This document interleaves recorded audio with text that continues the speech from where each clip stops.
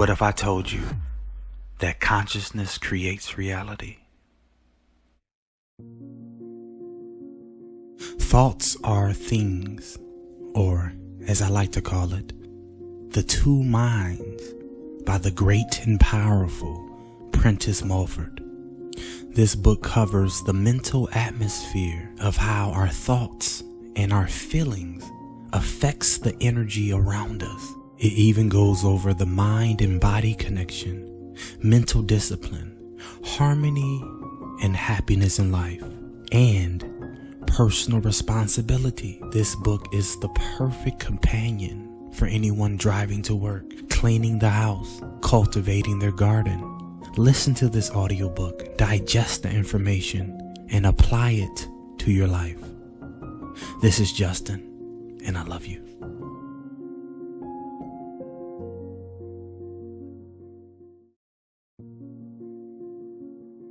The Two Minds by Prentice Mulford. Chapter 1 The Material Mind versus the Spiritual Mind. There belongs to every human being a higher self and a lower self, a self or mind of the spirit which has been growing for ages, and a self of the body, which is but a thing of yesterday. The higher self is full of prompting idea, suggestion, and aspiration. This it receives of the supreme power. All this the lower or animal self regarded as wild and visionary. The higher self argues possibilities and power for us greater than men and women now possess and enjoy. The lower self says we can only live and exist as men and women have lived and existed before us. The higher self craves freedom from the cumbrousness, the limitations, the pains and disabilities of the body. The lower self says that we are born to them, born to ill, born to ill, born to suffer and must suffer as have so many before us. The higher self wants a standard for right and wrong of its own. The lower self says we must accept a standard made for us by others, by general and long-held opinion, belief, and prejudice. To thine own self be true is an oft-uttered adage. But to which self? The higher or lower? You have, in a sense, two minds, the mind of the body and the mind of the spirit. Spirit is a force and a mystery. All we know or may ever know of it is that it exists and is ever working and producing all results in physical things seen of physical sense and many more not so seen. What is seen of any object, a tree, an animal, a stone? A man is only a part of that tree, animal, stone, or man. There is a force which for a time binds such objects together in the form you see them. That force is always acting on them to greater or lesser degree. It builds up the flower to its fullest maturity.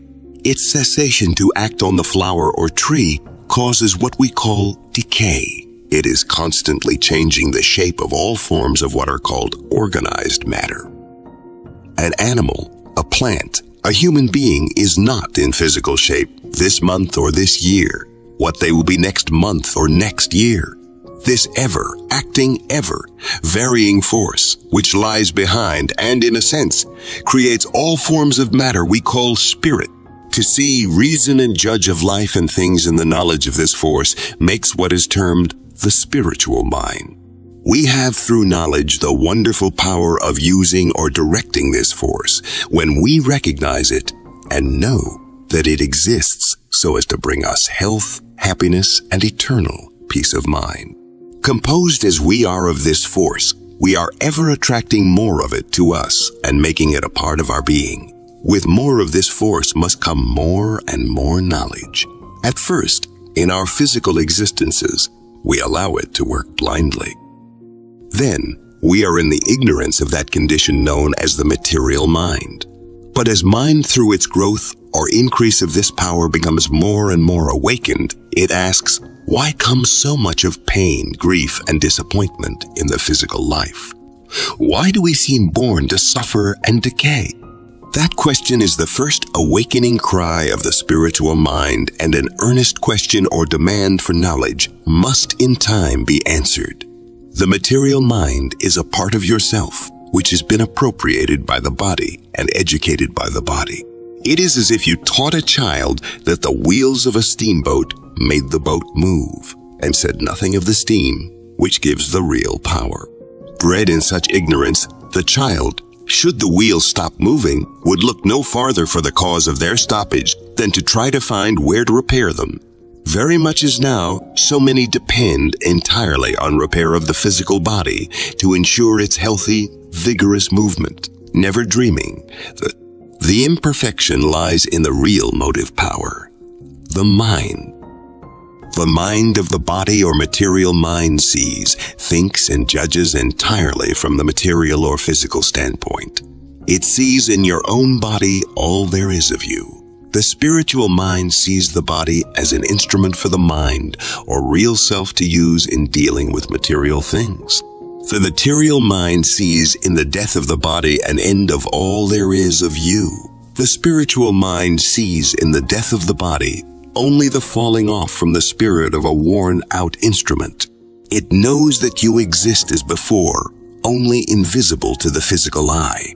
The material mind sees your physical strength as coming entirely from your muscles and sinews, and not from source without your body.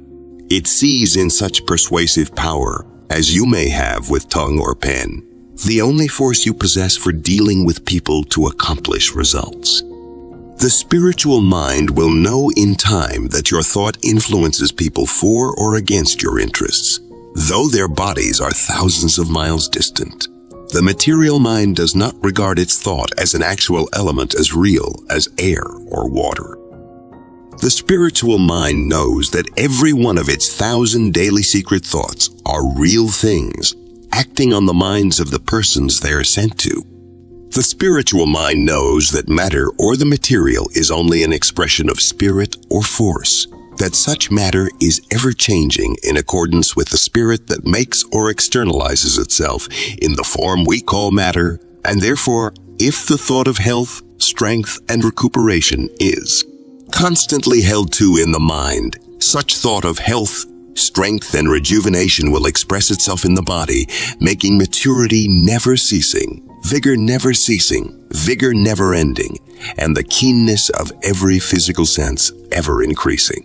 The material mind thinks matter, or that which is known by our physical senses, to be the largest part of what exists.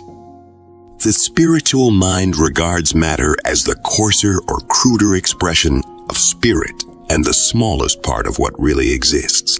The material mind is made sad at the contemplation of decay the spiritual mind attaches little importance to decay, knowing in such decay that spirit or the moving force in all things is simply taking the dead body or the rotten tree to pieces, and that it will build them up again as before temporarily into some other new physical form of life and beauty. The mind of the body thinks that its physical senses of seeing, hearing, and feeling constitute all the senses you possess. The higher mind or mind of the spirit knows that it possesses other senses akin to those of physical sight and hearing, but more powerful and far-reaching. The mind of the body has been variously termed the material mind, the mortal mind, and the carnal mind. All these refer to the same mind, or, in other words, to that part of your real cell which has been educated in error by the body. If you had been born and bred entirely among people who believed that the earth was a flat surface and did not revolve around the sun, you would in the earlier years of your physical growth believe as they did. Exactly in such fashion do you in your earlier years absorb the thought and belief of those nearest you who think that the body is all there is of them and judge of everything by its physical interpretation to them.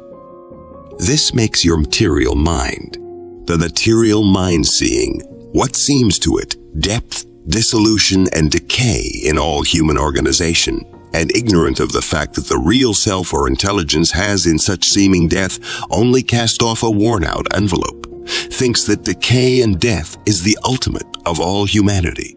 For such reason, it cannot avoid a gloom or sadness coming of such error, which now pervades so much of human life at present. One result or reaction from such gloom born of hopelessness is a reckless spirit forgetting every possible gratification and pleasure, regardless of right and justice, so long as the present body lasts. This is a great mistake. All pleasure so gained cannot be lasting. It brings besides a hundredfold more misery and disappointment. The spiritual mind teaches that pleasure is the great aim of existence, but it points out ways and means for gaining lasting happiness other than those coming of the teaching of the material mind. The spiritual mind, or mind open to higher and newer forces of life, teaches that there is a law regulating the exercise of every physical sense. When we learn and follow this law, our gratifications and possessions do not prove sources of greater pain than happiness, as they do to so many. By the spiritual mind is meant a clearer mental sight of things and forces existing both in US and the universe, and of which the race for the most part has been in total ignorance. We have now but a glimpse of these forces, those of some being relatively a little clearer than those of others but enough has been shown to convince a few that the real and existing causes for humanity's sickness, sorrow, and disappointment have not in the past been seen at all. In other words, the race has been as children, fancying that the miller inside was turning the arms of the windmill because some person had so told them, so taught they would remain in total ignorance that the wind was the motive power. This illustration is not at all an overdrawn picture of the existing ignorance, which rejects the idea that thought is an element all about us, as plentiful as air, and that as blindly directed by individuals and masses of individuals in the domain of material mind or ignorance. It is turning the windmill's arms, sometimes in one direction, sometimes in another, sometimes with good and sometimes with evil results. A suit of clothes is not the body that wears such suit, yet the material mind reasons very much in this way. It knows of no such thing as clothing for the spirit, for it does not know that body and spirit are two distinct things. It reasons that the suit of clothing, the body, is all there is of the man or woman. When that man or woman tumbles to pieces through weakness, it sees only the suit of clothes so going to pieces, and all its efforts to make that man or woman stronger are put on the suit instead of making effort to reinforce the power within which has made the suit. There are probably no two individuals precisely alike as regards the relative condition or action on them of their material and spiritual minds. With some, the spiritual seems not at all awakened. With others, it has begun to stretch and rub its eyes, as a person does on physical awakening, when everything still appears vague and indistinct. Others are more fully awakened. They feel to greater or lesser extent that there are forces belonging to them before unthought of.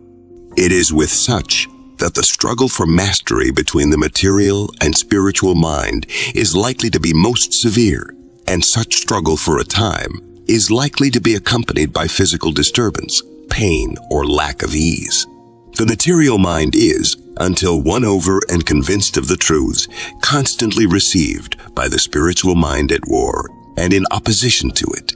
The ignorant part of yourself dislikes very much to give up its long accustomed habits of thinking.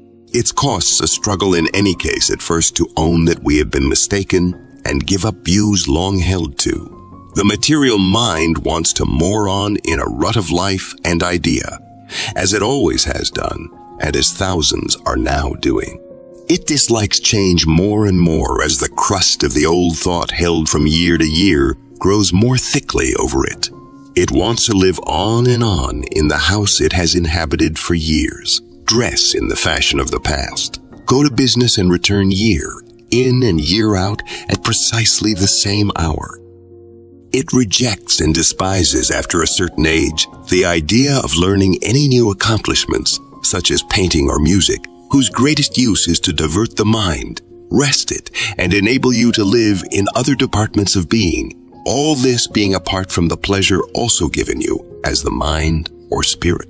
Teaches the body more and more skill and expertness in the art you pursue, the material mind sees as the principal use of any art only a means to bring money and not in such art a means for giving variety to life, dispelling weariness, resting that portion of the mind devoted to other business, improving health and increasing vigor of mind and body. It holds to the idea of being too old to learn. This is the condition of so many persons who have arrived at or are past middle age. They want to settle down. They accept as inevitable the idea of growing old. Their material mind tells them that their bodies must gradually weaken, shrink from the fullness and proportion of youth, decay, and finally die. Material minds say this always has been, and therefore always must be. They accept the idea wholly. They say quite unconsciously it must be. To say a thing must be is the very power that makes it. The material mind then sees the body ever as gradually decaying, even though it dislikes the picture and puts it out of sight as much as possible. But the idea will recur from time to time as suggested by the death of their contemporaries. And as it does, they think must, and that state of mind, indicated by the word, must will inevitably bring material results in decay. The spiritual or more enlightened mind says, if you would help to drive away sickness, turn your thought as much as you can on health, strength, and vigor, and on strong, healthy, vigorous material things, such as moving clouds, fresh breezes, the cascade, the ocean surge, on woodland scenes, and growing healthy trees, on birds full of life and motion, for in so doing, you turn on yourself a real current or this healthy life, giving thought, which is suggested and brought to you by the thought of such vigorous, strong material objects. And above all, try to rely on and trust that supreme power which formed all these things and far more and which is the endless and inexhaustible part of your higher self or spiritual mind. And as your faith increases in this power, so will your own power ever increase. Nonsense, says the ultra-material mind. If my body is sick, I must have something done to cure that body with things I can see and feel, and that is the only thing to be done. As for thinking, it makes no difference what I think, sick or well. At present, in such a case, a mind whose sense of these truths new to it has just commenced to be awakened will, in many cases, allow itself to be for a time overpowered and ridiculed out of such an idea by its own material mind or uneducated part of itself. And in this, it is very likely to be, assisted by other material minds who have not woke up at all to these truths and who are temporarily all the stronger through the positiveness of ignorance. These are as people who cannot see as far ahead as one may with a telescope and who may be perfectly honest in their disbelief regarding what the person with the telescope does see. Though such people do not speak a word or argue against the belief of the partly awakened mind, still their thought acts on such a mind as a bar or blind to these glimpses of the truth. But when the spiritual mind has once commenced to awaken, nothing can stop its further waking, though the material may for a time retard it. Your real self may not at times be where your body is, says the spiritual mind.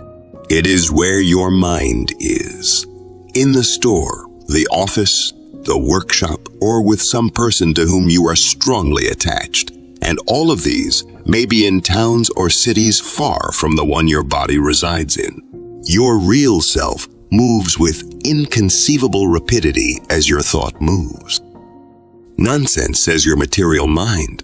I myself am wherever my body is and nowhere else. Many a thought or idea that you reject as visionary or as a whim or fancy comes of the prompting of your spiritual mind. It is your material mind that rejects it. No such idea comes but that there is a truth in it. But that truth we may not be able to carry out to a relative perfection immediately. 200 years ago, some mind may have seen the use of steam as a motive power. But that motive power could not then have been carried out as it is today. A certain previous growth was necessary, a growth and improvement in the manufacture of iron, in the construction of roads, and in the needs of the people. But the idea was a truth. Held to by various minds, it has brought steam as a motive power to its present relative perfection. It has struggled against and overcome every argument and obstacle placed in its way by dull, material, plotting minds. When you entertain any idea and say to yourself in substance, Well, such a thing may be, though I cannot now see it, you remove a great barrier to the carrying out and realization by yourself of the new and strange possibilities in store for you. The spiritual mind today sees belonging to itself a power for accomplishing any and all results in the physical world, greater than the masses dream of. It sees that as regards life's possibilities, we are still in dense ignorance. It sees, however, a few things, namely perfect health, freedom from decay, weakness, and death of the body, power of transit, travel and observation independent of the body, and methods for obtaining all needful and desirable material things through the action and working of silent mind, or thought, either singly or in cooperation with others. The condition of mind to be desired is the entire dominancy of the spiritual mind. But this does not imply dominancy or control in any sense of tyrannical mastership of the material mind by the spiritual mind. It does imply that the material mind will be swept away so far as its stubborn resistance and opposition to the promptings of the spiritual are concerned. It implies that the body will become the willing servant, or rather assistant, of the spirit. It implies that the material mind will not endeavor to act itself up as the superior when it is only the inferior. It implies that state when the body will gladly lend its cooperation to all the desires of the spiritual mind. Then all power can be given your spirit. Then no force need be expended in resisting the hostility of the material mind. Then all such force will be used to further our undertakings, to bring us material goods, to raise us higher and higher into realms of power, peace, and happiness, to accomplish what now would be called miracles. Neither the material mind nor the material body is to be won over and merged into the spiritual by any course of severe self-censure or self-censure or self-denial, nor self-punishment in expiation for sins committed, nor asceticism. That will only make you the more harsh, severe, bigoted, and merciless, both to yourself and others. It is out of this perversion of the truth that have arisen such terms as crucifying the body and subjugating the lower or animal mind. It is from this perversion that have come orders and associations of men and women who, going to another extreme, seek holiness in self-denial and penance. Holiness implies wholeness or whole action of the spirit on the body, or perfect control by your spirit over a body through knowledge and faith in our capacity to draw ever more and more from the supreme power. When you get out of patience with yourself, through the aggressiveness of the material mind, through your frequent slips and falls into your besetting sins through periods of petulance or ill temper or excess in any direction, you do no good and only ill in calling or thinking for yourself hard. Names. You should not call yourself a vile sinner any more than you would call any other person a vile sinner. If you do, you put out in thought the vile sinner and make it temporarily a reality. If in your mental vision you teach yourself that you're utterly depraved and a vile sinner, you are unconsciously making that your ideal, and you will unconsciously grow up to it until the pain and evil coming of such unhealthy growth either makes you turn back or destroys your body. For out of this state of mind, which in the past has been much inculcated, comes harshness, bigotry, lack of charity for others, hard, stern, and gloomy and unhealthy views of life, and these mental conditions will surely bring physical disease.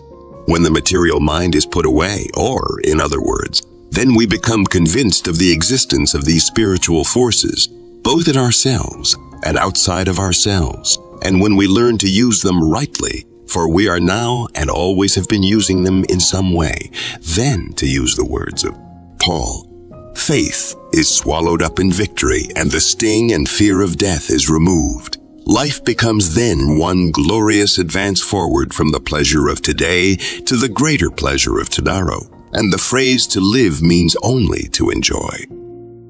Chapter 2 Who are our relations? The man or woman who, if most like you in tastes, motives, and habits of thought, and to whom you feel most attracted, may not be brother, sister, cousin, or any physical relative at all.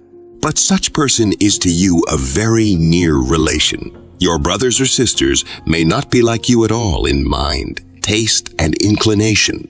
You may associate with them because they are members of the family. But were you not to know them as brothers, sisters, or other relatives, or were you to see elsewhere their exact counterparts in character, you might not like such counterparts at all. Physical or blood relationship has very little bearing on the real or mental relationship. It is possible for a brother or sister, a father or mother, to be very closely allied to you in thought and sympathy. Again, it is possible for a father or mother, brother or sister, to be very remote from you in thought and sympathy, and to live in a realm or atmosphere of thought very unlike yours. You can live neither healthfully nor comfortably unless with those whose thought, atmosphere, a literal emanation from them, is similar to your own. Physical relationship may or may not furnish such an atmosphere. Compel a laboring man whose thought goes little beyond his eating, drinking, and daily round of work to live exclusively with a company of artists and philosophers, seeing none of his own kind and order of thought and that man's spirits would in time be depressed and his health would suffer. The same law works when the superior mind is compelled to constant association with the inferior. Such may be your position among physical relatives. Children live, thrive, and are exhilarated by the thought, atmosphere emanating from their playmates. Cut them entirely off from such association, and they droop. As a child, you lived upon this atmosphere of childhood. That is, you lived in the spiritual relationship of childhood and regarding a certain playful thought nutriment, received it and also gave it to your playmates. You may wonder now why you cannot arouse the old feeling and exhilaration coming either from the associations of childhood or youth. It is because your spirit requires another thought food or atmosphere, which only another and probably higher order of mind can give that received, and time would pass as quickly and pleasantly as it did with the associates of your earlier physical existence. Those who can furnish it are your real relations. But such relationship cannot exist unless you can furnish them with the same quality of thought in return. The real or spiritual relations of many merchants, mechanics, and those of other callings are their brother merchants, mechanics, or those of similar occupations. They prove this by their lives. They feel more at home with those whose business is like their own than they do in the places they may call home, to which they resort to eat, sleep, and often spend a tiresome Sunday, longing for Monday's coming and the more welcome life of the market, stall, and store. Because there they are amongst their real relations and are being literally led and stimulated by the thought atmosphere furnished them by these relatives, which they also furnish in turn. Every order of mind or quality of thought must have association with a corresponding order of mind and quality of thought, or it will suffer. But blood relationship has little to do with furnishing such order of thought. There is a vast amount of unconscious tyranny exercised through the ties of physical relationship. Children often, when grown up, place the mothers or fathers in their minds in a sphere and method of life where they may or may not care to belong. Then thought, seldom if ever expressed, runs in substance thus. Mother is getting too old to wear bright colors. She must dress more subdued. It is ridiculous for mother, if a widow, to marry again. Very hard cash reasons sometimes enter this sentiment. Mother, of course, does not want to enter into our gayer life so she can stay at home and take care of the children. Or it is time father retired from business, or father's idea of marrying again is ridiculous. No force is more subtle in its workings, nor more powerful to bring results for good or ill than the steady output of thought from one or several minds combined on one person to effect some desired result, and whether this is done intelligently and consciously or blindly, the force works the same. Result.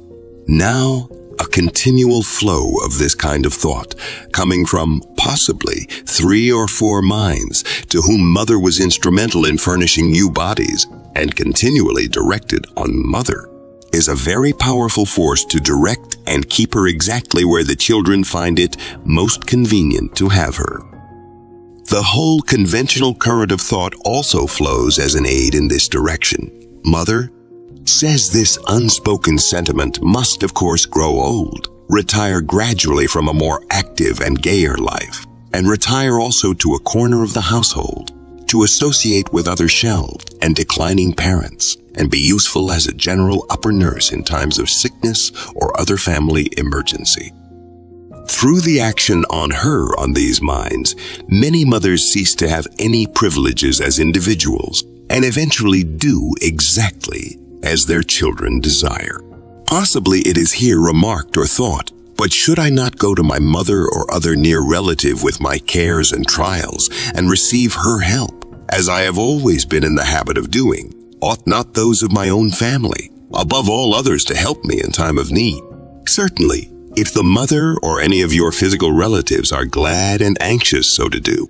Certainly, if such service from a relative comes directly from the heart and is not impelled by the sentiment taking sometimes this form of unspoken expression. I suppose I must do this because it is my brother or my son or other physical relative who asks it, asks it.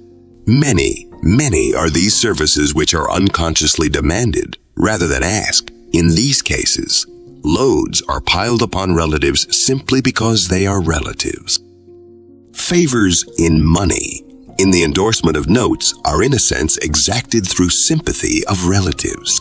Support, food, shelter, maintenance are expected from relatives when it cannot be procured elsewhere. Hospitality is expected from relatives. When to expect hospitality is to make such entertainment the result of a demand. Presents are expected from relatives. When to expect a gift makes it rather an extortion. Real gifts are always surprises. No one expects a surprise since expectation destroys surprise. Relatives visit and camp down on other relatives simply because they are relatives, and a vast amount of grudging, grumbling, but unspoken thought is always going out when relatives use each other's houses to save hotel bills. No real or lasting good comes of any gift bestowed on another unless the heart goes with it and its bestowal is to the giver an act of unalloyed pleasure. Because something else goes with the material gift, the food, the shelter, the loan, which though not seen and little known, is more important than the form itself. That is the thought which goes with it. That thought strongly affects, for good or ill, the person who receives the gift.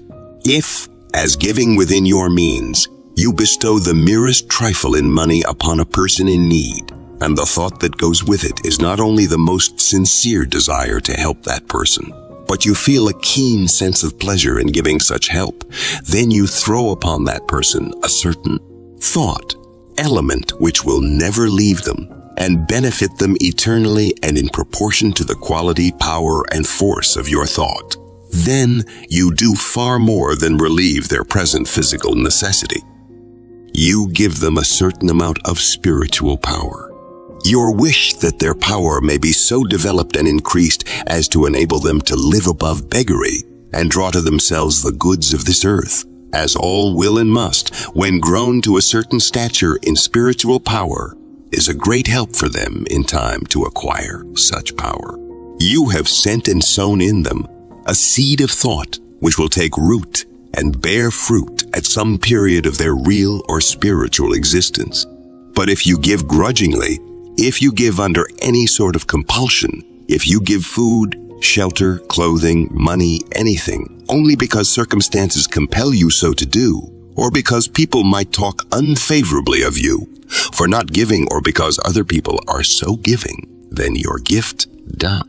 Relatively little good, no matter on whom bestowed, be it even mother, father, brother, sister, son, or daughter. You relieve then only a physical necessity, and that only for a time. You may possibly feed a body, shelter it, clothe it, but you do not and cannot feed properly the spirit that uses that body if the thought going with your gift is not that of the most perfect willingness and hearty pleasure in relieving that body's necessities. The grudging thought accompanying the gift, the thought common to that position when the recipient of the gift, no matter how near the relationship, is endured rather than enjoyed, the thought accompanying any gift to any person or relative that is given principally because custom and public opinion require it or because of the recipient's importunity is a great damage both to giver and taker. It is the sending to the one who receives a current of thought, evil in its character and result.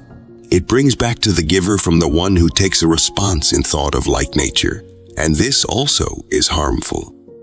Because if you receive a gift which you have in any way extorted your feeling for the giver, is not that of warm, glowing gratitude, but something quite different.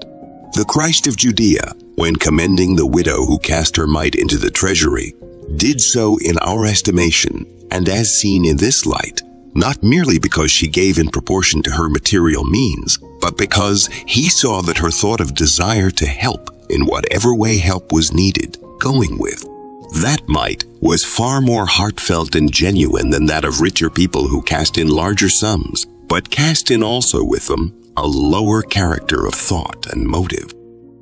He saw also that the woman's thought was doing far more to help than that of the others, for it was purer, less mixed with lower motive, and therefore far the stronger. Is it not my duty? Some may ask, to feed, clothe, shelter, and support a very near relative or parent, if helpless in their old age. The term doing from a sense of duty does not always imply that the thing done, be it the person helped or the patient nursed through sickness, is done from the impulse of love for that person or love for the doing. It is sometimes done mechanically or with dislike for the doing. It is sometimes a forced and painful performance. For such reason, little good is done. For if physical necessities are temporarily relieved, spiritual necessities are not, and unless the spiritual portion of our natures is fed, there can be no permanent relief or good done. Parents who in old age are supported by their children merely from a sense of duty have sometimes their spirits wounded and starved. Wounded because they feel their endured encumbrances. Starved because no real love goes with the gift or service done by these children. Children who come into the world unwelcomed by the parent and are brought up only because custom, conventionality, and public opinion demand their support from that parent are most unfortunate and suffer from the blight and starvation, thereby caused their spirits. Genuine heartfelt love is literally life-giving and if received by the child is for it a source of cheer, health, strength, and activity. There is a certain trained conscience whose basis of education is fear of public or private opinion.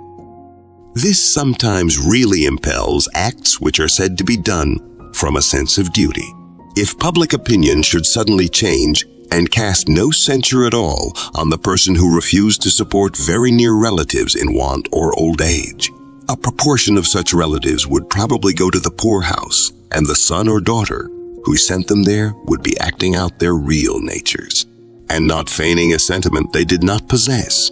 Mothers sometimes say, I don't care what becomes of me so that my children are well brought up and educated. A mother should care a great deal for her own cultivation. If her cultivation and growth in wisdom are checked, that of her children will be checked. It will be checked if she sinks herself in her endeavor to favor her children. A genuine mother will continually compel the admiration and respect, as well as love of her children. Such admiration and respect can be compelled only by a woman who knows the world, has standing and position in it, and is ever pushing forward to more commanding place and position. Such admiration and respect from son or daughter cannot be compelled by the mother who retires to a household corner, becomes a cross between upper nurse and governess, neglects her dress and personal appearance, and teaches her children that she is at their disposal and use in all family. Emergencies, real or fancied. For this very reason are many mothers ignored, snubbed, and ridiculed by their grown-up children. If mothers so sink themselves, as they falsely imagine, to benefit their children, they pay in cases a terrible penalty.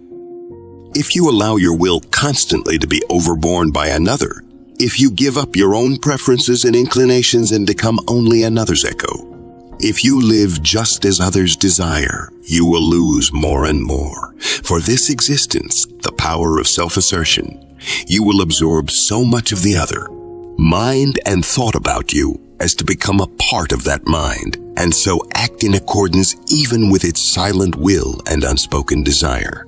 You will fossilize and sink into a hopeless servitude.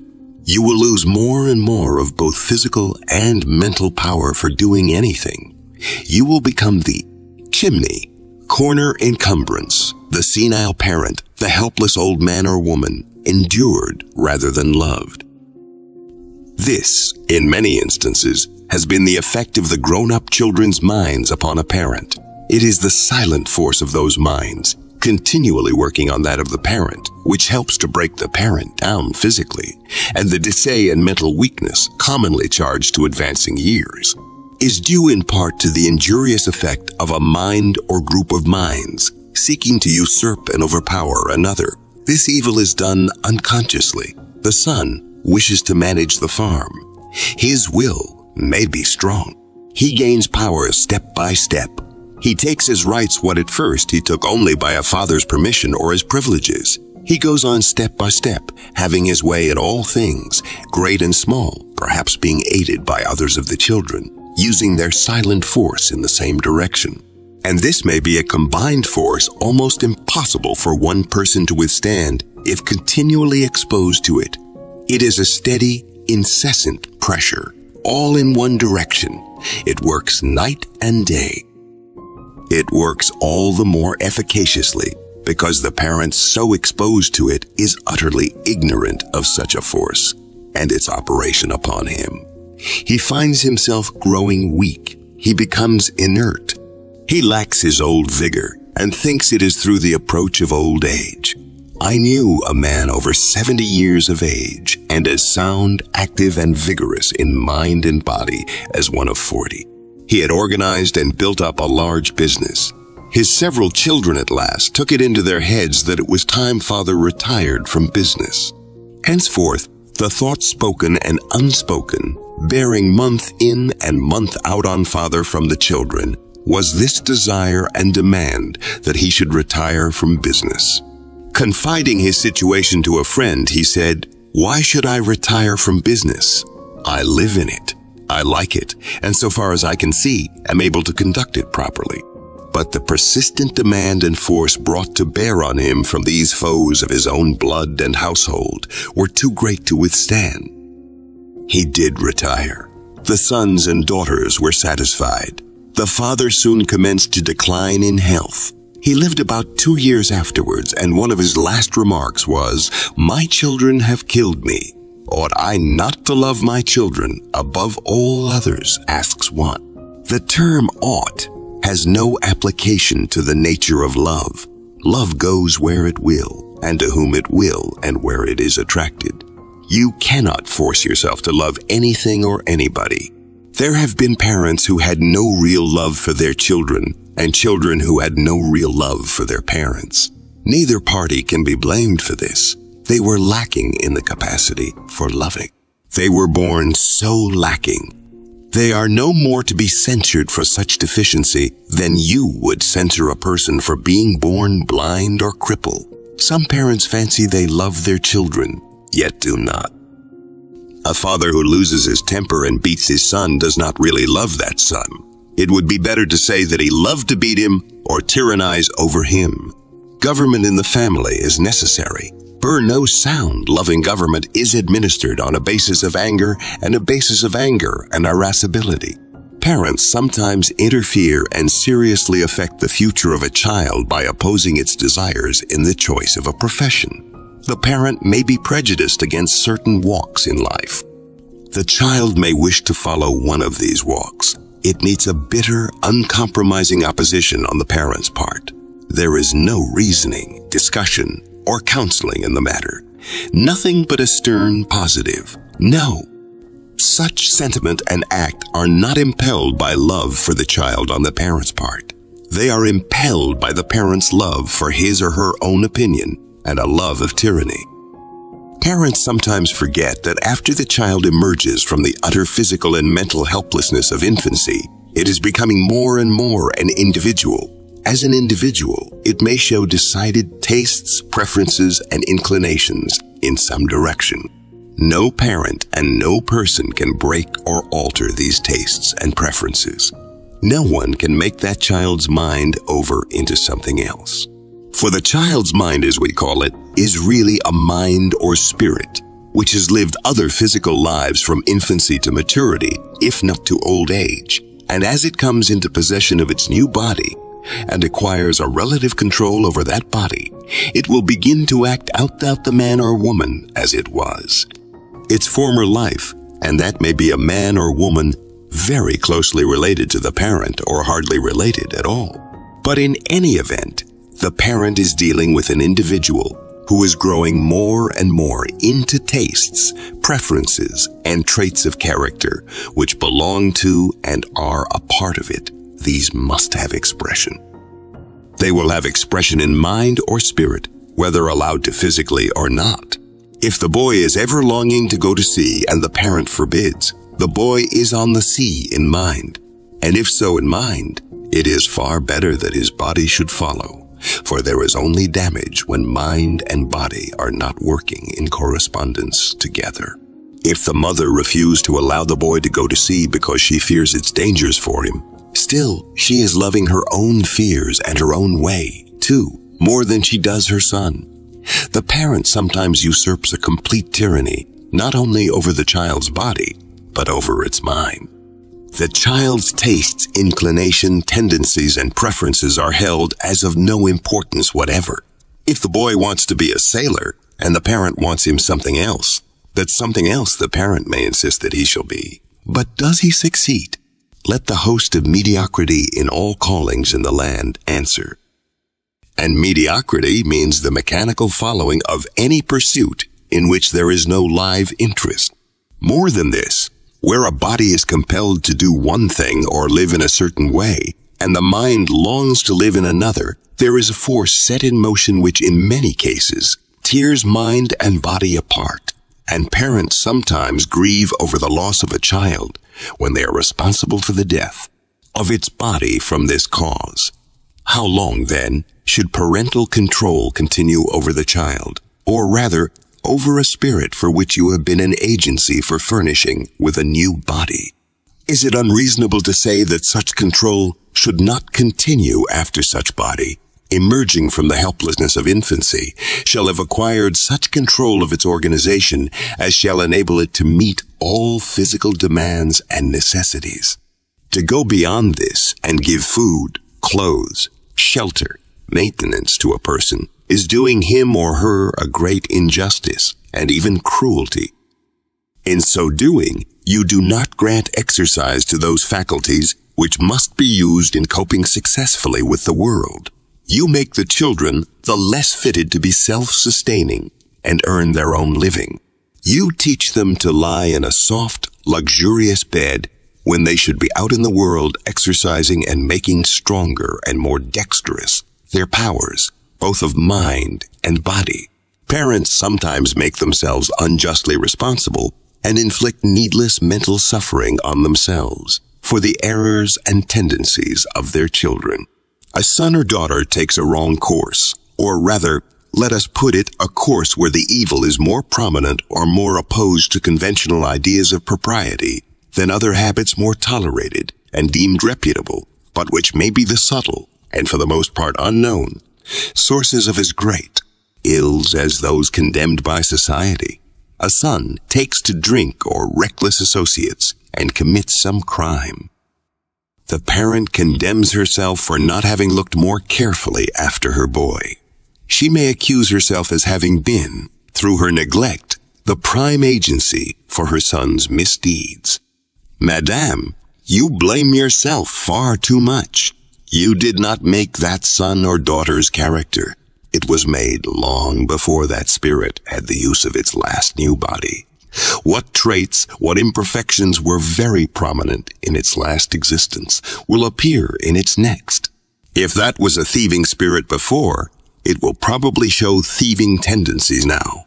If it was gross, animal, and gluttonous, then similar tendencies will show themselves now. You, if grown to a more refined plane of thought, may do much to modify and lessen these tendencies, but all that you will do in this respect will be done through the silent force and action of your superior thought on your child's mind. It will not be done through a great deal of verbal counsel or physical punishment or discipline. Whatever a mind is on entering on a new physical experience, whatever imperfection belongs to it, must appear and be acted out and beget pain and punishment of some kind until that spirit sees clearly for itself. How, through its errors, it brings these punishments on itself. These lessons can only be learned when that person has full freedom, so far as parental control goes, to live as it pleases you may for a time control such a life and make it externally live as you please. But such external life is only a veneer. If the mind be full of lower tastes and inclinations, the sooner these are lived out, the sooner will that person learn the real law, which inflicts pains and penalties for breaking its unchangeable rules, and the sooner will it know the happiness which comes of living in accordance with its rules, that every spirit must do for him or herself. A parent may mold a false character for a child. It may teach indirectly through the effect of its own mental condition operating on the child how to feign what the world calls goodness, how it may seem, as regards outward conduct, to be what it is not at all in secret tendency and inclination. How? In brief, to be a hypocrite. No person is really reformed by another in the sense such a term is sometimes used. Reform must come from within. It must be self-sustaining. It must not depend wholly on another's presence or influence. If it does, it is only a temporary reform. It will fail when the influence of the person on whom it depends on is removed. We hear sometimes the assertion such or such a person's wife has been the making of him, meaning the husband. By the way, why do we never hear of the man's being the making of his wife? A man may be prevented from intemperance, or he may continually be braced up to meet the world through his wife's influence and mental power. But if in such reform he relies entirely upon her, if he cannot sustain himself without her continual presence and prompting, his is no lasting reformation, and he is also a very heavy and damaging load for her to carry.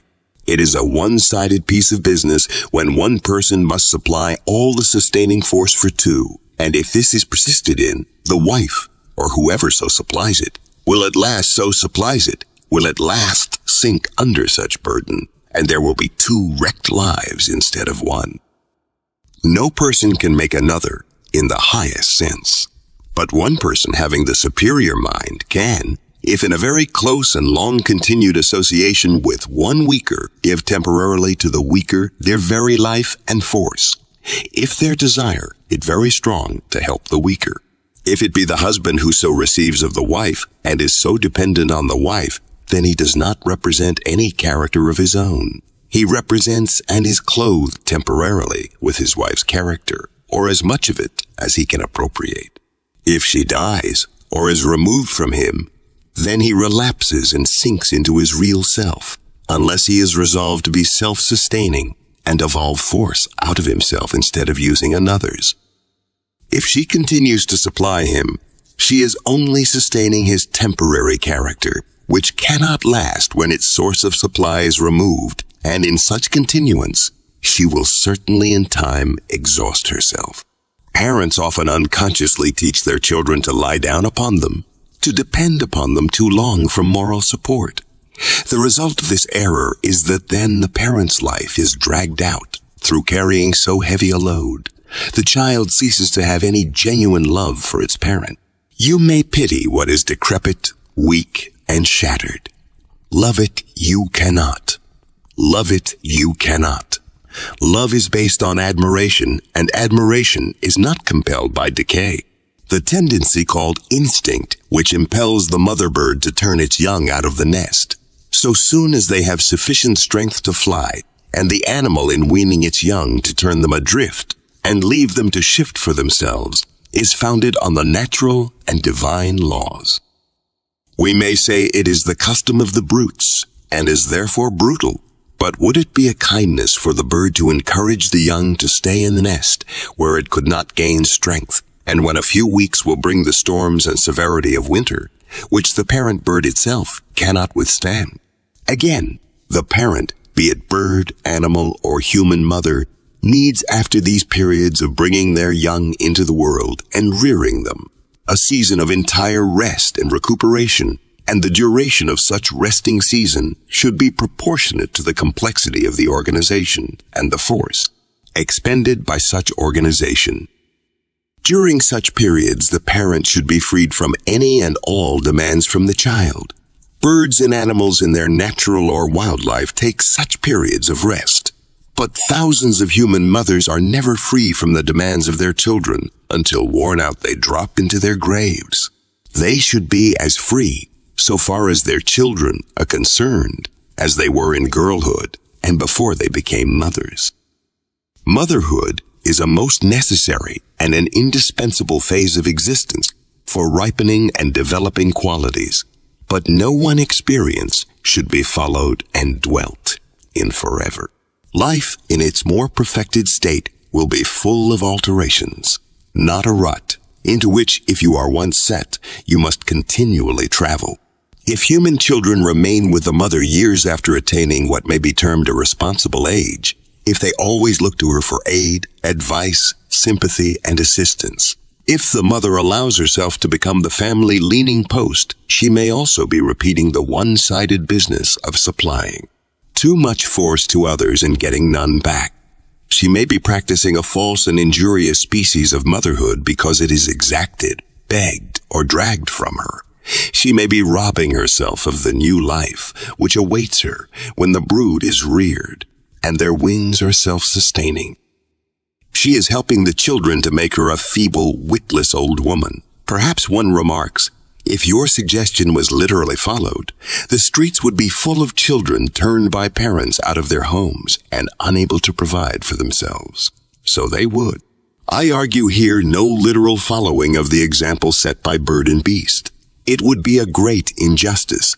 No custom, when followed for ages, even if based in error, can be suddenly changed without disturbance, injustice, and wrong. Yet it is worth our while to study this principle that we find in nature, from the tree that casts adrift the ripe acorn to the bird or animal that casts adrift the relatively ripened young. Neither acorn bird nor animal, when cast off or weaned, ever returns to the parent for self-sustaining power. Such power in these cases is only given by the parent until the new organization is strong enough to absorb and appropriate of the elements about it. Absorb of earth and sunshine, or flesh, or grain, the nourishment necessary to its support. Are not our streets today full of grown-up children quite unable to provide for themselves? Do not thousands leave parental homes with no self-sustaining power who are all through life unable to feed, clothe, and shelter themselves, save by long hours of drudging labor at the lowest wages? Does not this life of drudgery exhaust and cut them off prematurely? Are there not thousands of daughters all over the land who will become old maids and whose parents will not permit them? Were they so disposed to go out in the world and take their chances? These are the birds cuddled in the nest until their wings, denied exercise, lose at last all power or prompting for flight, and whose mouths, though they become grown-up birds, are trained only to open and receive the morsels dropped in them. Chapter 3 Thought Currents We need to be careful of what we think and talk, because thought runs in currents as real as those of air and water. Of what we think and talk, we attract to us a like current of thought. This acts on mind or body for good or ill. If thought was visible to the physical eye, we should see its currents flowing to and from people. We should see that person's similar in temperament. Character and motive are in the same literal current of thought. We should see that the person in a despondent and angry mood was in the same current with others despondent or angry, and that each one in such mood serves as an additional battery or generator of such thought and is strengthening that particular current. We should see these forces working in similar manner in connecting the hopeful, courageous, and cheerful with all others hopeful, courageous, and cheerful. When you are in low spirits or blue, you have acting on you the thought current coming from all others in low spirits. You are in oneness with the despondent order of thought. The mind is then sick. It can be cured, but a permanent cure cannot always come immediately when one has long been in the habit of opening the mind to this current of thought. In attracting to us the current of any kind of evil, we become for a time one with evil.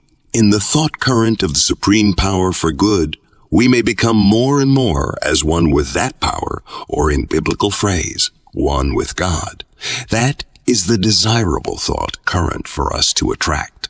If a group of people talk of any form of disease or suffering, of deathbed scenes and dying agonies, if they cultivate this morbid taste for the unhealthy and ghastly, and it forms their staple topics of conversation.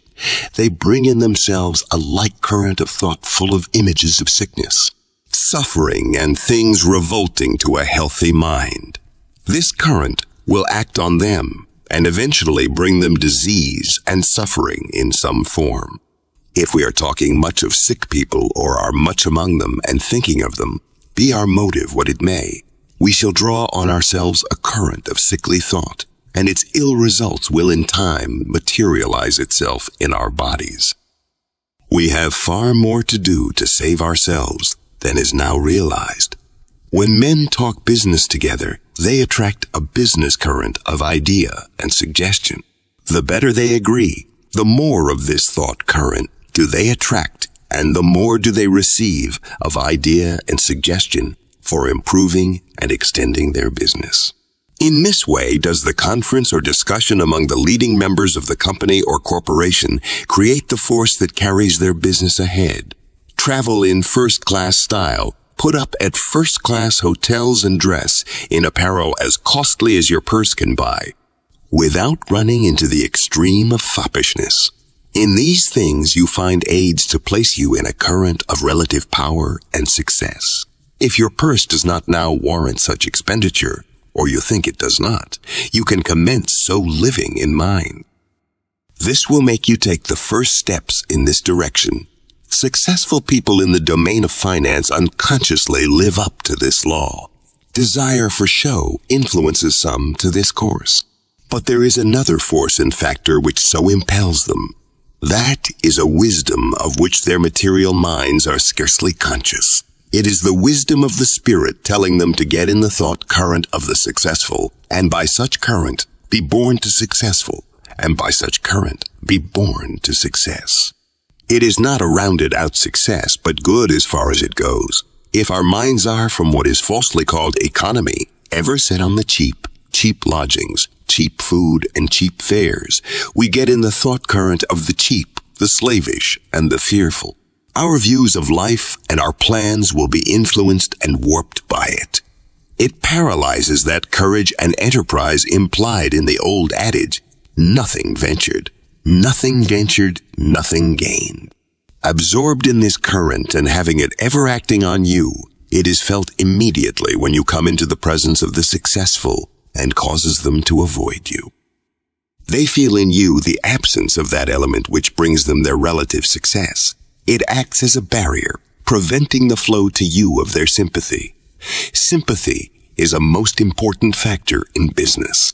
Despite opposition and competition, a certain thought current of sympathy binds the most successful together. The mania for cheapness lies in the thought current of fear and failure. The thought current of fear and failure and the thought current of dash, courage, and success will not mingle nor bring together the individuals who are in these respective streams of thought. They antagonize, and between the two classes of mind is built a barrier more impenetrable than walls of stone.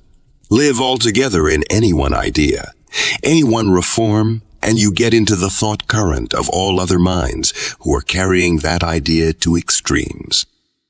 There is no reform but what can be pushed too far. The harm of such extreme falls on the person who so pushes it. It warps mind, judgment, and reason all on one side.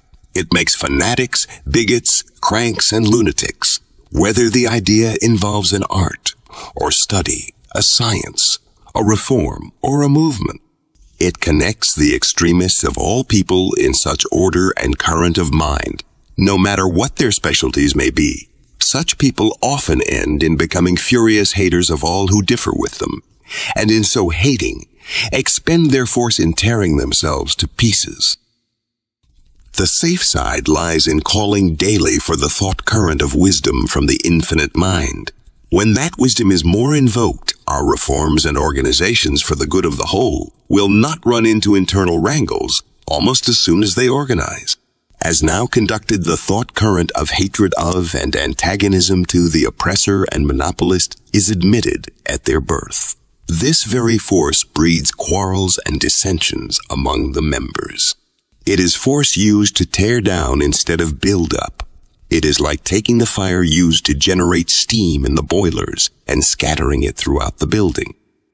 When people come together and in any way talk out their ill will towards others, they are drawing to themselves with tenfold power an injurious thought current, because the more minds united on any purpose, the more power do they attract to effect that purpose.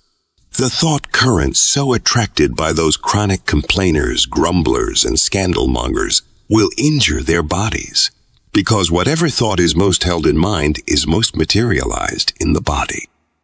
If we are always thinking and talking of people's imperfections, we are drawing to us ever of that thought current and thereby incorporating into ourselves those very imperfections. We have said in previous books that talk creates force and that the more who talk in sympathy, the greater is the volume and power of the thought, current generated and attracted for good or ill. A group of gossips who can never put their heads together without raking over the faults of the absent are unconsciously working a law with terrible results to themselves. Gossip is fascinating. There is an exhilaration in scandal, and the raking over of our friends or neighbors or enemies' faults is almost equal to that produced by champagne. But in the end, we pay dearly for these pleasures. If but two people were to meet at regular intervals and talk of health, strength, and vigor of body and mind, at the same time, opening their minds to receive of the Supreme the best idea as to the ways and means for securing these blessings. They would attract to them a thought current of such idea.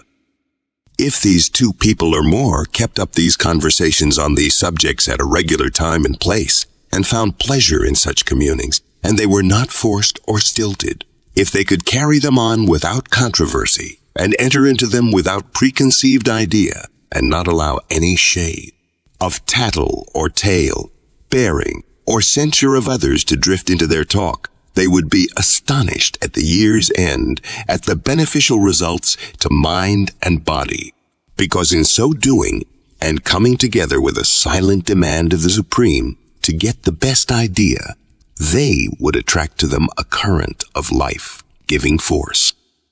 Let two so commence rather than more. For even two persons in the proper agreement and accord to bring the desired results are not easy to find.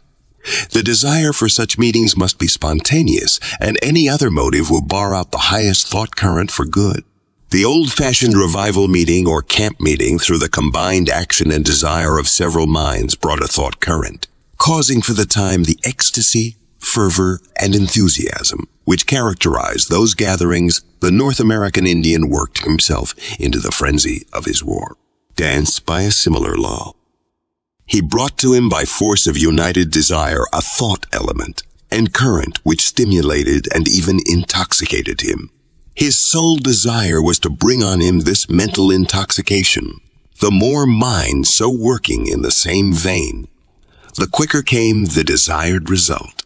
The real orator in his effort draws to him a current of thought, which is sent again from him to his audience, thrills them. So does the inspired actor or actress. They bring a higher and more powerful element of thought to themselves first, and this flowing through them acts on the audience afterwards. If you dwell a great deal on your own faults, you will, by the same laws, attract more and more of their thought current, and so increase those faults. It is enough that you recognize in yourself those faults. Don't be always saying of yourself, I am weak or cowardly or ill-tempered or imprudent. Draw to yourself rather the thought current of strength, courage, even temper, prudence, and all other good qualities. Keep the image of these qualities in mind, and you make them a part of yourself. You have sometimes been beset, absorbed, and even annoyed for days in the thought of the suit of clothes you wanted to buy, the cut, color, and fashion of dress, the selection of a bonnet or cravat, until you were nothing in thought but clothes, hat, bonnet, dress, cravat, or some other detail of life. You may not have been able to make up your mind what you should buy, and have then possibly been tossed about mentally on the billows of indecision for days. You have then got into the thought current of thousands of other minds continually in this mood of thought. The surest way for a young woman to become ugly is to be discontented, peevish, cross, complaining, and envious of others because in these states of mind, she is drawing to her the invisible substance of thought, which acts on and injures her body. It ruins the complexion, makes lines and creases in the face, sharpens the nose, and transforms the face of youth into that of the shrew in very quick time. I am not moralizing here or saying, you ought not to do thus and so. It is simply cause and result. Put your face in the fire and it is scarred and disfigured because of an element acting on it. Put your mind in the fire of ill will, envy, or jealousy, and it is also scarred, seamed, and disfigured because of an element as real as fire, though invisible, acting on it. All things that are evil and imperfect, such as disagreeable traits of character in others, things unpleasant to hear or look upon, should be gotten out of our minds as quickly as possible. Otherwise, if dwelt upon, they attract of their thought current. They will then become permanent spiritual fixtures, and these will in time materialize themselves into corresponding physical fixtures. If we are always keeping in mind the person doing some wrong thing, we are the more apt to do that very, very ourselves. Let us endeavor then, with the help of the supreme power, to get into the thought current of things that are healthy, natural, strong, and beautiful. Let us try to avoid thoughts of disease, of suffering, of deformity, of faultiness. A field of waving grain or the rolling surf is better to contemplate than to pore over the horrors of a railway accident. We do not realize how much we are depressed physically and mentally by the incessant feast of horrors prepared for us, prepared for us by the daily press. We invoke in their perusal a thought current filled with things and images of horror and suffering. We bring ourselves in this way in connection and oneness with all other morbid and diseased mind, which lives and revels in this current. It leads not to life, but to disease and death. Neither others nor yourself are one particle aided by your knowing of every fire, explosion, murder, theft, or crime, which the newspapers chronicle every 24 hours. If we read books written by cynical, sarcastic minds who are so warped as to be able to see only the faults of others, and at last unable to see good anywhere, we bring on ourselves their unhealthy thought current and are one with it. The arrow always tipped with ill nature and sarcasm is deadliest to him who sends it. In other words, the man who is ever inviting and cultivating this thought current is inviting the unrest, disease, and misfortune it will assuredly bring to him. And when we get too much into his mind, we invite similar results.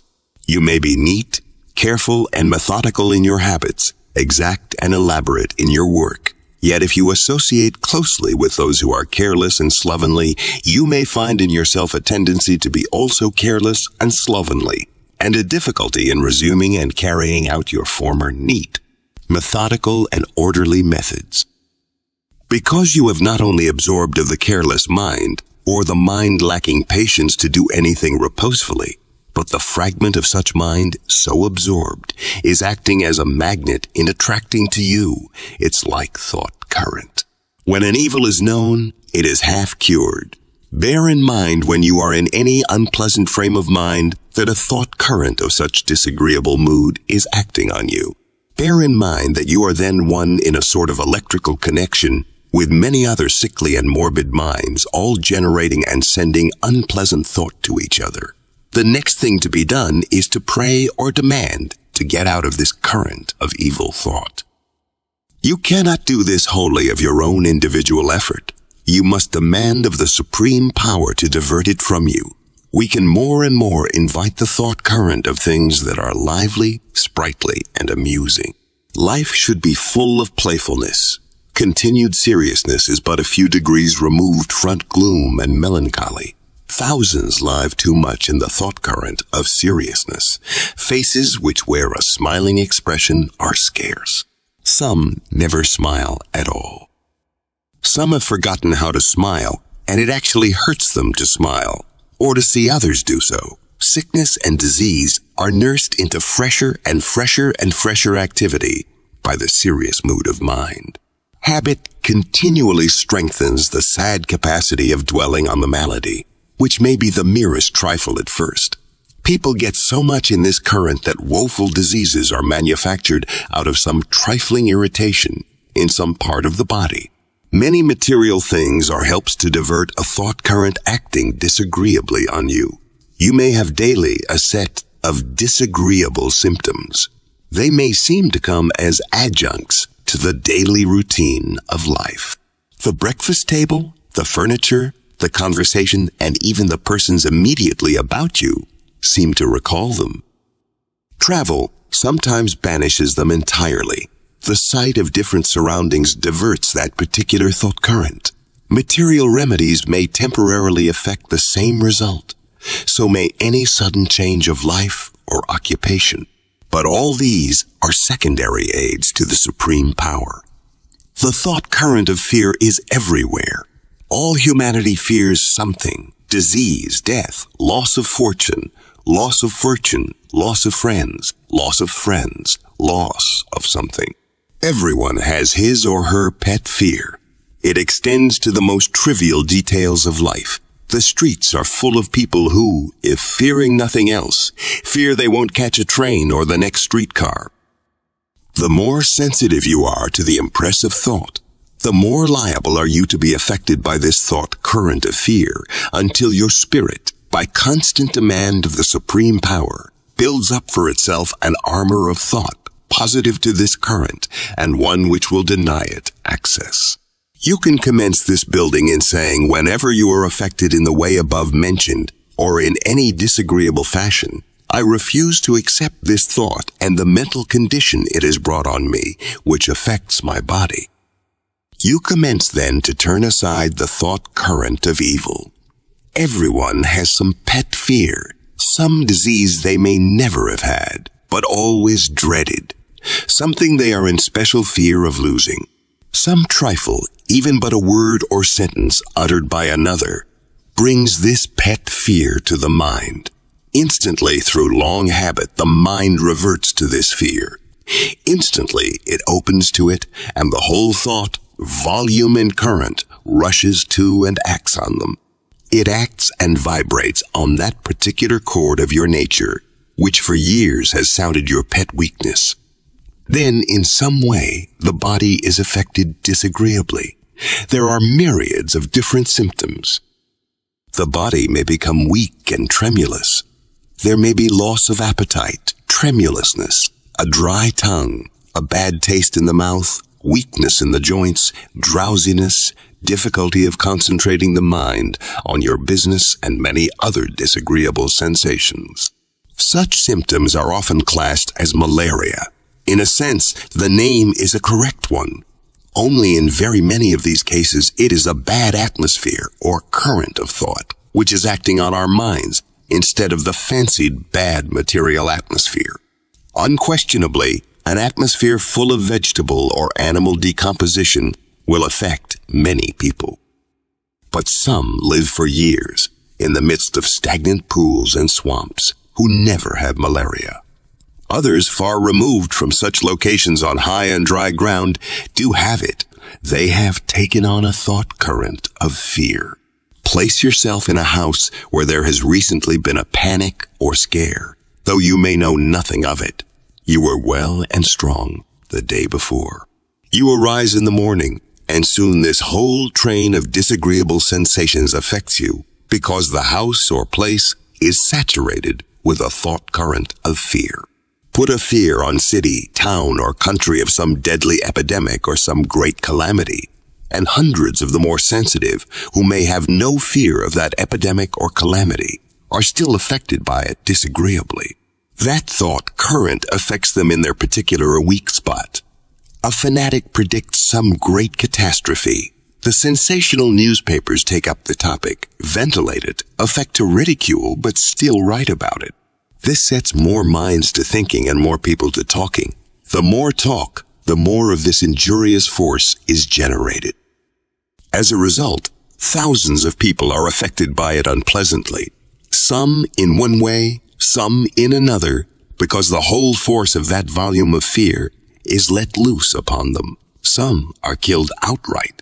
Entirely unaware of the cause, they open their minds more and more to it, dwell on it in secret, put out no resisting thought until at last the spirit, unable longer to carry such a load, snaps the link which connects it with the body. The more impressionable you are to the thought about you, the more are you liable to be thus affected. But you can train your mind to shut out this thought. You can gradually train it to bar tightly this door to weakness and keep open only the one to strength. You can do this by cultivating the mood of drawing to yourself and keeping in the mood and current of thought, coming of God or the supreme power for good. Impressionability or capacity to receive thought is source either of strength or weakness. Fine, grained, sensitive, highly developed minds today often carry the weakest bodies because through ignorance they are always inviting some of these currents of evil without any knowledge of their existence or the means of throwing them off. They are ignorantly either courting or exposing themselves to such current. Improper individual association is one chief source of such exposure. The finer feminine organization is more sensitive to every shade and ray of thought about it, good or bad. Men absorbed in their business generate for a time a certain positiveness which throws off the fear current. But this positiveness cannot always last. Women from this cause often suffer a thousandfold more in the privacy of their homes than men are aware of. The average man defines it as woman's way and wonders why she is so full of nervousness, vapors, notions, and ill health. As you place your reliance on the infinite mind to bring you out of all these agencies for ill, that mind in some way will bring many material aids to help you out. That mind will suggest medicines and foods and surroundings and changes, not only to help you temporarily, but permanently, so that when you are cured, you are cured for all time. A cheerful, buoyant, hopeful mind and no mind is cheerful, hopeful, and buoyant without being nearer the infinite than one that is depressed, sour, and gloomy. Be that the mind of your doctor or your friend will help you to get out of the injurious thought current. Regard such mind as a help from the infinite, But don't put your whole trust in that individual. Put the great trust in the supreme power which has sent to you the individual as a temporary aid or crutch until your spiritual limbs are strong enough to bear you.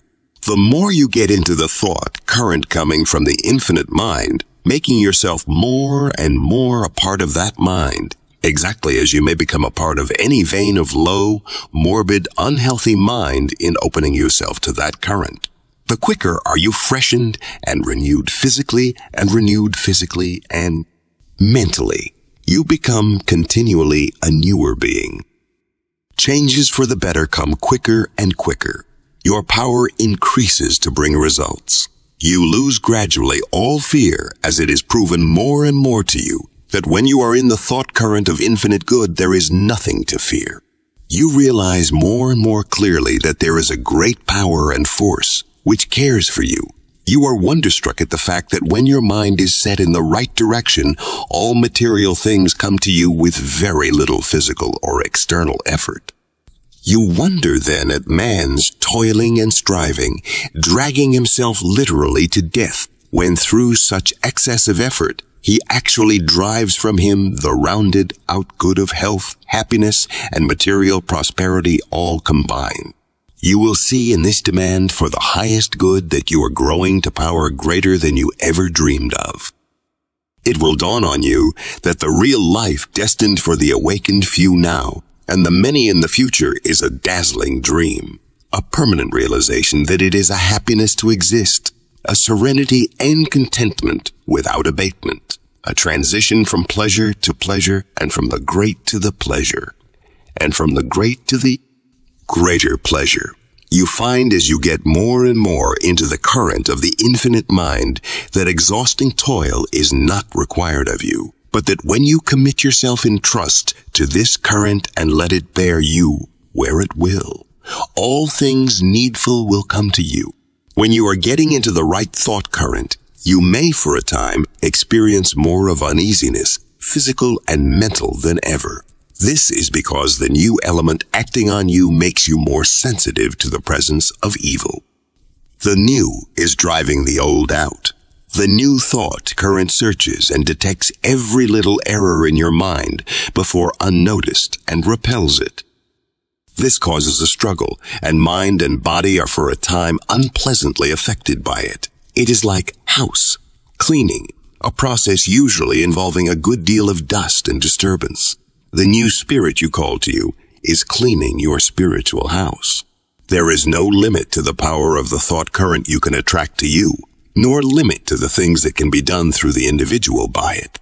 In the future, some people will draw so much of the higher quality of thought to them that by it, they will accomplish what some would call miracles. In this capacity of the human mind for drawing a thought current ever increasing in fineness of quality and power lies the secret of what has been called magic. Chapter 4 One Way to Cultivate Courage Courage and presence of mind mean the same thing. Presence of mind implies command of mind. Cowardice and lack of mental control mean about the same thing.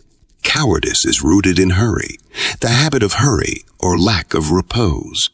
All degrees of success are based on courage, mental or physical.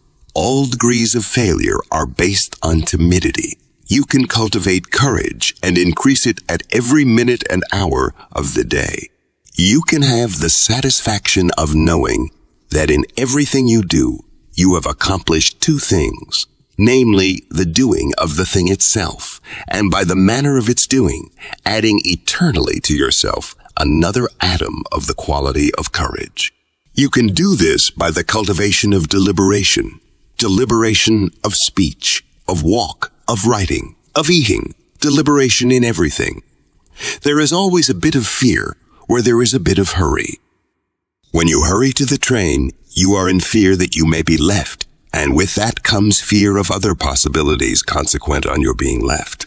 When you hurry to the party, to the meeting of a person by appointment, you are in fear of some ill or damage resulting from not being in time. This habit of thought can, through an unconscious training, grow to such an extent as to pervade a person's mind at all times and places and bring on a fear of loss of some kind when there is absolutely no loss to be sustained. For instance, a person may hurry to catch a streetcar and act and feel as if a great loss would occur if he did not get on that particular car, when there may be another close behind or at most two or three minutes waiting will bring it.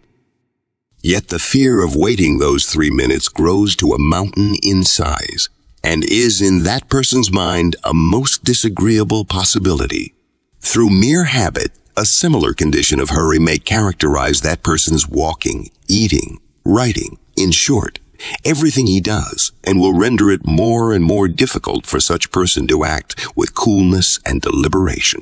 The quality of mind or emotion underlying all this hurried mental condition and consequent hurried act is fear. Fear is but another name for lack of power to control our minds, or, in other words, to control the kind of thought we think or put out. It is this kind of unconscious mental training, which is very common, that begets a permanent condition of mind more and more liable to large and small panics at the least interruption or trivial disappointment. It makes disappointments when none are necessary.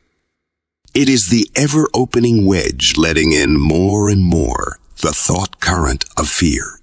For if you so cultivate fear of one thing, you are cultivating an increasing liability to fear in all things. If you allow yourself to sit in fear for half an hour that the carriage may not call for you in time to get to the boat or train, you are much more liable to be seized with a series of little panics at every trivial occurrence or obstacle occurring on that particular journey. In this way does this habit of mind enter into and is cultivated in the doing of so-called little things. You are writing, sewing, or engaged in the performance of some work which is intensely interesting to you and in which you do not like to be interrupted. If sewing, you reach for your scissors, which have dropped on the floor. You do this in a momentarily impatient mood and with a spasmodic, jerky action. Your mind, as the phrase runs, is on your work. You will not take it off your work while reaching for the scissors. You are trying in mind to go on with your work and reach for the scissors at the same moment. You make the movement of muscles and the action of the body momentarily disagreeable and irksome because you refuse for the second to put into that act the force which it demands. When unconsciously you refuse to do this, any acts will become irksome and disagreeable because there is not force enough let on to do the act with ease. It is the endeavor to do it with a weak body.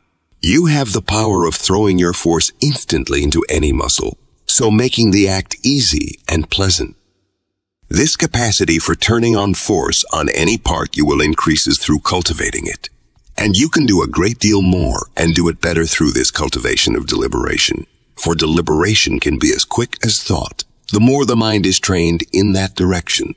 If you pick up a pin or tie a shoestring in a hurry, you do so not only because such act is irksome to you, but because you fear it may deprive you momentarily of some bit of pleasure. There you have again opened your mind to the thought current of fear, fear of losing something. The cultivation of courage commences in the cultivation of deliberation in so-called little acts like these. Deliberation and courage are as closely allied as fear and hurry. If we do not learn to govern our force properly in the doing of the smallest act, we shall find such government far less easy in the doing of all acts.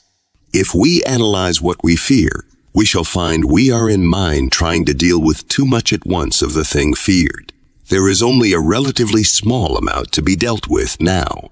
In any transaction, in the doing of anything, there is but one step to be taken at a time. We need to place what force is necessary and no more on that one step. When that is taken, we can take the next. The more we train our minds so to concentrate on the one step, the more do we increase capacity for sending our force all in one given direction at once. Such force extends and should be so used in the so-called minutest details of everyday life. In this way, deliberation and deliberate action become habitual, and we are in a sense unconscious of making ourselves deliberate. Even as after long training in the opposite and wrong direction, we are unconscious of putting on the hurried frame of mind. Timidity is often the result of looking at too many difficulties or terrors at once. In material reality, we have to deal with but one at a time. If we are going to what we fear will be a disagreeable interview with a harsh, irascible, overbearing person, we are apt to go, occupying our minds with the whole interview, setting ourselves down in the very middle of it, and seeing it in mind as necessarily trying or disagreeable. Perhaps we were thinking of it this morning while we were dressing, but it was then our proper business to dress. To dress was a necessary step for the interview, and to dress well also. Possibly it occupied our thoughts while eating, but it was then our proper business to eat and get all the pleasure possible from our food. That was another step. The more reposeful our eating, the more vigorous will become our taste, and the more strength will our food give our bodies. Possibly the fear of this interview was on us as we walked to the place appointed for it. But it was then our proper business to walk and get from our walking all the pleasure he could. That was another step. Pleasure is the sure result of placing thought or force on the thing we are doing now, and pain of some sort in both present and future is the certain result of sending thought or force away from the act which needs to be done at this moment. When we dress, eat, walk, or do anything with mind placed on something else, we are making the present act irksome. We are training to make every act irksome and disagreeable. We are making the thing feared a certainty, for what we put out in thought as unpleasant is an actual thing, a reality. And the longer we continue to put it out, the more force we add to it, and the more likely is it then to be realized in the physical world, to bring us what all want and are seeking for, namely, happiness, we need to have perfect control of our mind and thought at all times and places. One most important and necessary means for gaining this lies in this discipline regarding so-called little or trivial things. Just as the discipline and movement of an army commences with the training of the private soldier's legs and arms. If you hurry and slur over these so-called petty details, you are the easier thrown off your guard or confused at unexpected occurrences. And in life, it is the unexpected that is always happening. We need to always keep our mind present with us. We want it always on the spot, ready to use in any direction. Our thought is not on the spot when we tie a shoestring and think a mile from that shoestring, when we mend a pencil and dwell in one of tomorrow's cares. It is then away, and if it has for a lifetime been in the habit of so straying from the act in hand to the act afar, it becomes more and more difficult to bring it back to use, and more difficult to use, and more difficult to use it promptly when it is brought back. Our thought moves from one thing to another with more than electric speed, and we can unconsciously train this quickness to be ever darting from one thing to another until it becomes almost impossible to keep it on one thing for 10 consecutive seconds. On the contrary, through cultivation of repose and deliberation in all things, we can train ourselves to mass and fasten our thought on anything as long as we please, to throw ourselves into any mood of mind we please, and to throw ourselves at will into sleep or a semi-conscious dreamy state as restful as sleep. These are very small parts of the possibilities for the human mind. There is no limit to its growth or the increase of its power and nothing coming within the limits of our imagination, but can be accomplished by it. The steps to these attainments are very small, very simple and relatively easy, so simple and easy that some reject them for that reason. Unquestionably, these powers and many results coming of their exercise were known ages ago to a relative few. But any power or any condition of mind consequent upon it can be made clearer to an English-speaking people through the use of an English word or form of expression than by terms taken from other languages. The North American Indian and the Oriental had in cases the power of so dismissing all thought and making their minds in a sense a blank as to become not only insensible to fear, but this mental condition rendered their bodies almost insensible to physical suffering. It was the power of inducing this mental condition which enabled the Indian when taken captive to withstand every device of torture inflicted by his captors and to sing his death song under the infliction of fire and a slow process of bodily mutilation too horrible for description and which very few of our race could endure without passing into the frenzy of agony. The Indian is far more reposeful and deliberate than the majority of our race in both mental and physical movement unconsciously cultivating this repose.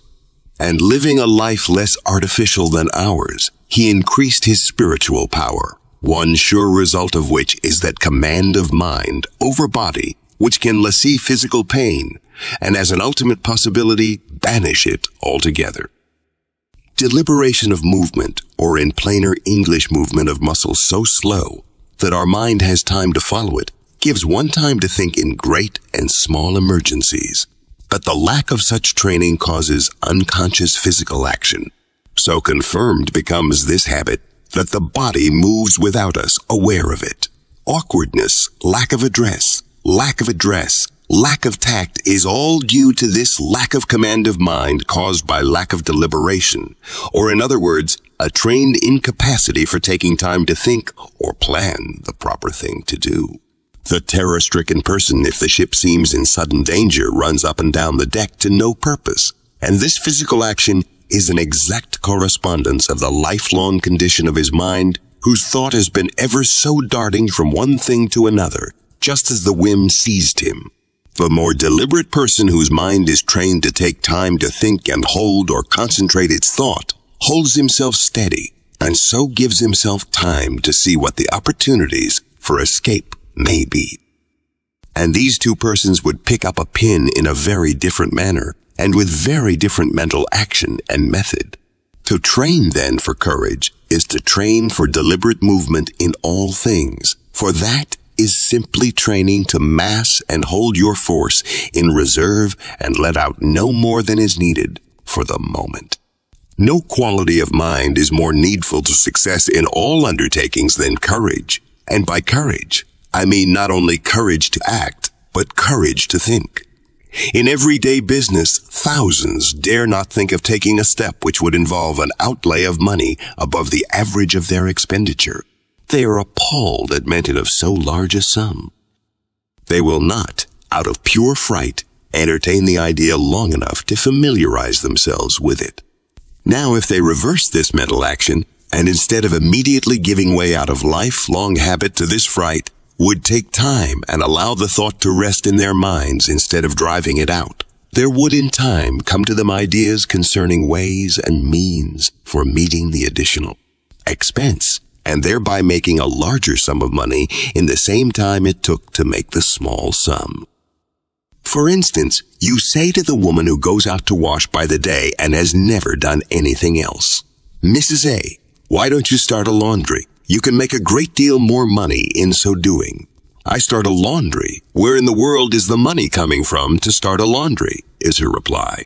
Here, the woman, instead of entertaining your idea, gives way immediately to fright concerning what seems to her the immense sum required, and following the same unreasoning, headlong, panicky style of thought, sets up in a moment an opposition to your proposition she dares think only of working for day's wages as she is called upon by those who hire her.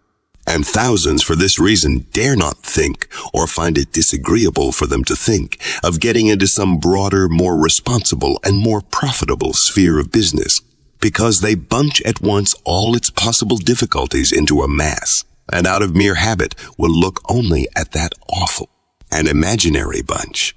But Mrs. C, the more deliberate washerwoman, hears your proposition and entertains it. In time, she says to herself, why should I not start a laundry? Other people have and have succeeded. She lives in the idea, talks to one and another about it, and finds out how they started.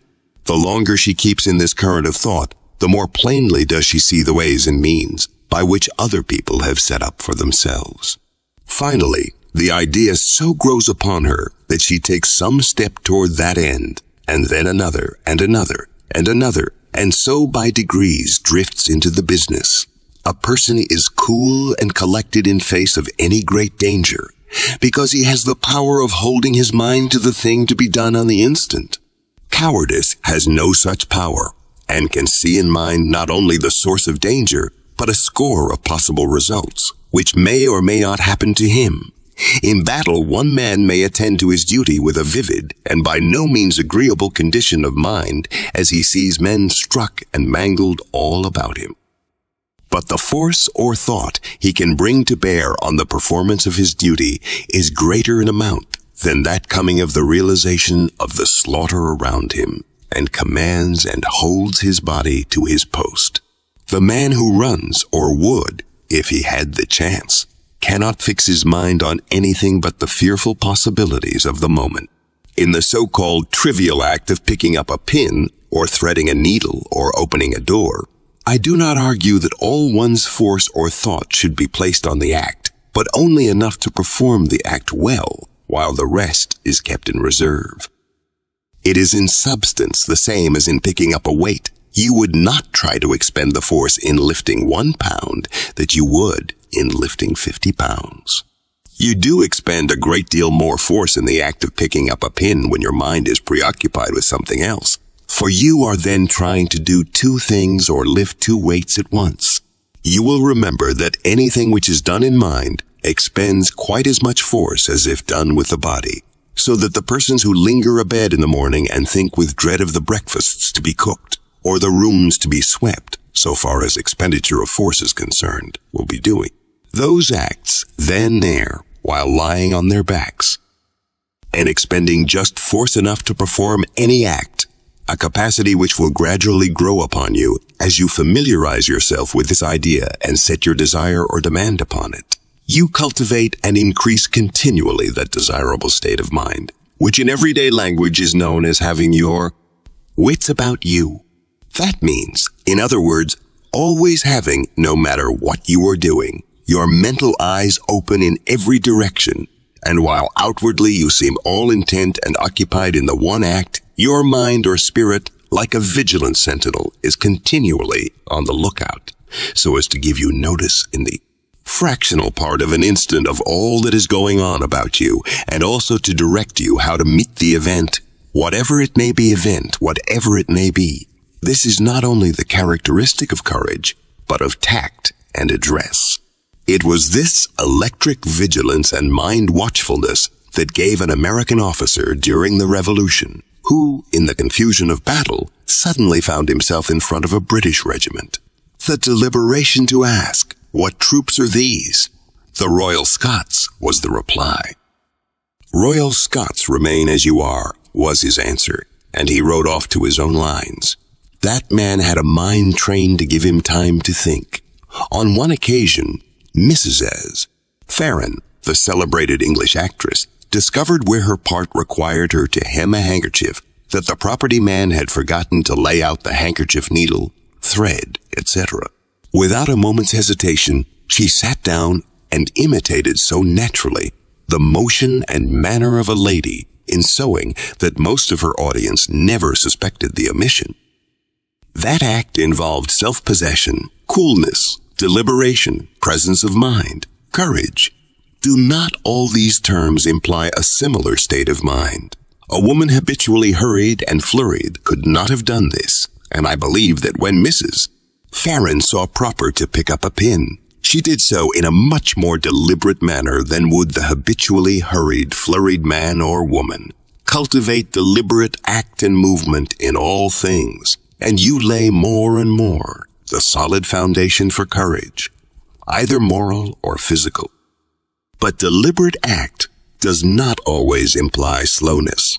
Just as thought moves with electric rapidity, so may it move the body when occasion requires, but the thought must be clearly planned, seen and outlined in mind before it is allowed to act on the body.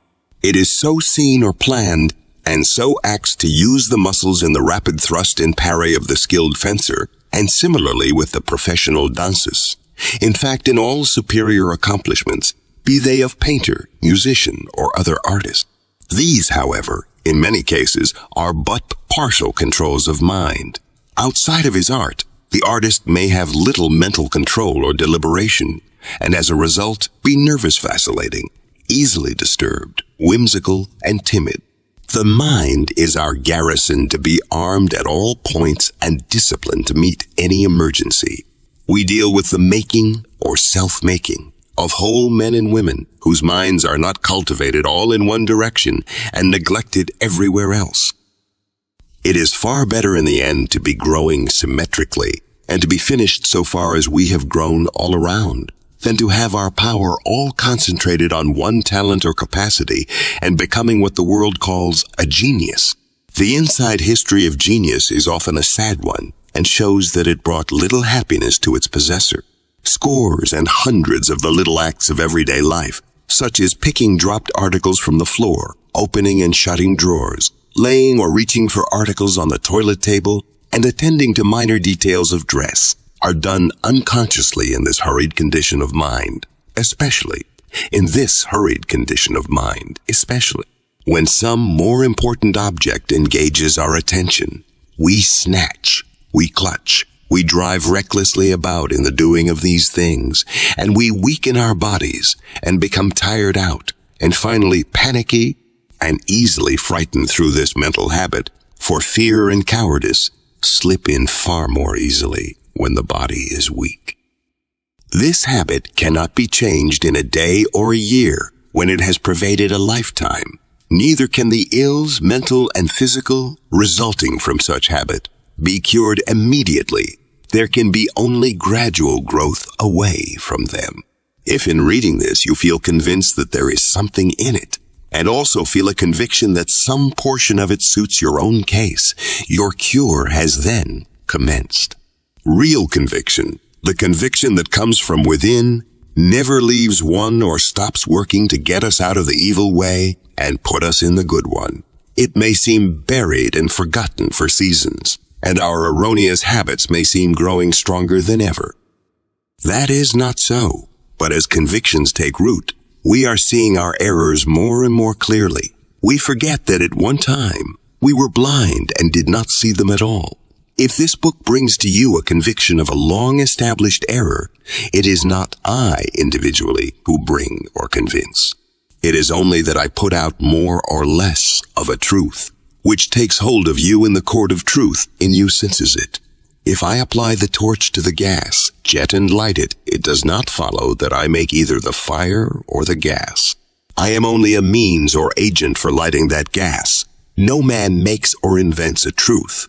Truth is as general and widely spread and belongs to every individual as much as the air we breathe. And there is pleasure enough in being its torchbearer without presuming to claim the power of its creator. Above all, demand more and more courage of the supreme power. Chapter 5. Look forward. The tendency with many people after they are a little advanced in years is to look backward and with regret. The looking should be the other way forward. If you want to go backward in every sense, mental and physical, keep on cultivating the mood of living regretfully in your past life. It is one chief characteristic of the material mind to hold tenaciously to the past. It likes to recall the past and mourn over it. The material mind has a never-ending series of solemn amusement in recalling past joys and feeling sad because they are never to come again. But the real self the spirit cares relatively little for its past. It courts change. I, I expect to be a different individual in thought a year hence from that it is today. It is willing a thousand years hence to forget who or what it is today, for it knows that this intense desire to remember itself for what it has been retards its advance toward greater power and greater pleasure. What care you for what you were a thousand or five thousand years ago? Yet then you were something, and something far less than what you are today. You are curious you may answer to know what you were.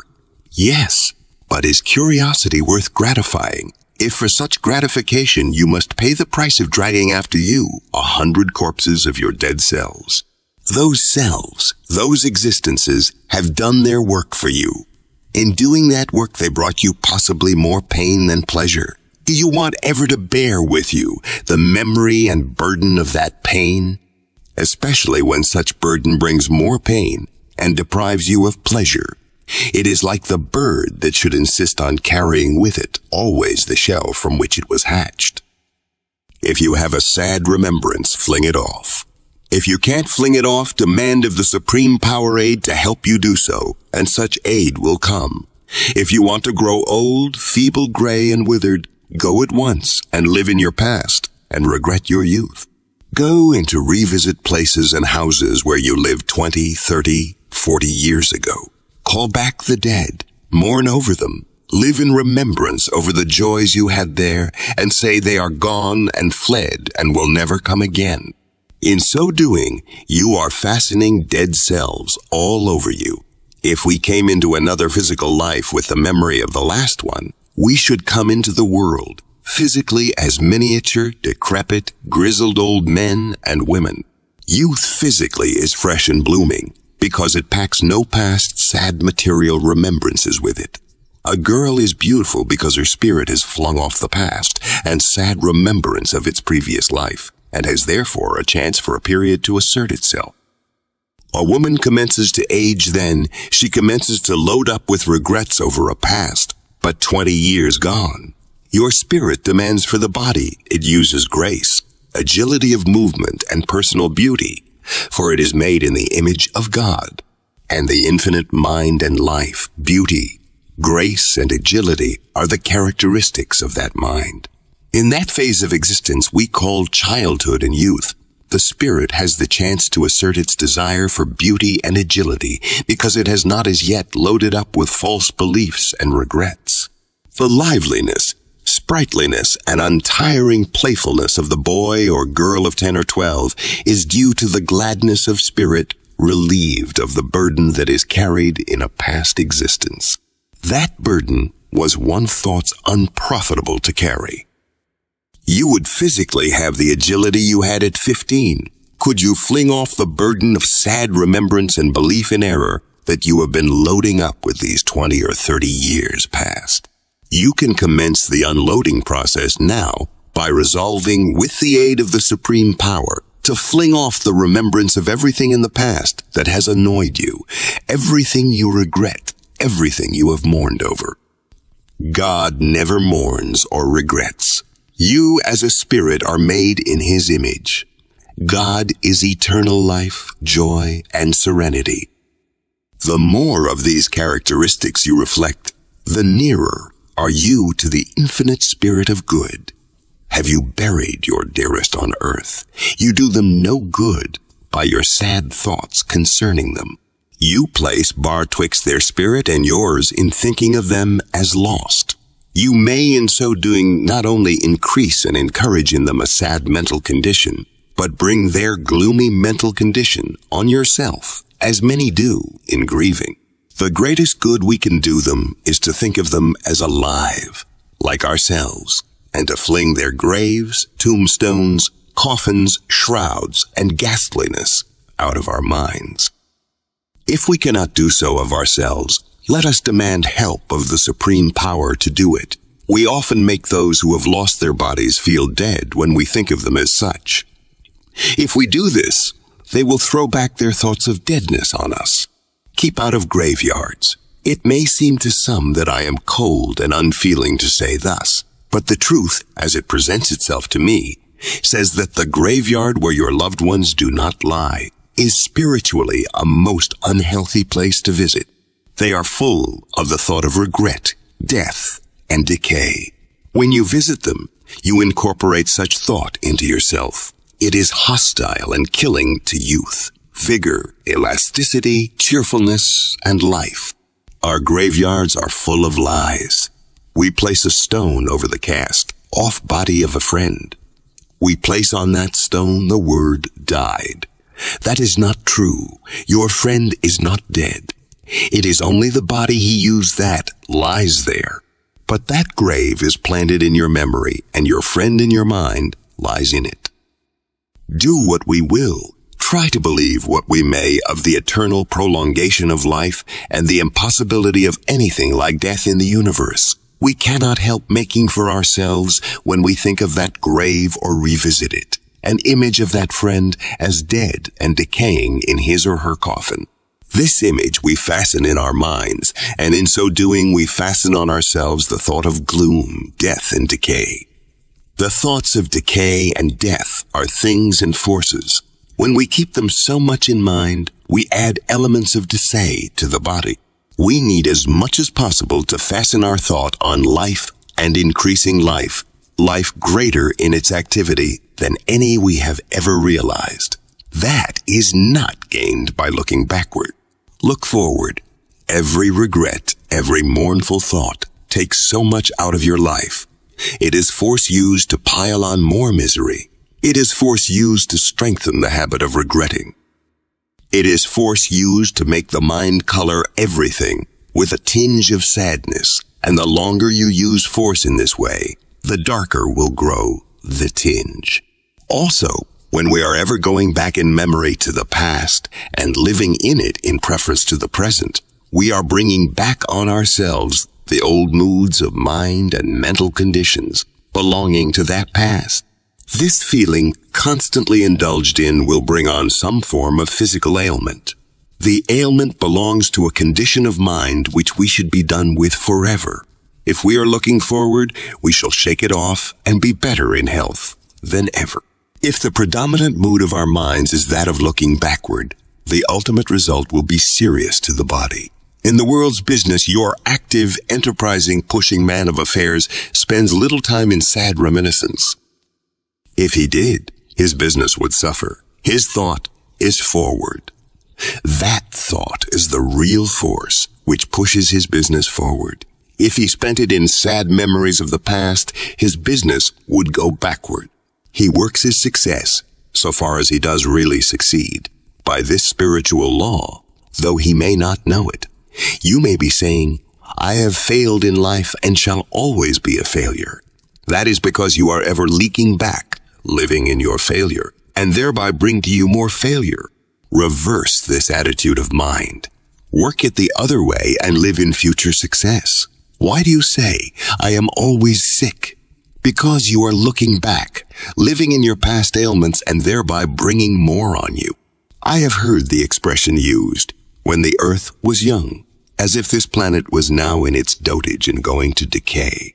In the sense of freshness, increase of life, refinement, and purity in every form of life, be that of man, animal, vegetable, and farther on. This earth never was so young as it is today. Youth is life, growing and increasing in beauty and power.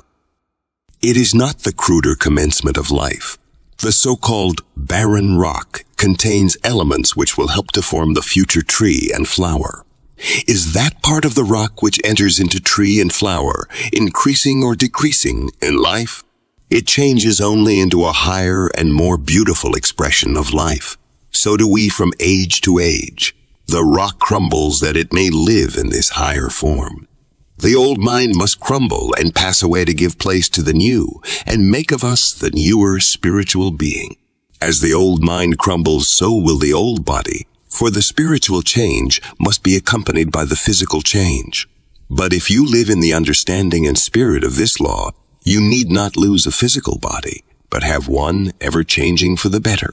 As you live in spiritual belief, as the old life goes out, the new comes in. Nothing in nature, nothing in the universe is at a standstill. Nothing goes backward a gigantic, incomprehensible force and wisdom moves all things forward toward greater and higher powers and possibilities. You are included in and are a part of this force. There is of you in embryo the power of preventing the physical body your spirit uses from decaying, and the power also of using it in ways which even the fiction of today would discard as too wild for the pages of the novel. For your spirit, youth, and ever growing youth is an eternal heritage. If your body has aged, that is no sign that your spirit has aged. The spirit cannot grow old in the material sense any more than the sunlight can grow old. If your body has aged, it is because that body has become the material likeness and expression of a false self or shell which is formed on your spirit. That false self is made up of thoughts prevalent around from an early physical age, and those thoughts are untrue thoughts. A large proportion of that thought is regret. Regret is an inverted force, a turning of the mind to look backward when its natural and healthy state is to look forward and live in the joys that are certain to come when we do look forward. In the new life to come to our race, when we have learned to be ever looking forward to the greater joys to come and cease to look backward and drag the dead past with us. Men and women are to have bodies far more beautiful and graceful than those of today, because their bodies will image or reflect their thoughts, and their thoughts will ever be fixed on what is beautiful and symmetrical. They will know that what is to come and what is in store for them out of the richness of the infinite mind must exceed anything they have realized in the past. Today, with the great majority of people, their attitude of mind is directly the reverse. Owing to the little trust that they have in that power, the theologian calls God. They are ever in their mind saying, there are no joys to come for us like our past joys. Our youth has fled. Our youth has fled. Our future on earth is tame and dull. It is as dust and ashes. The truth that life does not end with the death of the body makes slow progress in fixing itself firmly in our minds. The kind of life a man may be living here at 70 does not end in the grave. It continues straight on. The old man, as we call him here, wakes up in the other side of life after losing his body an old man still, if he is one of those old men who have outlived their day and generation who live in their physical past and look back on it with regret, who have become too old to learn and think they have got through with it all. He will be just such an old man in the world of spirit. There is no sudden transformation into youth on the death of a worn out, decrepit body. As the tree falls, so does it lie for a period, even in the hereafter. But in this state, he cannot stay forever. He must grow not in age, but youth. To do this, it is necessary not only that he should leave the old body, but the old material mind that made that body. His spirit throws off that mind when he gains a new body or is reincarnated, and he throws it off because he loses the recollection of all past sad memories and regrets. The man should in mind be always the boy, the woman, the girl. You can as man or woman be always boy or girl in spirit without being silly or losing real dignity. You can have all the playfulness of youth with the wisdom of maturity. To have a clear, powerful mind, you need not be an owl. There may be for a period a certain use for us in going back to our more recent past lives, and for a time, living in them. Sometimes we are pushed back temporarily into some old condition of mind, some old experience in order to make us more alive than ever to the rags and tatters of errors in belief still clinging to us. This may come of revisiting places and people from whom we have long been separated. For a time during such visit old associations, the moods connected with them and possibly old habits we thought long since cast off resume their sway. We may become for a time absorbed and swallowed up in the old life, we resume temporarily an old mind or mental condition that was formerly our permanent one in that place or association. But after a little, the new mind, the new self into which we have grown during the long absence, antagonizes the old. It feels aversion and disgust for the narrow life, the false beliefs, and the dull, monotonous, purposeless lives about it. It, the spirit, refuses to have anything to do with the old. Then comes a conflict between our two minds, the old and the new, which may result in temporary physical sickness. Our old life or self rises as it were out of its grave and tries to fasten itself on the new and even rule the new. The new self rejects the corpse with horror But through thus seeing the corpse, it sees also fragments of the old self which, unperceived, have all along been adhering to the new. We do not get rid of error in belief all at once, and often unconsciously retain shreds of such belief when we imagine ourselves entirely rid of them. These shreds are the remains of old thoughts and former mental conditions. Your new mind, so awakened, arises and pushes off what it finds left on it of the old. This pushing off is accompanied by physical disturbance because your spirit puts all its force in rejecting these fragments of the former self, as you might put all your physical strength in pushing off a snake.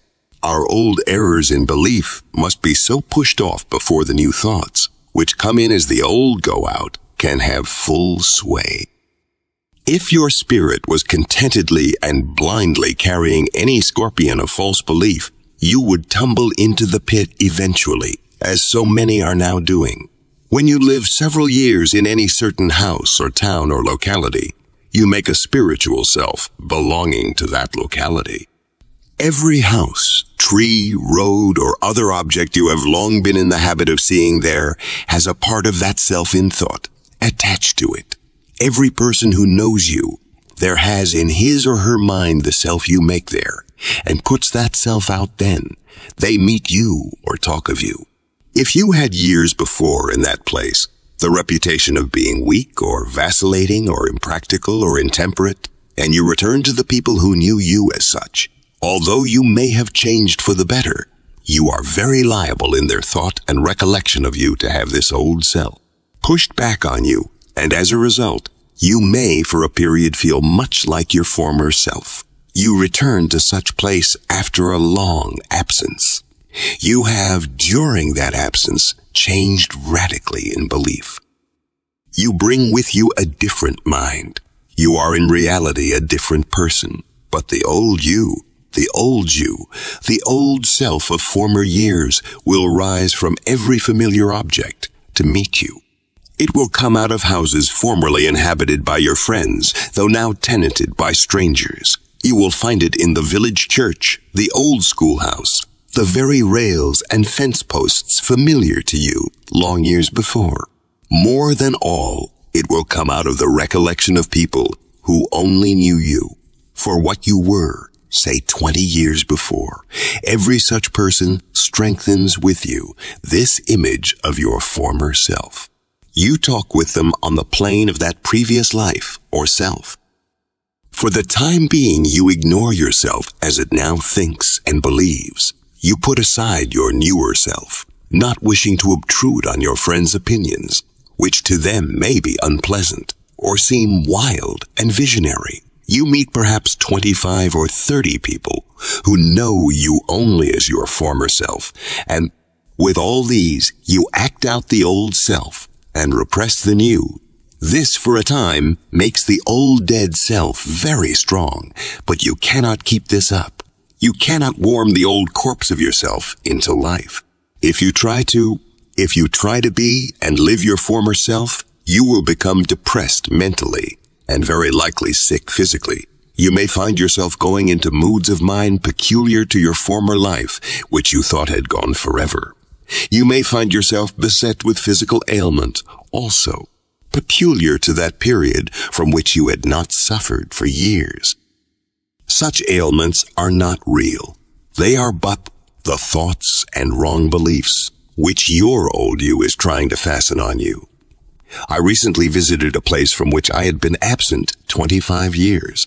I had spent there a portion of my physical youth and had lived there with a mind or belief very different from that which I entertain now. I returned to find the place dead in more senses than one. The majority of my old acquaintances had passed away. Their remains lay in the graveyards. But I realized this deadness still more among my contemporaries who were said to be living. They had lost the spur and activity of their youthful ambition. They had resigned themselves to growing old. They lived mostly in the past, talked of the past, good old times, and compared the present and future unfavorably with the past.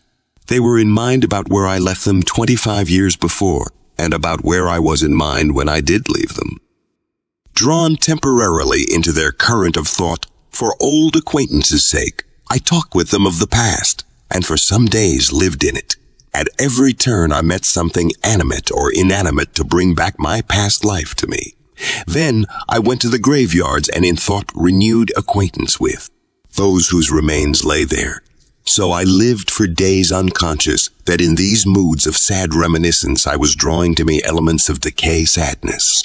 First becoming very much depressed, I was next taken strangely sick and became so weak I could hardly stand. I was continually in a nervous tremor and full of vague fears. Why was this? Because in going back into my past life, I had drawn on me my old mental conditions, my old mind, my own self of that period.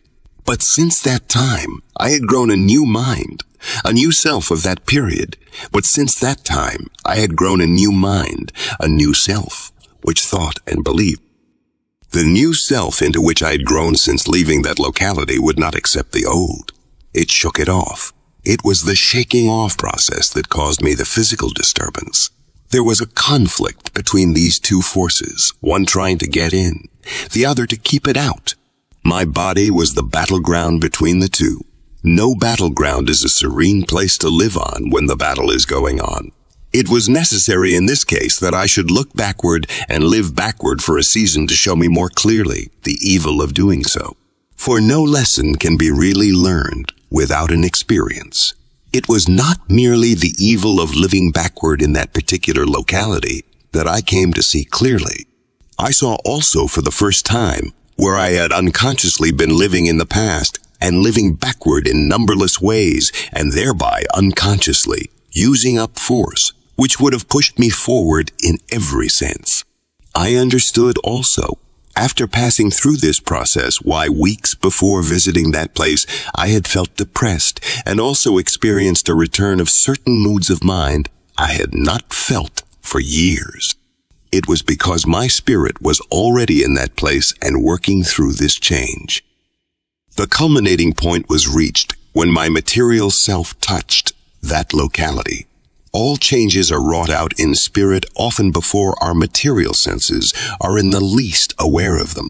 Let no one imagine that because I write of these spiritual laws that I am able to live fully in accordance with them. I am not above error or mistake. I tumble into pits occasionally, get off the main track, and get on again.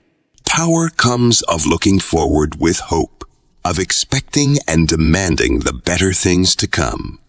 That is the law of the infinite mind, and when we follow it, we live in that mind. Nature buries its dead as quickly as possible and gets them out of sight. It is better, however, to say that nature changes what it has no further use for into other terms of life. The live tree produces the new leaf with each return of spring. It will have nothing to do with its dead ones. It treasures up no withered rose leaves to bring back sad remembrance. When the tree itself ceases to produce leaf and blossom, it is changed into another form and enters into other forms of vegetation. I do not mean to imply that we should try to banish all past remembrance. Banish only the sad part. Live as much as you please in whatever of your past that has given you healthy enjoyment. There are remembrances of woodland scenes, of fields of waving rain, of blue skies and white-capped curling billows, and many another of nature's expressions as connected with your individual life that can be recalled with pleasure and profit. These are not of the decaying past. These are full of life, freshness, and beauty and are of today. But if with these any shade of sadness steals in, reject it instantly. Refuse to accept it. It is not a part of the cheerful, life-giving remembrance. It is the cloud which, if you give it the least chance, will overshadow the whole and turn it all to gloom. The science of happiness lies in controlling our thought and getting thought from sources of healthy life. When your mind is diverted from possibly the long habit of thinking and living in the gloomy side of things and admitting gloomy thought, you will find to your surprise that the very place the sight of which gave you pain will give you pleasure because you have banished a certain unhealthy mental condition into which you before allowed yourself to drift. You can then revisit the localities connected with your past, remember and live only in the bright and lively portion of that past, and reject all thought about sad changes and those who have passed away, never to return, etc. I have proven this to myself. Is there any use or sense in admitting things to have access to you, which only pain and injure you? Does God commend any self-destroying suicidal act?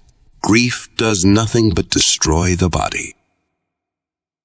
Chapter 6 God in the Trees, or the Infinite Mind in Nature.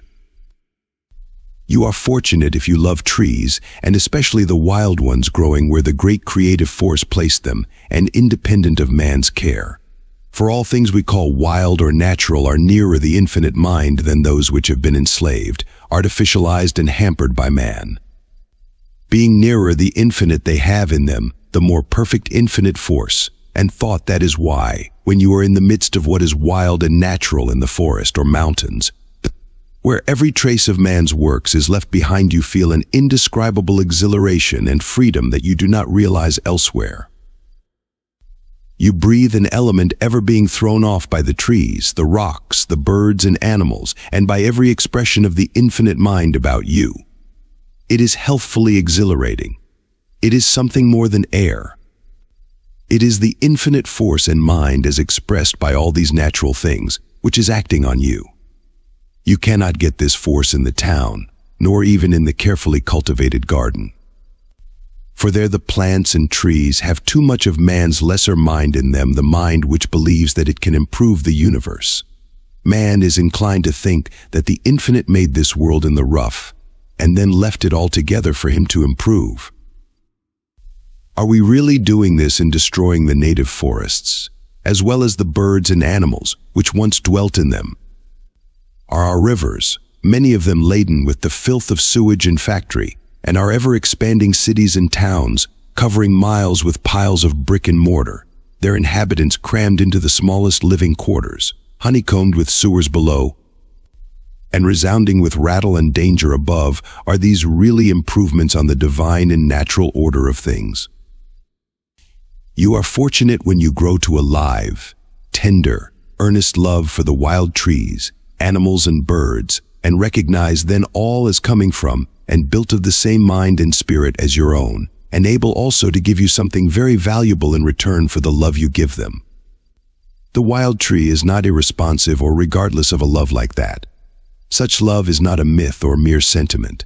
It is a literal element and force going from you to the tree. It is felt by the spirit of the tree. You represent a part and belonging of the infinite mind, the tree represents another part and belonging of the infinite mind. It has its share of life, thought, and intelligence. You have a far greater share, which is to be greater still and then still greater. Love is an element which, though physically unseen, is as real as air or water. It is an acting, living, moving force, and in that far greater world of life all around us, of which physical sense is unaware, it moves in waves and currents like those of the ocean. There is a sense in the tree which feels your love and responds to it.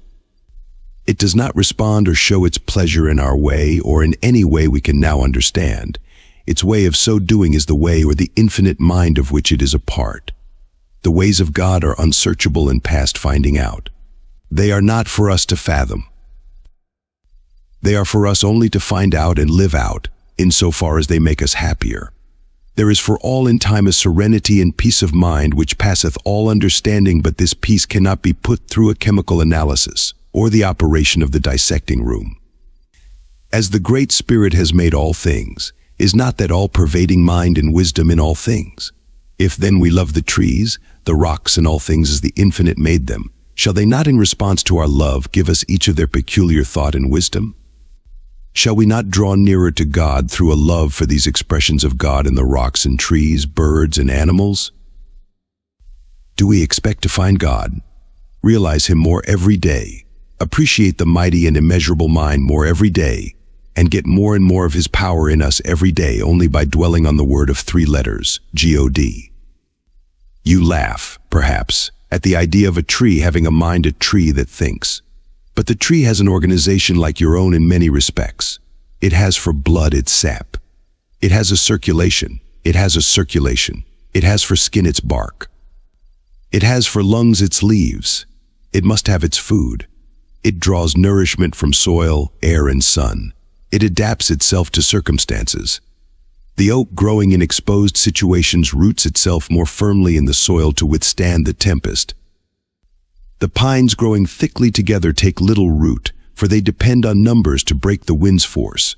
The sensitive plant recoils at the approach of man's hand many wild plants, like Indians, will not grow or thrive in artificial conditions. Yet with all these physical resemblances to your own body, you deny the tree or plant such share of mind as the infinite gives it? No, not that. The tree is a part of the infinite mind, even as you are. It is one of the all-pervading mind's myriads of thoughts. We see only such part or form of that thought as is expressed in trunk, root, branch, and leaf, even as with ourselves we see only our physical bodies. We do not see our spiritual part, nor do we see in the tree its spiritual part. The tree is then literally one of God's thoughts. That thought is worth our study.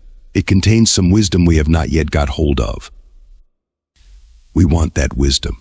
We want to make it a part of ourselves. We want it because real wisdom or truth brings us power. We want power to give us better bodies, sounder bodies, healthier bodies. We want entire freedom from sickness. We want lighter hearts and happier minds. We want a new life and a new pleasure in living for each day. We want our bodies to grow lighter, not heavier with advancing years. We want a religion which will give us certainty instead of hopes and theories. We want a deity it is simply impossible to doubt. We want to feel the infinite mind in every atom of our beings. We want with each day to feel a new pleasure in living and commencing where we left off yesterday, to find something new in what we might have thought to be old and worn out yesterday. When we come into the domain of the infinite mind and are ever drawing more of that mind to us and making it a part of us, nothing can seem flat, stale, and unprofitable. We want powers now denied the mortal. We want to be lifted above the cumbrousness of the mortal body, above the pains of the mortal body, above the death of the mortal body. Can the trees give us all this? They can help very much so to do when we get into their spirit, when we recognize and realize more and more the reality of that part of the infinite which they express, and when we can cease to look on them as inanimate creatures. If you can look on trees as fit only for lumber and firewood, you get very little life from them. They feel then toward you as you would feel towards a person who regarded you as a thing without mind or sense and fit only to be sawed into lumber or firewood. When we come really to love God or the infinite spirit of good, we shall love every part of God. A tree is a part of God. When we come to send out our love to it, it will send its love back, and that love, that literal mind and element coming from the tree to us will enter our beings, add itself to them, and give us its knowledge and power. It will tell us that the mind and force it represents of the infinite has far better uses for man than to be turned into fuel or lumber. Their love will tell us that the forests piercing the air, as they do with their billions of branches, twigs, and leaves, are literal conductors for a literal element which they bring to the earth. This element is life-giving to man, in proportion to his capacity for receiving it.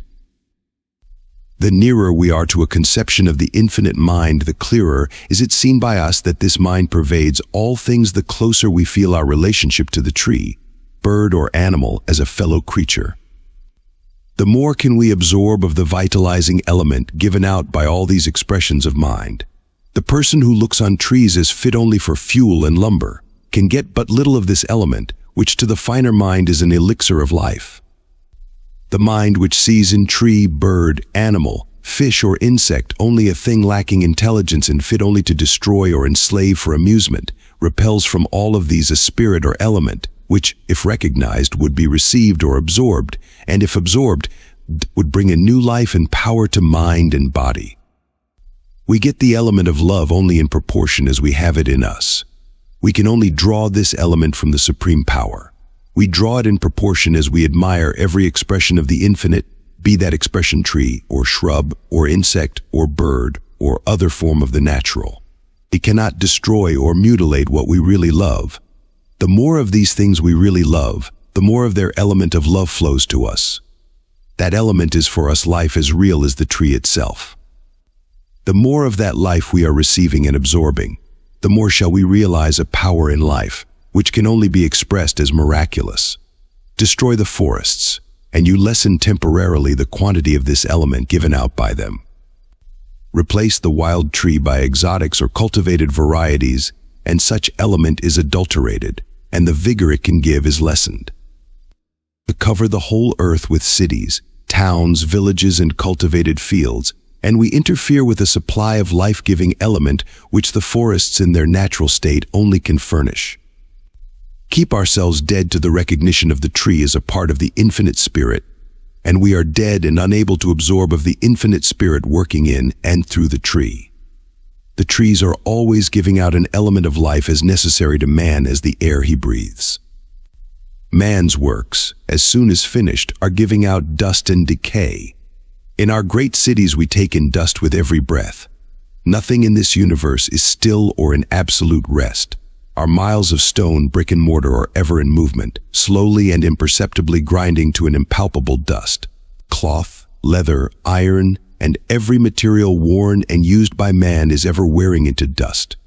Look at the dust which in a single day accumulates in your room, on shelf and table, or fine garment, even when its windows are not opened.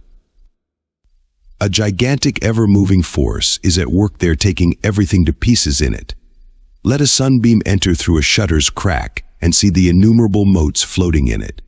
Think of the myriads of these, too minute to rank even as atoms that you cannot see. All this is second-hand element which is breathed and absorbed into both body and spirit. But trees and all natural things send out element full of life. Our bodies also are ever throwing off through the skin matter they can no longer use. In the great city, thousands on thousands of bodies are throwing out disused element too fine to rank even as dust. It is thrown off by sick bodies, and many are sick on their feet. This we breathe. We breathe each other over and over again. This unseen cloud of matter pervading crowded cities is not life-sustaining. It has in it a certain life as all things have life, but it is not fit for man's growing life. When we get eternal life, health and unalloyed happiness, the attitude of our minds will be entirely changed toward tree, bird, animal, and everything in nature. We shall see that when we really love all these expressions of the infinite mind, tree, plant, bird, and animal, and leave them entirely alone, they will send out to us in love their part and quality of the infinite. It will flow to us a new life, and the source of a life of far greater power and happiness than the present one. But how shall we live, one asks, unless we cut down the tree for fuel and lumber, slay bird and beast for food? Do you think there is no other life or way of life than the one we now live? Do you think in the exalted and refined mental condition we call heaven that there will be killing of animals, mutilation of trees, and destruction of any material expression of the supreme wisdom? Do you think we can grow into that higher and happier state of mind without knowledge of the laws by which only it can be attained? as well expect to sail a ship around the world without knowledge of seamanship or navigation. We are not to drift into heaven in the way a cask rolls downhill. We cannot cease immediately from the enslavement or slaughter of tree, bird, or animal, nor from the eating of animal food. So long as the body craves and relishes such food, it should have it. When the body is changed by our spirit and belief to finer elements, the stomach and palate will reject meat of every description. It will not abide the taste or smell of slaughtered creatures. When the spirit settles these matters, it does so definitely and forever.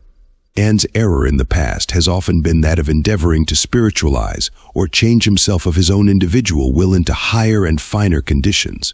To this end, he has enforced on himself and others fasts and penances, and abstinence from pleasures which his nature craved, he has never by such methods saved himself from sickness, decay, and physical death. He has never by this method regenerated or renewed his body. He has lost his body eventually even as the glutton and drunkard lost theirs. The ascetic has not trusted in the Supreme to raise him higher in the scale of being, but in himself and his own endeavor. This is one of the greatest sins, because it cuts such a person off temporarily from the Supreme in the life the Supreme will send when trusted. There is no way out of any sin, any excess, any injurious habit, but through an entire dependence on the supreme power to take away the gnawing, the craving, the desire peculiar to that habit. Otherwise, the man may seem reformed outwardly. He is never reformed inwardly. Repression is not reform. The bigot of every age and creed has been the person thinking he could of himself make himself an angel. Such belief makes the man stand still in his tracks. The Supreme is always saying, Come to me. Demand of me. Find me in all created things, and then I shall be ever sending you new thoughts, new things, new ideas, new ideas, new element which shall change your tastes, your appetites which shall gradually take away grossness, eliminate gradually fierce, insatiate, lawless desire and hurricane of passion, and bring to you pleasures you cannot now realize. We shall see more and more clearly in time that when we get the higher, finer and more enduring life to which all must grow, we shall have the greatest possible inducement to give the trees, plants, birds, birds, animals and all other expressions of the infinite their lives and their fullest liberty. We shall be compelled to love them. What we really love we cannot abuse, it kill or enslave.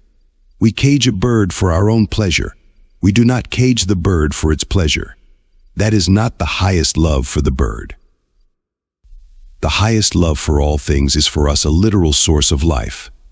The more things in the world of nature to which we can give the higher love, the more of their natural love and life shall we get in return.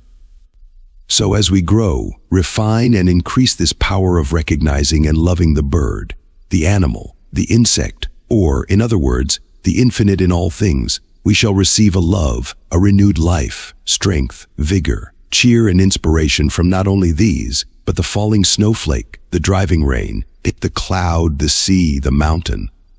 And this will not be a mere sentiment, but a great means for recuperating and strengthening the body, for this strengthens the spirit with a strength which comes to stay, and what strengthens the spirit must strengthen the body.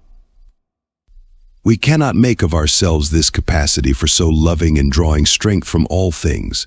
It is our belonging, but must be demanded of the supreme power. It is natural to ask, but why did not the supreme power implant at first this higher love in us? Why has that power so long permitted man to go on slaughtering and marring nature? Why are tempests and earthquakes and wars and so much in the forces of nature and the forces of man allowed to go on and bring so much?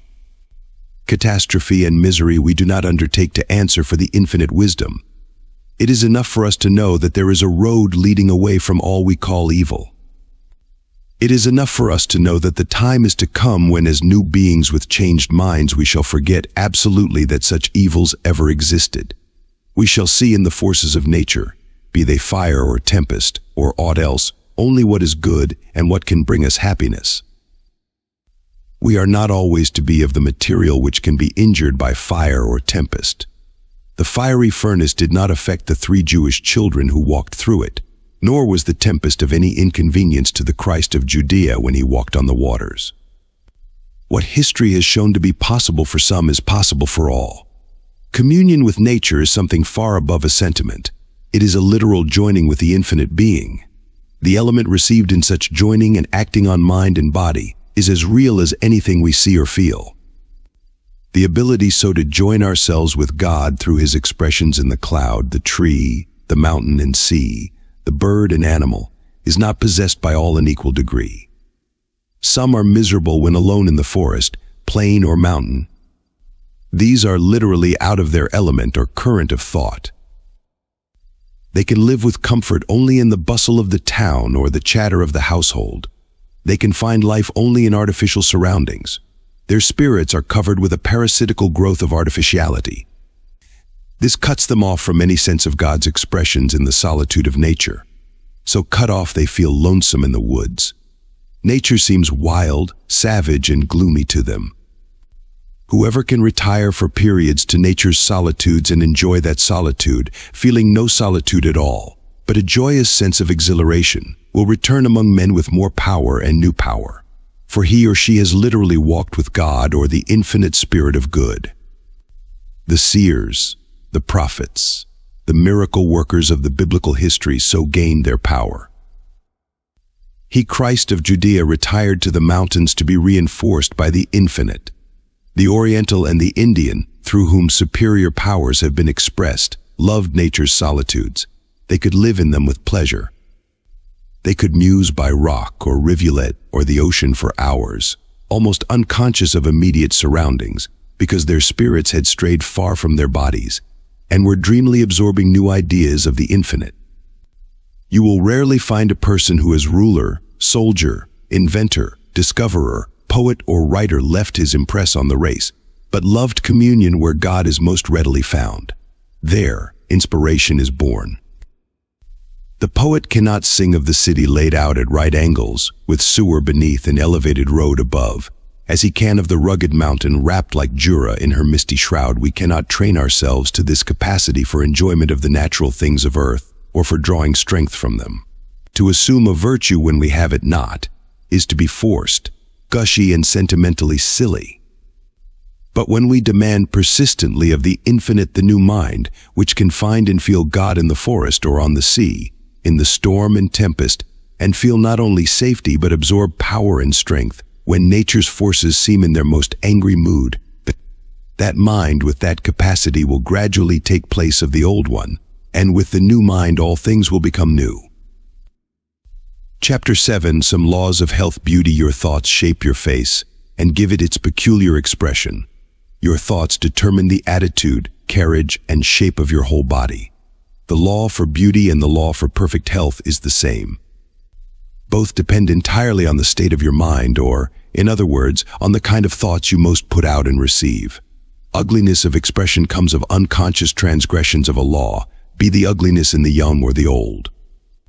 Any form of decay in a human body, any form of weakness, anything in the personal appearance of a man or woman which makes them repulsive to you, is because their prevailing mood of mind has made them so. Nature plants in us what some call instinct, what we call the higher reason, because it comes of the exercise of a finer set of senses than our outer or physical senses, to dislike everything that is repulsive or deformed, or that shows signs of decay. That is the inborn tendency in human nature to shun the imperfect and seek and like the relatively perfect. Your higher reason is right in disliking wrinkles or decrepitude, or any form or sign of the body's decay for the same reason you are right in disliking a soiled or torn garment. Your body is the actual clothing, as well as the instrument used by your mind or spirit. It is the same instinct, or higher reason making you like a well-formed and beautiful body, that makes you like a new and tasteful suit of clothes. You and generations before you, age after age, have been told it was an inevitable necessity, that it was the law and in the order of nature for all times and all ages, that after a certain period in life your body must wither and become unattractive, and that even your minds must fail with increasing years. You have been told that your mind had no power to repair and recuperate your body to make it over again, and make it newer and fresher continually. It is no more in the inevitable order of nature that human bodies should decay as people's bodies have decayed in the past than that man should travel only by stagecoach as he did 60 years ago, or that messages could be sent only by letter as they were 50 years ago, before the use of the electric telegraph, or that your portraits could be taken only by the painter's brush as they were half a century ago, before the discovery that the sun could imprint an image of yourself, an actual part of yourself, on a sensitive surface prepared for it. It is the impertinence of a dense ignorance for any of us to say what is in or what is to be in the order of nature. It is a stupid blunder to look back at the little we know of the past and say that it is the unerring index finger telling us what is to be in the future. If this planet has been what geology teaches it has been, a planet fuller of coarser, cruder, and more violent forces than now abounding in forms of coarser vegetable, animal, and even human life and organization than now of which its present condition is a refinement and improvement as regards vegetable, animal, and man, is not this the suggestion, the hint, the proof, of a still greater refinement and improvement for the future, a refinement and improvement going on now. Does not refinement imply greater power, as the greater power of the crude iron comes out in steel, and are not these greater and as yet almost unrecognized powers to come out of the highest and most complex form of known organization, man, and are all of man's powers yet known? Internally, secretly, among the thinking thousands of this and other lands, is this and many other questions now being asked, why must we so wither and decay and lose the best that life is worth living for? Just as we have gained that experience and wisdom that best fits us to live, the voice of the people is always at first a whispered voice.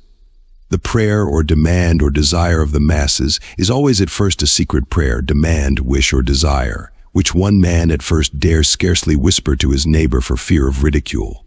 But it is a law of nature that every demand, silent or spoken, brings its supply of the thing wished for in proportion to the intensity of the wish, and the growing numbers so wishing who, by the action of their minds upon some one subject, set in motion that silent force of thought, not as yet heeded in the world's schools of philosophy, which brings the needed supply.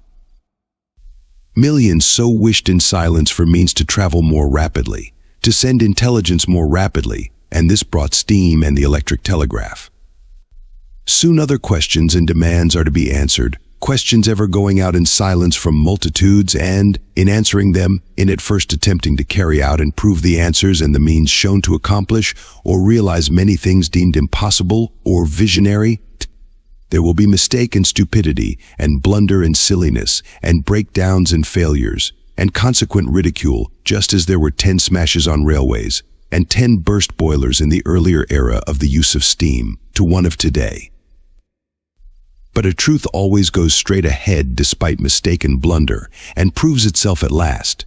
There are two kinds of age, the age of your body, and the age of your mind. Your body in a sense is but a growth, a construction of today and for the use of today. Your mind is another growth or construction millions of years old. It has used many bodies in its growth. It has grown from very small beginnings to its present condition, power, and capacity in the use of these many bodies. You have, in using these bodies, been far ruder and coarser than you are now. You have lived as now you could not live at all and in forms of life or expression very different from the form you are now using and each new body or young body you have worn has been a new suit of clothes for your mind and what you call death. Has been and is but the wearing out of this suit through ignorance of the means, not so much of keeping it in repair, as of building it continually into a newer and newer and newer freshness and vitality. You are not young relatively. Your present youth means that your body is young, the older your spirit, the better can you preserve the youth, vigor, and elasticity of your body. Because the older your mind, the more power has it gathered from its many existences. You can use that power for the preservation of beauty, of health, of vigor, of all that can make you attractive to others. You can also unconsciously use the same power to make you ugly, unhealthy, weak, diseased, and unattractive. The more you use this power in either of these directions, the more will it make you ugly or beautiful, healthy or unhealthy, attractive or unattractive, that is, as regards unattractiveness for this one existence. Ultimately, you must, if not in this in some other existence, be symmetrical because the evolution of the mind, of which the evolution of our bodies from coarser to higher forms is but a crude counterpart, is ever toward the higher, finer, better, and happier. That power is your thought. Every thought of yours is a thing as real, though you cannot see it with the physical or outer eye, as a tree, a flower, a fruit. Your thoughts are continually molding your muscles into shapes and manner of movement in accordance with their character. If your thought is always determined and decided, your step in walking will be decided. If your thought is permanently decided, your whole carriage, bearing, and address will show that if you say a thing, you mean it. If your thoughts are permanently undecided, you will have a permanently undecided gesture, address, carriage, or manner of using your body and this, when long continued, will make the body grow decidedly misshapen in some way, exactly as when you are writing in a mood of hurry. Your hurried thought makes misshapen letters. and sometimes misshapen ideas while your reposeful mood or thought makes well-formed letters and graceful curves as well as well-formed and graceful ideas. You are every day thinking yourself into some phase of character and facial expression, good or bad. If your thoughts are permanently cheerful, your face will look cheerful. If most of the time you are in a complaining, peevish, quarrelsome mood, this kind of thought will put ugly lines on your face, they will poison your blood, make you dyspeptic, and ruin your complexion, because then you are in your own unseen laboratory of mind. Generating an unseen end poisonous element, your thought, and as you put it out or think it, by the inevitable law of nature it attracts to it the same kind of thought element from others. You think or open your mind to the mood of despondency or irritability, and you draw more or less of the same thought element from every despondent or irritable man or woman in your town or city. You are then charging your magnet, your mind, with its electric thought current of destructive tendency, and the law and property of thought connects all the other thought currents of despondency or irritability with your mental battery, your mind. If we think murder or theft, we bring ourselves by this law into spiritual relationship and rapport with every thief or murderer in the world. Your mind can make your body sick or well, strong or weak, according to the thought it puts out and the action upon it of the thought of others. Cry fire in a crowded theater, and scores of persons are made tremulous, weak, paralyzed by fear. Perhaps it was a false alarm. It was only the thought of fire, a horror acting on your body, that took away its strength the thought or mood of fear has in cases so acted on the body as to turn the hair white in a few hours. Angered, peevish, worried, or irritable thought affects injuriously the digestion. A sudden mental shock may lose one's whole appetite for a meal or cause the stomach to reject such meal when eaten. The injury so done the body suddenly, in a relatively few cases, by fear or other evil state of mind, works injury more gradually on millions of bodies all over the planet. Dyspepsia does not come so much of the food we eat as of the thoughts we think while eating it. We may eat the healthiest bread in the world, and if we eat it in a sour temper, we will put sourness in our blood, and sourness in our stomachs, and sourness on our faces.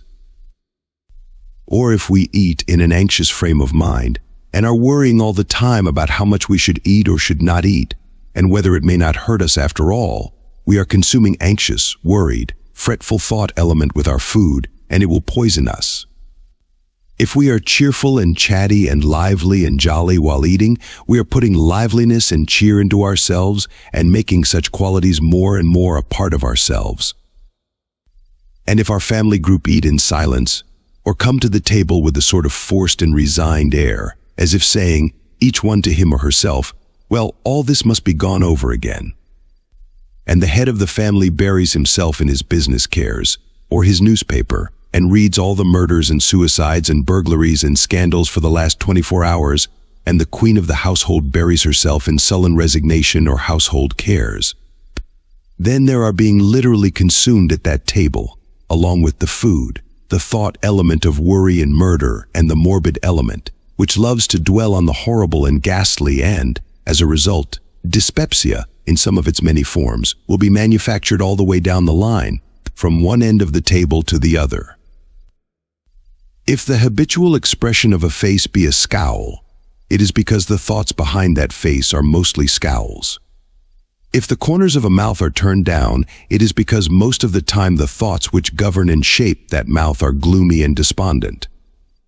If a face does not invite people and make them desire to get acquainted with its wearer, it is because that face is a sign advertising thoughts behind it, which the wearer may not dare to speak to others, possibly may not dare to whisper to himself. The continual mood of hurry, that is, of being in mind or spirit in a certain place long before the body is there, will cause the shoulders to stoop forward, because in such mood you do literally send your thought, your spirit, your real though invisible self, to the place toward which your power, your thought, is dragging your body head first, and through such lifelong habit of mind does the body grow as the thought shapes it. A self-contained.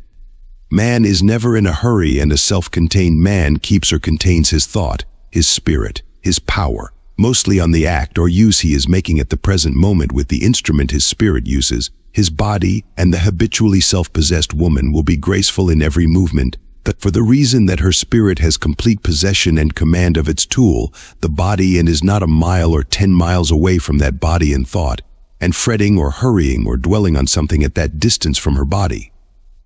When we form a plan for any business, any invention, any undertaking, we are making something of that unseen element, our thought, as real, though unseen, as any machine of iron or wood.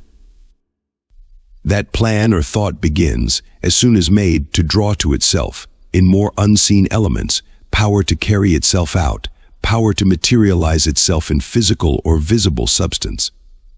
When we dread a misfortune, or live in fear of any ill, or expect ill luck, we also make a construction of unseen element, thought, which by the same law of attraction draws to it destructive and to you damaging forces or elements. Thus the law for success is also the law for misfortune, according as it is used even as the force of a man's arm can save another from drowning or strike a dagger to his heart. Of whatever possible thing we think, we are building, in unseen substance, a construction which will draw to us forces or elements to aid us or hurt us, according to the character of thought we think or put out.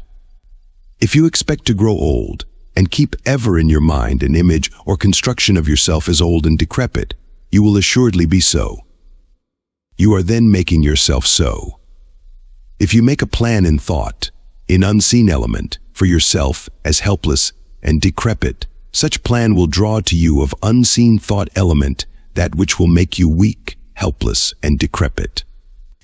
If, on the contrary, you make for yourself a plan for being always healthy, active, and vigorous, and stick to that plan, and refuse to grow decrepit, and refuse to believe the legions of people who will tell you that you must grow old, you will not grow old. It is because you think it must be so, as people tell you, that makes it so.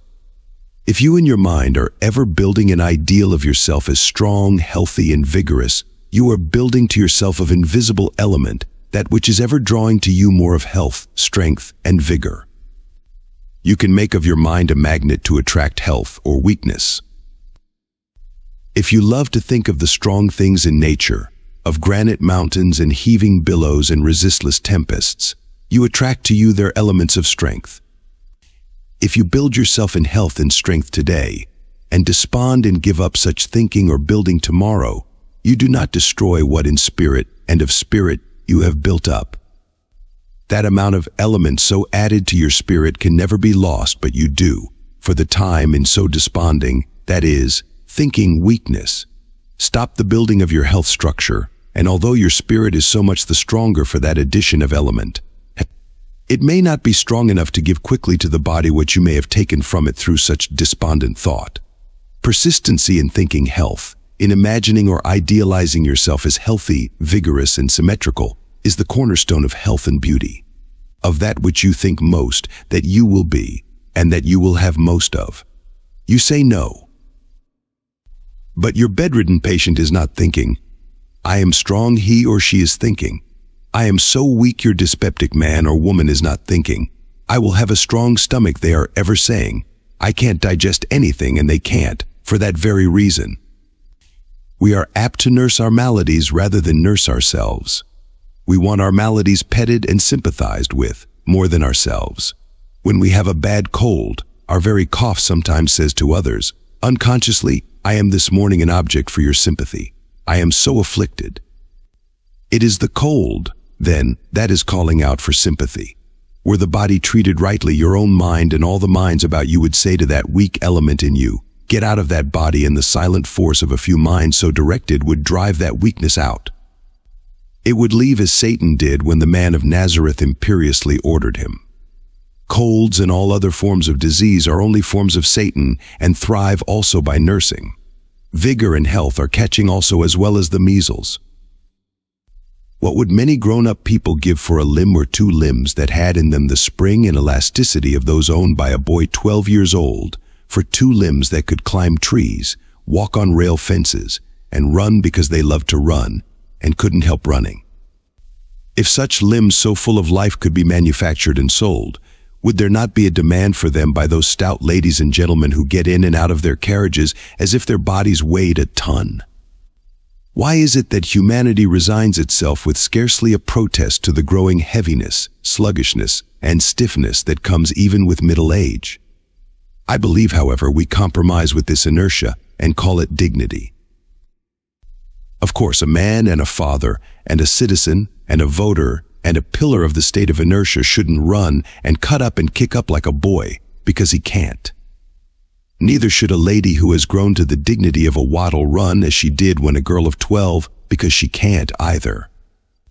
Actually, we put on our infirmities as we would masks and hobble around in them saying, this is the thing to do because we can't do anything else. Sometimes we are even in a hurry to put them on like the young gentleman who sticks an eyeglass to his eye and thereby the sooner ruins the sight of a sound organ in order to look tony or bookish. There are more and more possibilities in nature, in the elements, and in man and out of man, and they come as fast as man sees and knows how to use these forces in nature and in himself. Possibilities and miracles mean the same thing. The telephone sprung suddenly on our folks, if 200 years ago would have been a miracle, and might have consigned the person using it to the prison, or the stake all unusual manifestations of nature's powers being then attributed to the devil because the people of that period had so much of the devil, or cruder element, in them as to insist that the universe should not continually show and prove higher and higher expressions of the higher mind for man's comfort and pleasure. Chapter 8 Museum Menagerie Horrors A menagerie of beasts and birds means a collection of captured walking and flying creatures, taken from their natural modes of life, deprived permanently of such modes, and suffering more or less in consequence. The bird, used to the freedom of forest and air, is imprisoned in the most limited quarters. Its plumage there is never as fresh and glossy as in its natural state. It does not live as long. The captive life of the many species brought from the tropics is very short, especially of the smaller and more delicate species. Bears, lions, tigers, deer, wolves, and all other animals like liberty and freedom of range, as well as man. In the menagerie, they are deprived of it. The air they breathe is often fed and impure. To the burrowing animal, earth is as much a necessity and comfort as a comfortable bed is to us. The captured burrower is often kept on a hard board floor, which in its restless misery to get into its native earth, it scratches and wears away in cavities inches in depth. Monkeys by the thousand die prematurely of consumption, because forced to live in a climate too cold and damp for them, and no amount of artificial heat can supply the element to which they have been accustomed in the air of their native tropic groves and jungles. Seals are kept in tanks of fresh water when salt water is their natural element. Their captive lives are always short. There is no form of organized life, but is a part and belonging of the locality and latitude where in its wild state it is born. The polar bear is a natural belonging of the Arctic regions. The monkey is a belonging and outgrowth of tropical conditions. When either of these is taken from climes native to them, and out of which they do not voluntarily wander, pain is inflicted on them. Go to the cheap museum. Now so plentiful, and regard the bedraggled plumage and apparent sickly condition of many of the birds, natives of distant climes, imprisoned there. You see them but for an hour. Return in a few months, and you will not find them. What has become of them? They have died, and their places are supplied by others likewise slowly dying. The procession of captives so to suffer and die prematurely never ceases moving into these places. Ships are constantly bringing them hither. An army of men distributed all over the world and ranging through the forests of every clime is constantly engaged in trapping them. For what reasons are all these concentrations of captured misery now to be found in every large town and city of our country? Simply to gratify human curiosity.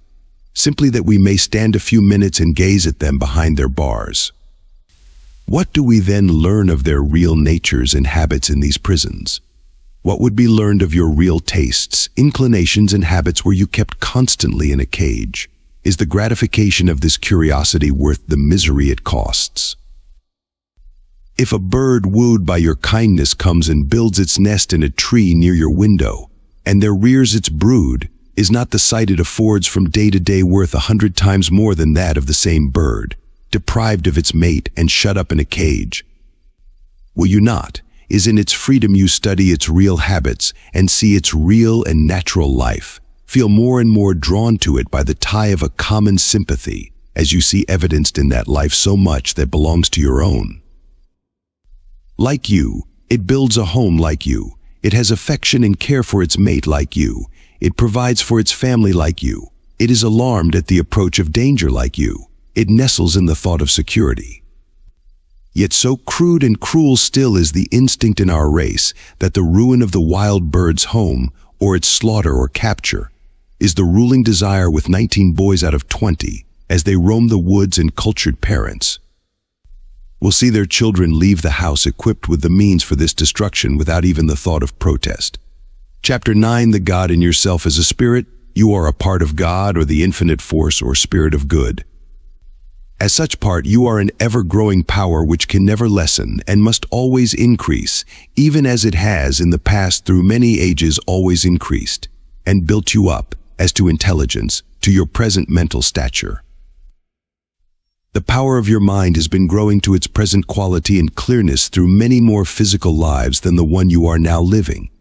Through each past life you have unconsciously added to its power. Every struggle of the mind, be it struggle against pain, struggle against appetite, struggle for more skill in the doing of anything, struggle for greater advance in any art or calling, struggle and dissatisfaction at your failings and defects, is an actual pushing of the spirit to greater power, and a greater relative completion of yourself, and with such completion happiness. For the aim of living is happiness. There is today more of you, and more of every desirable mental quality belonging to you than ever before. The very dissatisfaction and discontent you may feel concerning your failings is proof of this. If your mind was not as clear as it is, it could not see those failings. You are not now where you may have been in a mood of self-complacency, when you thought yourself about right in every respect. Only you may, now, in looking at yourself, have swung too far in the opposite direction and, because your eyes have been suddenly opened to certain faults, you may think these faults to be constantly increasing. They are not. The God in yourself, the ever-growing power in yourself has made you see an incompleteness in your character yet. That incompleteness was never so near a relative completion as now. Of this, the greatest proof is that you can now see what in yourself you never saw or felt before. You may have under your house a cavity full of vermin and bad air, you were much worse off before the cavity was found, repulsive as it may be to you, and now that it is found, you may be sure it will be cleansed. There may be cavities in our mental architecture abounding in evil element, and there is no need to be discouraged as the God in ourself shows them to us. There is no need of saying, I'm such an imperfect creature, I'm sure I can never cure all my faults. Yes, you can. You are curing them now. Every protest of your mind against your fault is a push of the spirit forward. Only you must not expect to cure them all in an hour, a day, a week, or a year. There will never be a time in your future existence, but that you can see where you can improve yourself. If you see possibility of improvement, you must of course see the defect to be improved. Or, in other words, you see for yourself a still greater completion, a still greater elaboration, a finer and finer shading of your character, a more and more complicated distribution of the force always coming to you. So you will cease this fretting over your being such an imperfect creature when you find, as you will, that you are one of the temples of God ever being built by yourself into ever-increasing splendor. No talent of yours ever stops growing any more than the tree stops growing in winter. If you are learning to paint or draw or act or speak in public or do anything, and cease your practice entirely for a month or a year or two years, and then take it up again, you will find after a little that an increase of that talent has come, that you have new ideas concerning it, and new power for execution. You ask, what is the aim of life in a sense? You cannot aim your own life. There is a destiny that aims it, a law which governs and carries it. To what end? To an ever-increasing and illimitable capacity for happiness as your power increases, and increase it must. You cannot stop growing, despite all appearances to the contrary. The pain you have suffered has been through that same growth of the Spirit pressing you harder and harder against what caused you misery, so that at last you should take that pain as a proof that you were on some wrong path, out of which you must get as soon as possible, and when you cry out hard, and are in living earnest to know the right way, something will always come to tell you the right way for it, is a law of nature that every earnest call is answered, and an earnest demand or prayer for anything always brings the needed supply. What is the aim of life? To get the most happiness out of it, to so learn to live that every coming day will be looked for in the assurance that it will be as full, and even fuller, of pleasure than the day we now live in to banish even the recollection that time can hang heavily on our hands to be thankful that we live, to rise superior to sickness or pain to command the body, through the power of the Spirit, so that it can feel no pain to control and command the thought, so that it shall ever increase in power to work and act separate, apart and afar from our body, so that it shall bring us all that we need of house or land or food or clothes, and that without robbing or doing injustice to anyone to gain in power, so that the Spirit shall ever recuperate, reinvigorate, and rejuvenate the body so long as we desire to use it, so that no part or organ shall weaken, wither, or decay. To be learning ever new sources of amusement for ourselves and others to make ourselves so full of happiness and use for others, that our presence may ever be welcome to them, to be no one's enemy and everyone's friend. That is the destiny of life in those domains of existence where people as real as we, and much more alive than we, have learned and are ever learning how to get the most of heaven out of life. That is the inevitable destiny of every individual spirit. You cannot escape ultimate happiness and permanent happiness as you grow on and on in this and other existences and all the pains you suffer, or have suffered, are as prods and pokes to keep you out of wrong paths, to make you follow the law. And the more sensitive you grow, the more clearly will you see the law which leads away from all pain, and ever toward more happiness, and to a state of mind where it is such an ecstasy to live, that all sense of time is lost. As the sense of time is lost with us when we are deeply interested or amused, or gaze upon a thrilling play or spectacle, so that in the words of the biblical record, a day shall be as a thousand years, and a thousand years as a day. The nirvana of the Hindus suggests all the possibilities of life coming to our planet, nirvana implying that calmness, serenity, and confidence of mind which comes of the absolute certainty that every effort we make, every enterprise we undertake, must be successful, and that the happiness we realize this month is but the stepping stone to the greater happiness of next.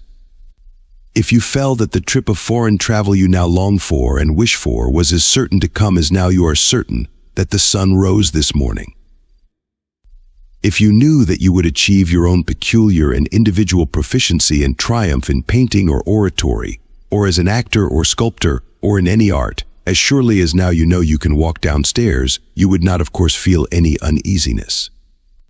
In all our relatively perfected lives we shall know this, because we shall know for an absolute certainty that when we concentrate our mental force or thought on any plan or pursuit or undertaking, we are setting at work the attractive force of thought substance to draw to us the means or agencies or forces or individuals to carry out that plan, as certainly as the force of muscle applied to a line draws the ship to its pier.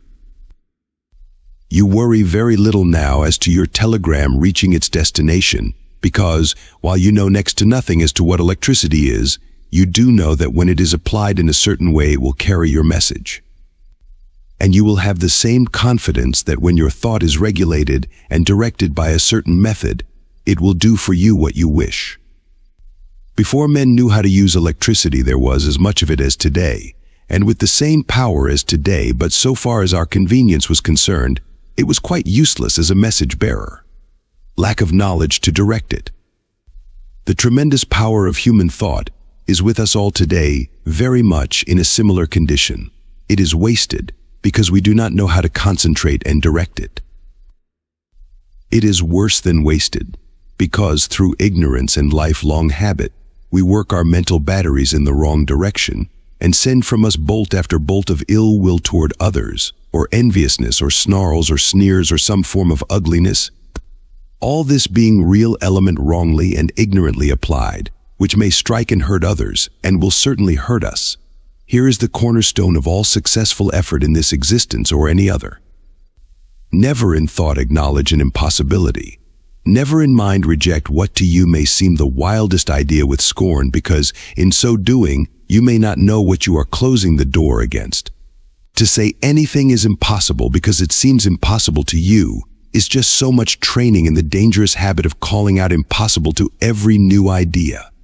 Your mind is then a prison full of doors barred to all outside and you the only inmate. All things are possible with God.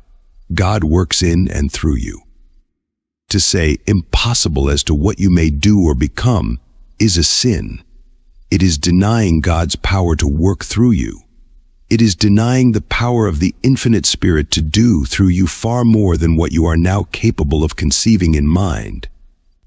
To say impossible is to set up your relatively weak limit of comprehension as the standard of the universe. It is as audacious as to attempt the measurement of endless space with a yardstick when you say impossible. And I can't you make a present impossibility for yourself. This thought of yours is the greatest hindrance to the possible. It cannot stop it. You will be pushed on, hang back as much as you may. There can be no successful resistance to the eternal and constant betterment of all things including yourself. You should say, it is possible for me to become anything which I admire. You should say, it is possible for me to become a writer, an orator, an actor, an artist you have then thrown open the door to your own temple of art within you. So long as you said impossible, you kept it closed. Your I can't was the iron bolt locking that door against you. Your I can is the power shoving back that bolt. Christ's spirit or thought had power to command the elements and quiet the storm. Your spirit as a part of the great whole has in the germ and waiting for fruition, the same power. Christ, through power of concentrating the unseen element of his thought, could turn that unseen element into the seen and materialize food, loaves and fishes. That is a power inherent in every spirit, and every spirit is growing to such power. Today you see a healthy baby boy. It cannot lift a pound, but you know there lies in that feeble child the powers and possibilities which, 20 years hence, may enable it to lift with ease 200 pounds. So the greater power, the coming spiritual power, can be foretold for us, who are now relatively babes spiritually. The reason for life's being so unhappy here in this region of being is that as we do not know the law, we go against it and get thereby its pains instead of its pleasures. The law cannot be entirely learned by us out of past record or the past experience of anyone, no matter to what power they might have attained. Such records or lives may be very useful to us as suggesters. But while there are general principles that apply to all, there are also individual laws that apply to every separate and individualized person. You cannot follow directly in my track in making yourself happier and better, nor can I in yours, because every one of us is made up of a different combination of element. As element has entered into and formed our spirits, our real selves through the growth and evolution ages. You must study and find out for yourself what your nature requires to bring it permanent happiness. You are a book for yourself. You must open this book page after page and chapter after chapter as they come to you with the experience of each day, each month, each year, and read them. No one else can read them for you as you can for yourself. No one else can think exactly as you think, or feel just as you feel, or be affected just as you are affected by outer forces or persons about you, and for this reason, no other person can judge what you really need to make your life more complete, more perfect or happier, so well as yourself. You must find out for yourself what association is best for you, what food is best for you, and what method in any business, any art, any profession brings you the best results. You can be helped very much by conferring with others who are similarly interested. You can be very much helped by those who may have more knowledge than you of general laws. You can be greatly helped to get force or courage or new ideas to carry out your undertakings by meeting at regular intervals with earnest, sincere, and honest people who have also some definite purpose to accomplish and talking yourself out to them, and they to you. But when you accept any man or any woman as an infallible guide or authority and do exactly as they say, you are off the main track because then you are making the experiments of another person, formed of a certain combination of elements or chemicals, and the result of that person's experiments. The rule for your own individual combination of element, when your combination may be very different and differently acted on by the elements outside of it. You have iron and copper and magnesia and phosphorus, and more of other minerals and chemicals and combination and recombination of mineral and chemical in your physical body than earthly science has yet thought of. You have in your spirit or thought the unseen or spiritual correspondences of these minerals still finer and more subtle, and all these are differently combined and in different proportions from any other physical or spiritual body. How, then, can anyone find out the peculiar action of this your individual combination, save yourself? There are certain general laws, but every individual must apply the general law to him or herself. It is a general law that the wind will propel a ship, but every vessel does not use the air in exactly the same fashion. It is a general law that thought is force and can affect and is constantly affecting, results to others far from our bodies, and the quality of our thought and its power to affect results depends very much on our associations. But for that reason, if yours is the superior thought or power, and I see that through its use you are moving ahead in the world, I should not choose your character of associates or your manner of life. I can try your methods as experiments, but I must remember they are only experiments. I must avoid that so common error, the error of slavish copy and idolatry of another. The Christ of Nazareth once bade certain of his followers not to worship him. Call me not good, said he. There is none good save God alone, Christ said. I am the way and the life. Meaning, as the text interprets itself to me, that as to certain general laws of which he was aware, and by which he also as a spirit was governed, he knew and could give certain information. But he never did assert that his individual life, with all the human infirmity or defect that he had taken upon him, was to be strictly copied. He did pray to the infinite Spirit of good for more strength and deliverance from the sin of fear when his spirit quailed at the prospect of his crucifixion, and in so doing, he conceded that he, as a spirit powerful as he was, needed help as much as any other spirit, and knowing this, he refused to pose himself before his followers as God, or the infinite, but told them that when they desired to bow before that almighty and never to be comprehended power, out of which comes every good at the prayer or demand of human mind, to worship God alone, God, the eternal and unfathomable moving power of boundless universe, the power that no man has ever seen or ever will see, save as he sees its varying expressions in sun, star, cloud, wind, bird, beast, flower, animal, or in man as the future angel or archangel, and ascending still to grades of mind and grades of power higher and higher still, but ever and ever looking to the source whence comes their power, and never,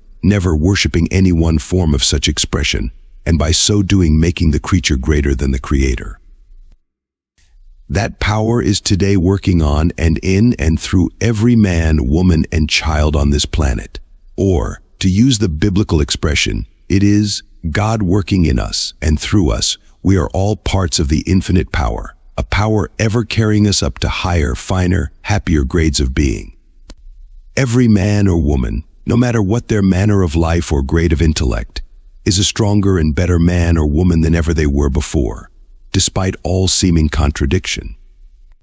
The desire in human nature, and all forms of nature or of spirit expressed through matter, to be more and more refined is, up to a certain growth of mind, an unconscious desire. The God desire is at work on the lowest drunkard rolling in the gutter. That man's spirit wants to get out of the gutter. It is at work on the greatest liar, prompting him, if ever so feebly, that the truth is better. It is at work on people you may call despicable and vile. When Christ was asked how often a man should be forgiven any offense, he replied in a manner indicating that there should be no limit to the sum of one man or woman's forgiveness for the defects or immaturity in another. There should be no limit to the kind and helpful thought we think or put out toward another person who falls often, who is struggling with some unnatural appetite. It is a great evil, often done unconsciously, to say or think of an intemperate man, oh, he's gone to the dogs. It's no use doing anything more for him because when we do this, we put hopeless, discouraging thought out in the air. It meets that person. Last piece.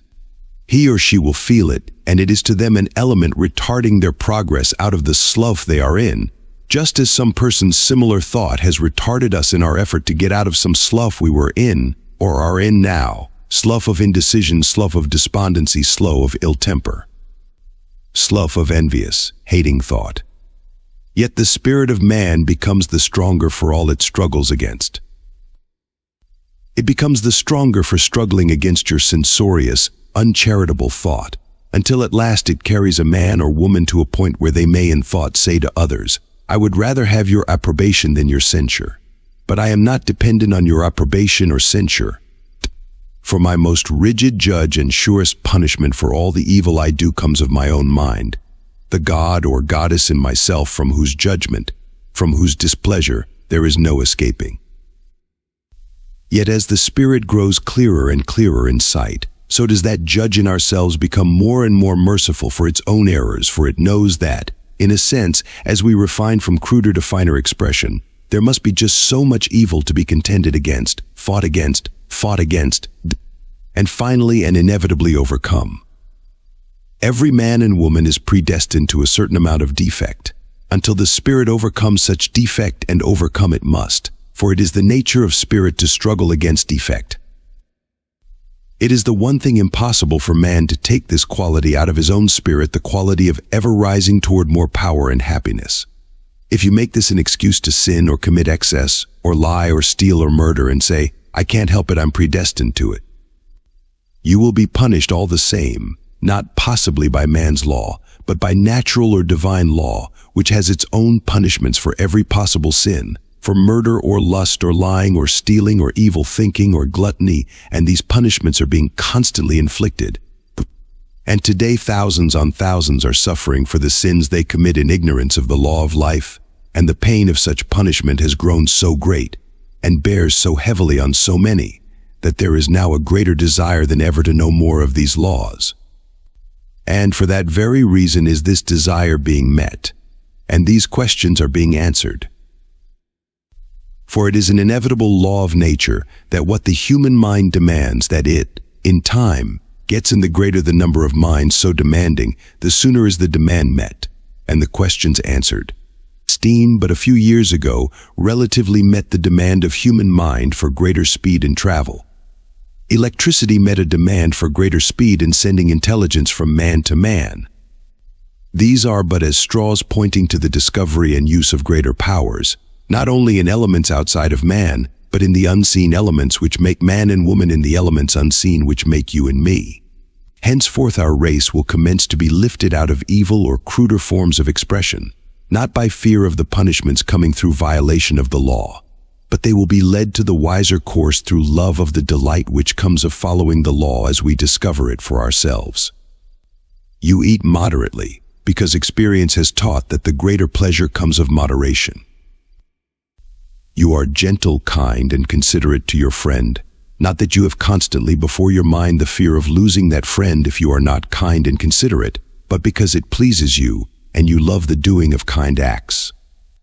Human law, and even divine law as interpreted by human understanding, have ever been saying in the past, you must not do this or that, or you'll feel the rod God has been pictured as a stern, merciless, avenging deity. The burden of the preacher's song has been penalty and punishment. Punishment and penalty. Humanity is to forget all about penalty and punishment because it is to be won over and tempted to greater goodness, to purity and refinement by the ever-increasing pleasures brought us as we refine. The warning of penalty was necessary when humanity was cruder. It could only be reached by the rod. The race was blind, and as a necessity of its condition it had to be kept somewhere near the right path, by a succession of painful prods and pokes with the sharp goad of penalty. But when we begin to see clearer, as now the more quickened and sensitive of our race do begin to see, we need no rod, any more than you need a man with a club to prevail on you to go to a feast. Chapter 10 The healing renewing force of spring your body is acted on in its growth and changes by the same laws and elements which govern the growth and enter into all other organized bodies, such as trees, plants, birds, and animals. In the early spring of every year, there comes and acts on this planet a force from the sun which affects all organized forms of life, trees, birds, animals, and above all man. Man's being the highest, most complicated, and most powerful mental organism on the planet, absorbs the most of this power and will absorb far more in the future, and to far greater advantage than at present, as he learns to place himself in the best states to receive it. Material science calls this force heat, but the quality known as heat is only its outward or physical manifestation. The quality known as heat, which comes from the sun, is not converted into heat until it reaches our planet and acts on the earth elements. There is little or no heat a few miles above the Earth's surface. Were this force in the form of heat on leaving the sun, or during its passage, the air on the mountain tops would be as warm as that of the valleys. As we know, on the highest peaks snow and ice are perpetual, for the sun force at such elevation is not sufficiently mingled with earth elements to convert it into that degree of heat felt in the valleys and plains. This force causes the increased movement and circulation of sap in the trees, which commences as soon as the sun of the new year acts on them. The sap is a new life to the tree, from which later comes its buds, blossoms, and fruitage. The inflowing of this unseen sun force gives the tree power to draw new supplies of nourishing elements through its roots from the earth. It gives it power also to cast off any dead leaves remaining of the last year's crop which have hung on during the winter, as you may see in forests of oak or hickory. This force acts also in the later winter and earlier spring months on animals and birds, especially if in their wild or natural state, causing them to shed their last year's coats of fur or feathers.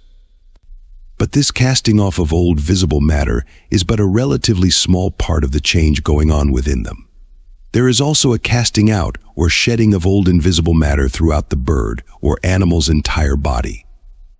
It goes off through the pores or other passages in various forms, some visible, others invisible, and is succeeded by new elements within, as the new fur, hair, or feather is grown without.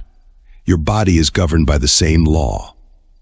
During the later winter and earlier spring months, you are molting. You are casting off old, dead matter and taking in new, providing you give this force opportunity to act on you to the best advantage, by ceasing to be active either with mind or body when they call for rest, as do birds and animals during their molting period, or process of casting off the old elements and receiving the new. This element or force received at this time by you and them is invisible to the physical eye, as all force is invisible. The new fur, the new plumage of the bird, the new skin and tissues without and within your body, if received, the new buds, leaves, and twigs are all materialized expressions of this force. They are new crystallizations coming of a new solution of invisible chemicals, in which bird, animal, tree, and your body are bathed.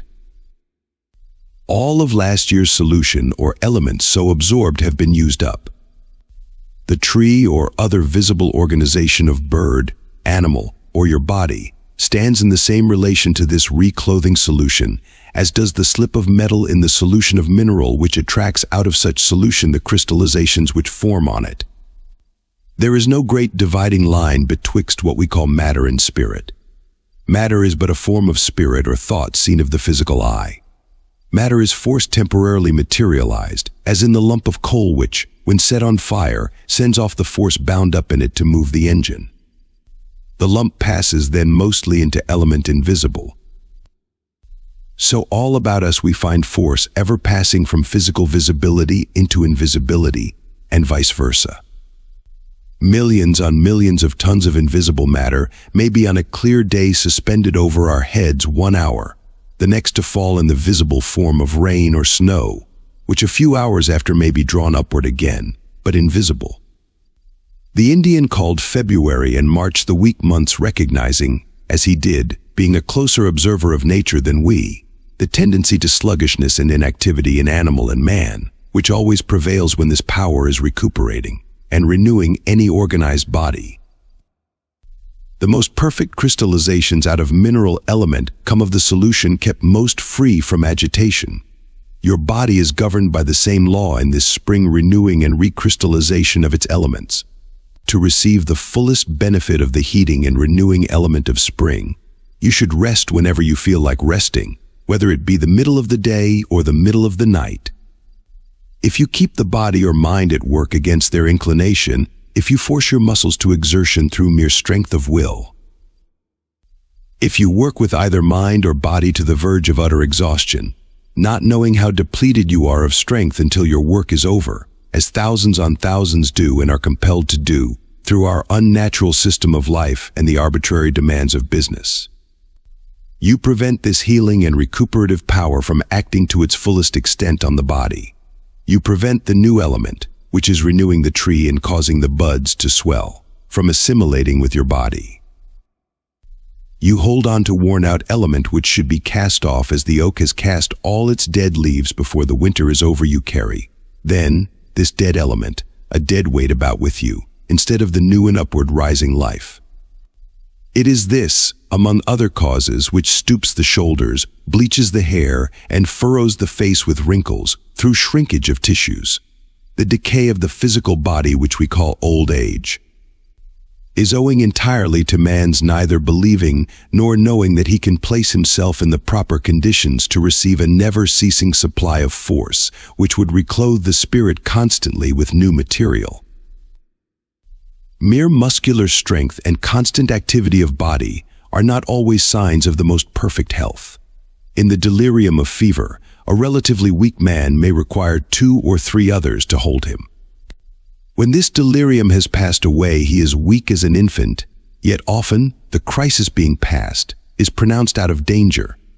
In a manner somewhat similar in the walks of business, in the keen, almost fierce competition of trade, thousands of people lead a feverish, excited life. They are always on attention. They demand to be in this state. They cannot work unless strung up to a certain pitch. If, at times, through nature's own demand for rest, their nerves are relaxed and they feel languid.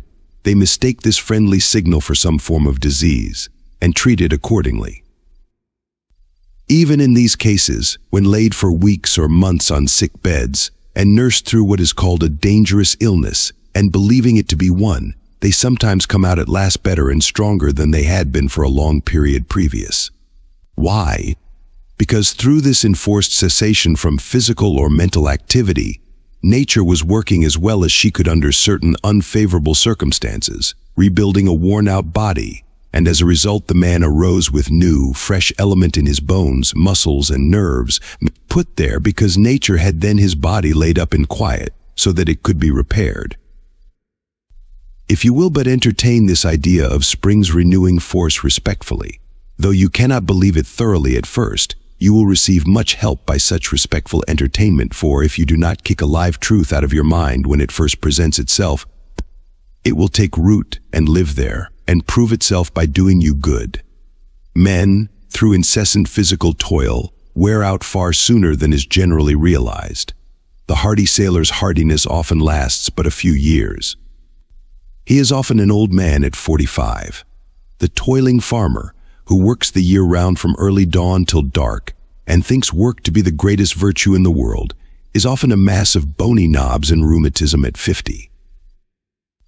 The average duration of lives of hard labor is much less than those given to occupations requiring less physical lugging, straining, and fagging hour after hour when the body is really exhausted.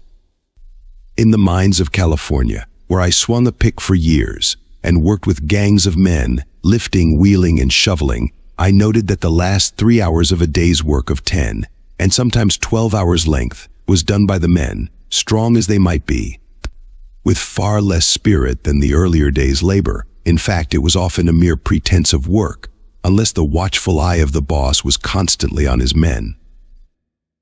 Why? because physically they were no longer fit to work.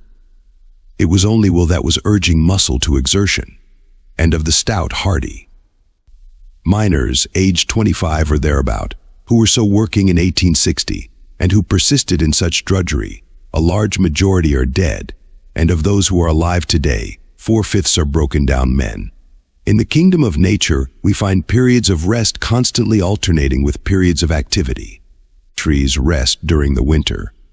The circulation of sap is sluggish. There is no creation of leaf, blossom, or fruit.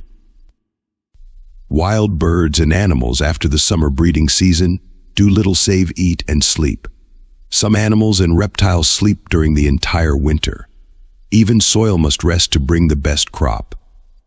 Where it is forced, through constant artificial fertilization, the product is inferior in flavor and nourishing quality to that raised on virgin soil disease, blight, and destructive insects some unknown to vegetation in its natural state.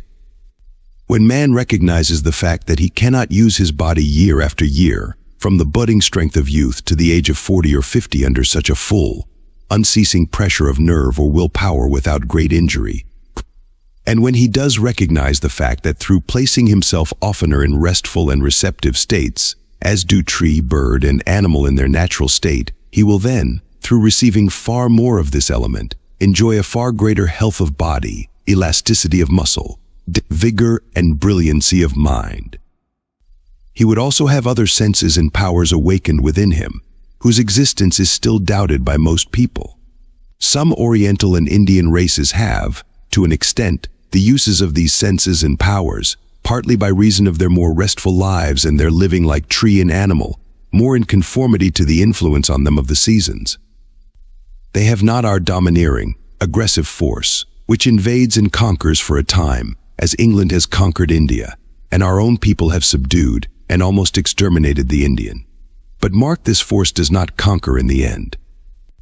The thought power which works most while the body is relatively inactive is really the strongest and ultimately prevails. It is subtle, noiseless, unseen. Working with the highest motive, it refines and polishes the rude, warlike, conquering races by grafting on them the civilization of the conquered. In such manner was the art and civilization of conquered Egypt transferred to the Assyrian. Centuries afterward, the conquered Assyrian transferred this power to conquering Greece. Greece fell before Rome yet Grecian civilization held sway in Rome. Rome fell physically before the Goths and Vandals, the then savage races of northern Europe, but in the kingdom of mind, it is the influence of ancient Italy which has been the great factor in refining the Goth, Hun, and Vandal of ages ago into the modem German, Frenchman, Spaniard, and Italian. Every convulsion, agitation, and conquest has made this power take root on a wider field.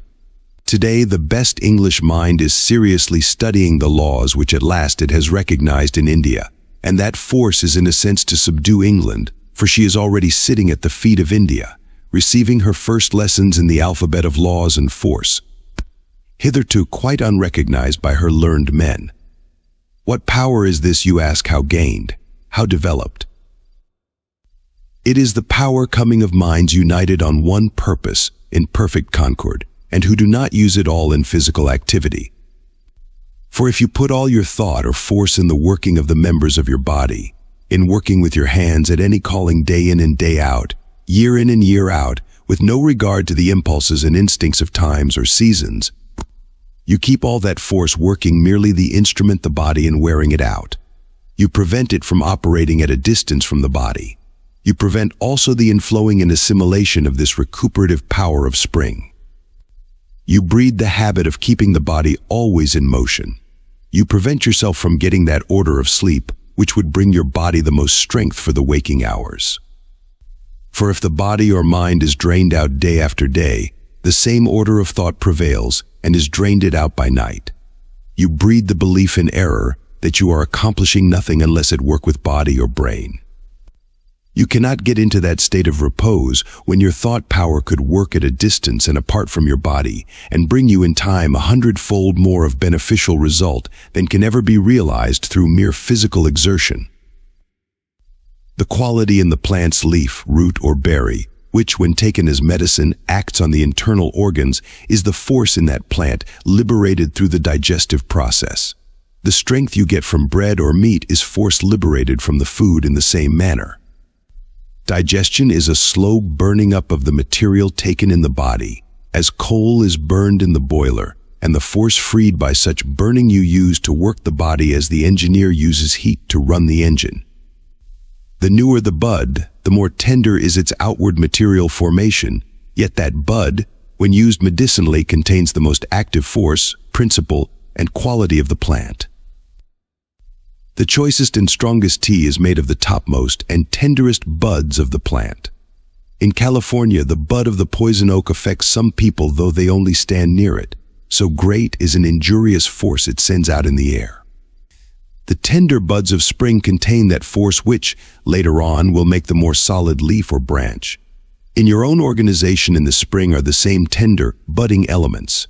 So if your body is weak in the spring, it is a sign that the new buds, so to speak, within you are forming. They are full of force. But that force has not had time to act on your material organization and form the new bone, muscle, and sinew which will come at a later period. Providing such budding or new crystallization be not agitated, disturbed, and possibly destroyed by undue exertion of mind or body, where the same relative damage is done your body as would be done the budding tree by a hurricane. Possibly you say, but how can I carry on my business and earn my bread if I so lay my body up for nature's repairs? We answer, the laws of man's business are not the laws of nature. If nature says rest and man says work, and will work or must work, man always gets the worst of it. What society calls vicious practices or habits are nor the only agencies which bring disease, pain, and death. Thousands perish annually in lingering agony on respectable beds and in the best society. Consumption, cancer, insanity, dropsy, rheumatism, scrofula, fevers, rage are ever raging among the most correct people from the conventional standpoint. Why is this? If you are in conditions of life where at present it is impossible to give yourself needed rest, and you feel thoroughly the need of such rest, you may rely upon it that your persistent desire, your prayer, your imperious demand that you shall have opportunity to receive and profit by nature's restoring forces will bring you in some way the opportunity to so profit by them. When any need is thoroughly felt, the thought and desire coming of such feeling is itself a prayer of force which will bring you helps and take you out of injurious surroundings and modes of life. We repeat this assertion often. It needs frequent repetition. It is the mainspring of all growth and advance into a happier and more healthful life. The Christ of Judea embodied this great law in the words, Ask, and ye shall receive, seek, and ye shall find, knock, and it shall be opened unto you. He wisely made no attempt to explain this mystery whereby earnest human thought, desire, or aspiration always in time brings the thing or result desired. For this and other mysteries are inexplicable, and so fast as any alleged cause is given for any certain result in nature's workings, do we find a deeper mystery in the very cause. We say wind is air in motion. What sets it in motion and keeps it in motion? Once we explained the tides on the theory of the moon's attraction. But apart from the tides, what power keeps in motion the gigantic system of currents ever traversing the oceans? revealed more fully during the last 40 years. What power keeps our lungs breathing day and night, or the blood running to every part of the body? Are not all of these of the power of God, or the infinite spirit or force of good, working within you as it works in everything that lives and grows? Only to us is at last given the knowledge to work this power intelligently.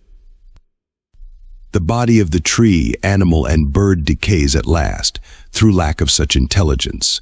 So in the past has man's material part decayed. But this is not always to be. The last great enemy to be destroyed.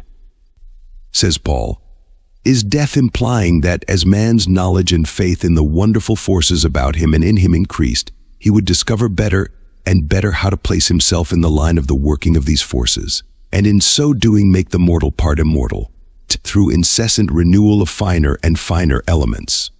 Chapter 11 Immortality in the Flesh We believe that immortality in the flesh is a possibility, Or, in other words, that a physical body can be retained so long as the spirit desires its use, and that this body, instead of decreasing in strength and vigor, as the years go on, will increase, and its youth will be perpetual. We believe that the reputed fables in the ancient mythologies referring to the immortals or beings possessed of powers other and greater than mortals have a foundation in fact. This possibility must come in accordance with the law that every demand or prayer of humanity must bring supply. There is now a more earnest demand than ever for longer and more perfect physical life, because now more minds see the greater possibilities of life. They appreciate more than ever the value of living in the physical. Such demand often takes this form of expression. I have just learned how to live, and it is nearly time for me to die. The body will grow to these results through a gradual series of spiritual processes, operating on and ever-changing, spiritualizing and refining the material. These processes do not retain the body a person may have now. They retain a body and an ever-changing and refining body, all disease, lack of physical ease, or sickness comes of a spiritual process, the aim of which is reconstruction of the physical body, first in the receiving of new elements, and second in the casting out of old ones. Back of this physical reconstruction, however, there is going on the far more important reconstruction of the spirit out of which is built the body. These processes are continually going on with the body, operating through the skin, the stomach, and other organs, as well as in the periods of physical prostration or indisposition above referred to. All sickness is an effort of the spirit renewed by fresh influx of force to cast off old and relatively dead matter. But as this intent has not been recognized by the race, the spiritual process or effort with its accompanying pain and discomfort has been held and feared as a signal or approach of death.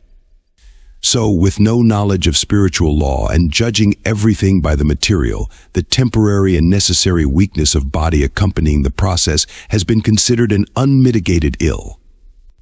Such belief has in the past only aided the spirit to pile on itself more and more of belief in the untruth that after a certain term of years no power or force in the universe could prevent the physical body from aging, shriveling, weakening, and finally perishing. The body is continually changing its elements in accordance with the condition of the mind. In certain mental conditions, it is adding to itself elements of decay, weakness and physical death in another mental condition. It is adding to itself elements of strength, life and perpetual life. That which the spirit takes on in either case are thoughts or beliefs. Thoughts and beliefs materialize themselves in flesh and blood. Belief in inevitable decay and death brings from the spirit to the body the elements of decay and death. Belief in the possibility of an ever coming and flowing to the spirit of life brings life. If new life is being thus added to you, there must also be an accompanying throwing off of the old or relatively dead matter of the body. Just as when an influx of new life comes to the tree in the spring it casts off the dead leaves which may have clung to it all winter. Through similar inflowing of new life or force does the animal and bird yearly shed the old fur or feathers and take on the new, and correspondent changes take place throughout the whole organization of bird, animal, and man. This spiritual law works in all forms and organizations of the cruder form of spirit we call matter in the human being. This influx of force is greater than in the lower forms of life. It does not flow equally to all human beings. Some receive more than others. But in the course of advancement men and women are to come who will receive so much of this influx as to be obliged to see these further possibilities of existence, and also to realize them. When new ideas or thoughts are received by our higher mind or self, they are warred against by our lower or material mind. The body is the battleground between these two forces, and therefore suffers. As minds come to trust, even to a small extent, in the supreme power and entertain the idea that physical disease and physical death are not absolute necessities, the higher power must prevail. Some old error will be cast out, some new idea will come to stay, the body will be better and stronger after each succeeding struggle. And these struggles will also gradually become less and less severe, until they cease altogether. People have in the past lost their physical bodies, because being in ignorance of the fact that sickness is a process for the spirit to throw off the old material thought and take on new, they have used their forces in the wrong way to retain such thought. They retain it by their belief. Your belief will make your sickness a benefit or an evil to you. If you can but entertain the belief that it is a spiritual process for getting rid of old worn-out elements, you assist greatly the mind in the performance of this process. If, however, you believe that sickness is entirely a physical condition and that no benefit and only evil comes of it, you are using force only to load down the spirit with more and more error of which your flesh and blood will be in quality and expression, until at last your spirit rejects the body it has been trying to carry and drops its burden. It rejects at last the whole body through the same laws by which it rejects a part of it when that part is spiritually dead. If you receive with scorn the thought that your physical body through fresher and fresher renewal of its substance can be made perpetual, you close to yourself an entrance for life and open another to decay and death. We do not argue that you ought to believe this. You may be so mentally constituted that you cannot now believe it. There are many things to be in the future which none of us have now the power to believe. But we can, if the thing deemed impossible be desirable, pray or demand a faith which shall give us a reason for believing, and such faith will come in response to demand. Faith means power to believe in the true, or the capacity for the mind to receive true thoughts. The faith of Columbus in the existence of a new continent was a power in him to entertain such idea greater than others of his time.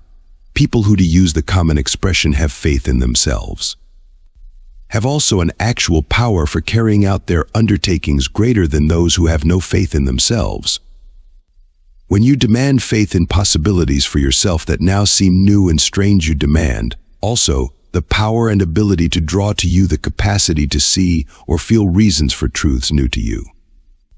If you demand persistently the truth and only the truth you will get it, and the whole truth means power to accomplish seeming impossibilities. Thy faith hath made thee whole, said the Christ of Judea to a man who was healed to us this passage interprets itself as meaning that the person healed had an innate power of believing that he could be healed. This power, which was of his own spirit and not of Christ, so acted on his body as instantly to cure his infirmities. Christ was a means of awakening this power in that man's spirit. But Christ himself did not give the person that power. It was latent in the person healed. Christ woke it into life and probably only temporary life and activity, for we do not hear that any of the recorded cases of sudden healing in those times were permanent. They fell sick again and finally lost their bodies. Why? Because the faith or power they drew to themselves for a brief time did not come to stay. They had not learned to increase it continually through silent demand of the supreme power. Their spirits went back into the domain of material belief. When that belief again materialized a load on the spirit hard to carry, and they were sick, not one was at hand like the Christ to awaken it into a temporary faith or power. No person can become permanently whole, which implies, among other powers, immortality in the flesh, and have entire and permanent freedom from disease, who is ever trusting, or leaning on any other save the Supreme to gain the power of faith. In this respect, every mind must stand entirely alone, you cannot draw the highest power if you depend always for help from another or others. If you do, you are only borrowing or absorbing their faith. Such borrowed faith may work wonders for a time, but it does not come to stay. When that of which you borrow is cut off, you will fall into the slough of despond and disease again. You had really never drawn from the right source the supreme. Our most profitable demand or prayer made consciously or unconsciously is let my faith be ever increased. When you reverse your mental attitude regarding sickness and do but entertain the belief that it is an effort of the Spirit to throw off errors in thought which is absorbed and received from earliest infancy are materialized in your flesh, you gradually cease to load up with error. You also commence the process of unloading and casting out all former errors in thought. The sickness you had many years ago in fear of death has in a sense packed away that particular remembrance of such mood of fear in your being, and with it the belief that accompanied such remembrance. That belief has been working against you all these years, as all wrong belief must work against you. It is literally a part of your real being, as all past individual remembrances and experiences are a literal part of our beings.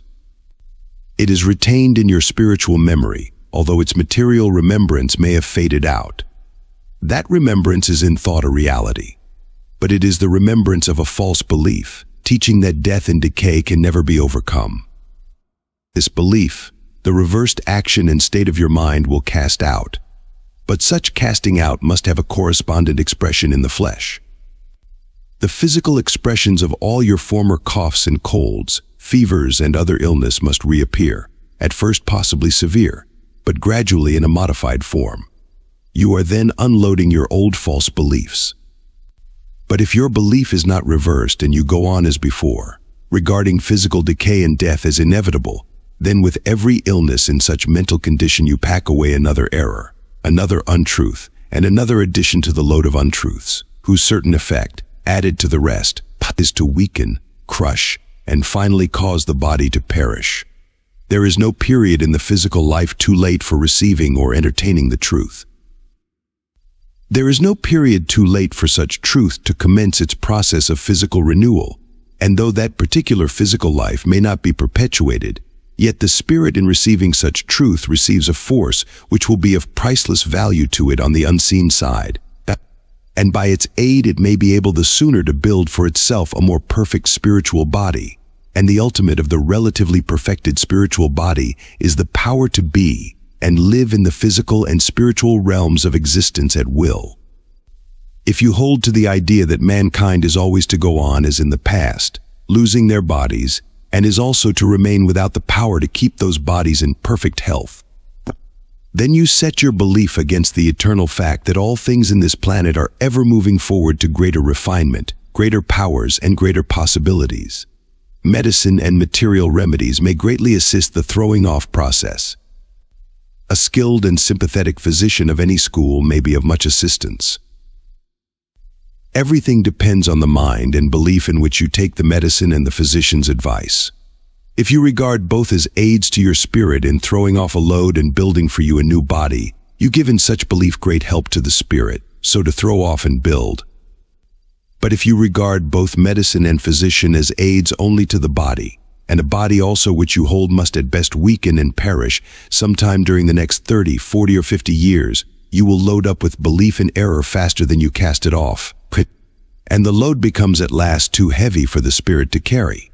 What causes the man or woman to be bowed down by age? What causes the stooping shoulders, the weakened knees, the tottering gait? Because they believe only in the earthly and perishable.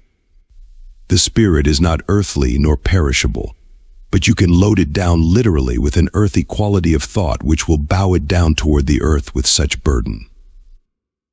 It is not the physical body of the old person that is bent and bowed down. It is that part which is the force moving the body, that is, his or her spirit loaded with material thought which it cannot appropriate or assimilate, which becomes so bent, bowed, and weak. The body is always an external correspondence of your mind or spirit. A body thus ever renewing, beautifying, freshening and strengthening means a mind behind it ever renewing with new ideas, plans, hope, purpose, and aspiration. Life eternal is not the half-dead life of extreme old age. The person who can see only the physical side and temporary expression of life, who eats and drinks in the belief that only the body is affected by less eating and drinking, who believes that the body is sustained only by force, generated within itself, and that it is not fed of an unseen element coming from the spiritual realm of element, and who believes that nothing exists but what he can see, hear, and feel with the physical sense that is the material which is always the temporary and perishable, draws to himself mostly those forces and elements which cause the temporary and perishable, and these acting in his body make it temporary and perishable. Death of the body begins with thousands many years before they are in their coffins. The pale face and parchment-colored skin means a half-dead skin. It means a portion of the body on which the spirit works the casting out process of dead element and taking on of the new very imperfectly. In the freshness of infancy and early youth, the spirit cast out and took on more vigorously. As years went on, untruth was absorbed by that spirit, Its growth in knowledge was more and more retarded. Responding physical changes became slower and slower. The body commences to show signs of age that is to die. Because such spirit was less and less fed of that element which brings constant renewal of new thought, which is new life. So far does the belief and faith in weakness and decay prevail with the race that wisdom is often allegorically portrayed as an old man, gray, bald-headed, bowed and sustained by a staff. That means a wisdom which cannot prevent its own body from falling to pieces. In that form of being we call the child a spirit or mind having come in possession of a new body, there is for a period a greater spiritual wisdom than when the child is physically more matured. It is the unconscious wisdom of intuition. It is for a time more open to the truth. For such reason, up to the age of 18 or 20, the spiritual casting off and taking on processes with the body are more perfectly performed. These relatively rapid changes in the physical maintain the bloom and freshness of youth. Sooner or later, however, the higher spiritual process ceases gradually to operate. Beliefs in the false, as taught or absorbed from others, materialize themselves in the body, despite all the resistance of the higher mind is expressed in pain and sickness. The load of belief in the earthy and perishable accumulates. The body assumes an appearance in correspondence with such thought. At last, the higher mind refuses to carry such a burden, flings it off, and leaves a dead body. The death of the body is then the final process for casting off cruder element from the spirit which it can no longer use or appropriate. But it is very desirable for the spirit to be able to keep a physical body which shall refine as the spirit refines, because in such equality of refinement between the spirit and its instrument, our increase in happiness is greatly advanced. And the relatively perfected rounding out of our powers cannot be realized until this union between spirit and body is effected. When the Christ of Judea said to the elders of Israel of the little child, Except ye become as this child ye cannot enter the kingdom of heaven. He meant as the text interprets itself to us, that they should become as open to that inflowing of force as that spirit the child was at that period of its existence. Were such influx maintained, the youth of the body would be perpetual. The child is more led of the spirit than the grown-up person. It is more natural. It discards policy. It shows openly whom it likes and whom it does not.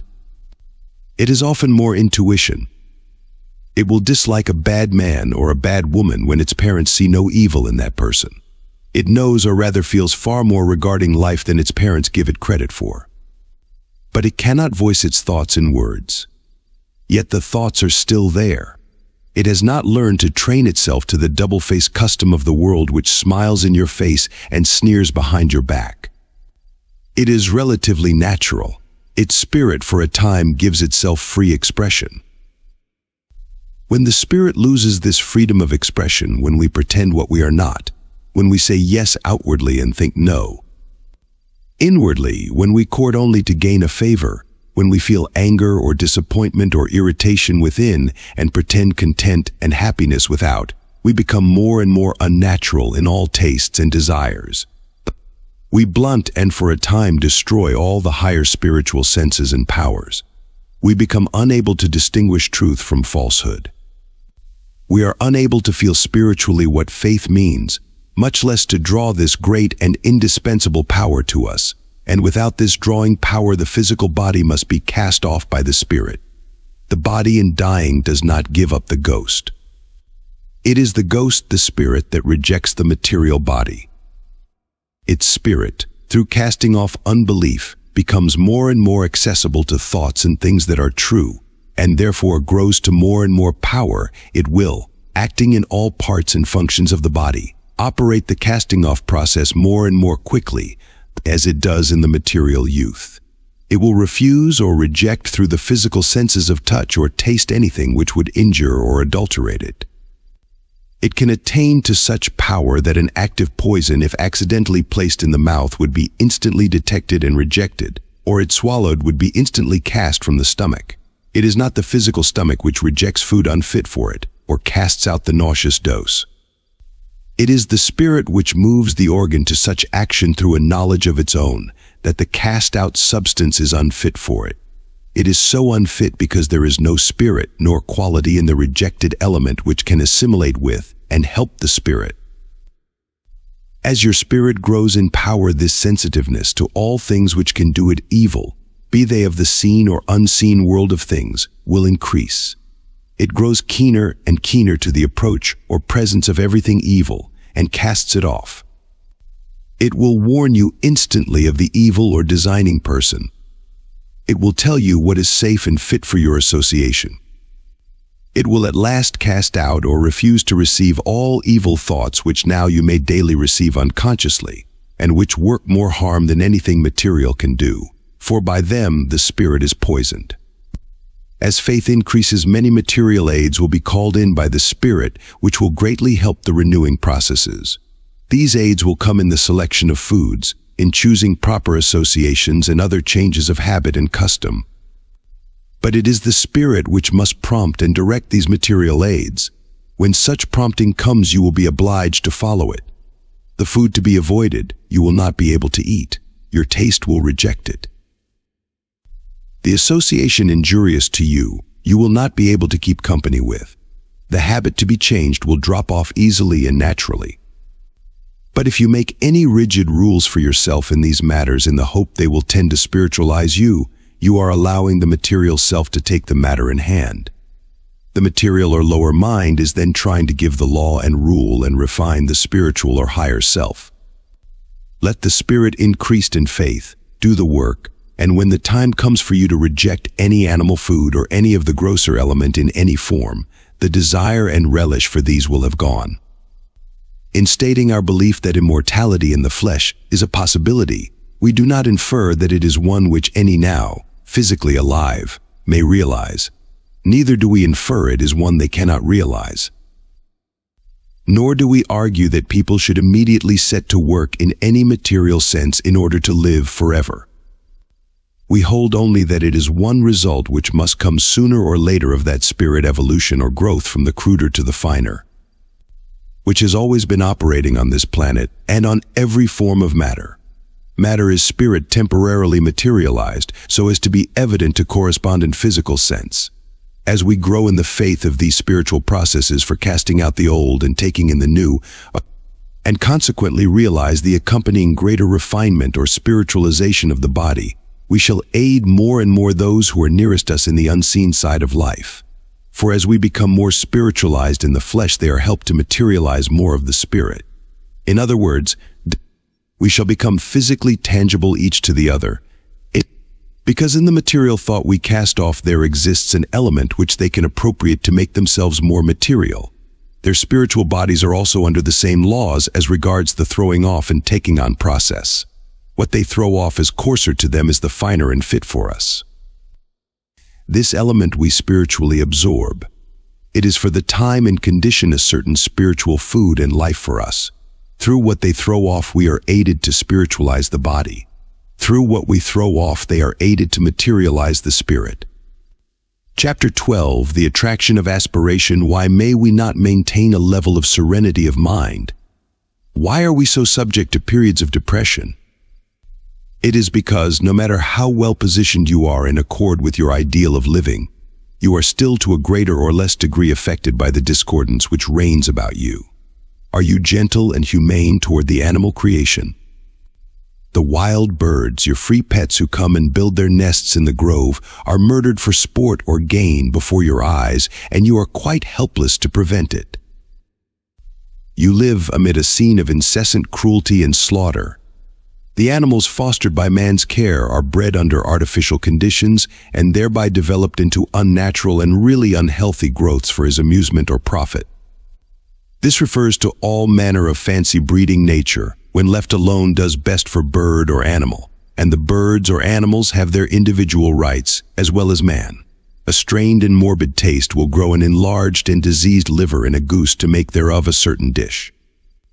Your race is so growing disease all about you, Disease means mental as well as physical unhappiness.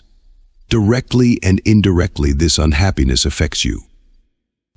The finer your organization and the more open is it to a finer life, the more easily annoyed is it here by the many ills about it. You can hardly go abroad without suffering mental or physical pain. Your houses, cars, and boats in winter are overheated and full of noxious vapors from the fuel used, as well as emanation from the human bodies packed in them. You may be obliged to sleep in rooms where this unhealthy heat is partly relied on to warm your when at rest. You must breathe it when in the unconscious state of recuperation and awake with it incorporated into your being. You are liable to eat staleness and decay at the best of your public tables. You are pained by scenes of cruelty, brutality, and injustice. That is the predominant thought active in the atmosphere of the crowd, and it affects your thought. There is thought, or if you please so to call it, mental action embodied in every material thing about you, and the brightness or darkness of the thought depends on the condition of the material thing. The eating of stale fruit or vegetables may indirectly give you the blues. The live, fresh fruit gives you life. Decay is the disorganization of matter. You want to feed on the perfect organization, neither over nor underripe. You want it, if possible, when the article fed upon is at its fullest stage of life, so that you may receive that life. You violate ignorantly, unconsciously, and even for the time, necessarily, many laws of physical and mental health.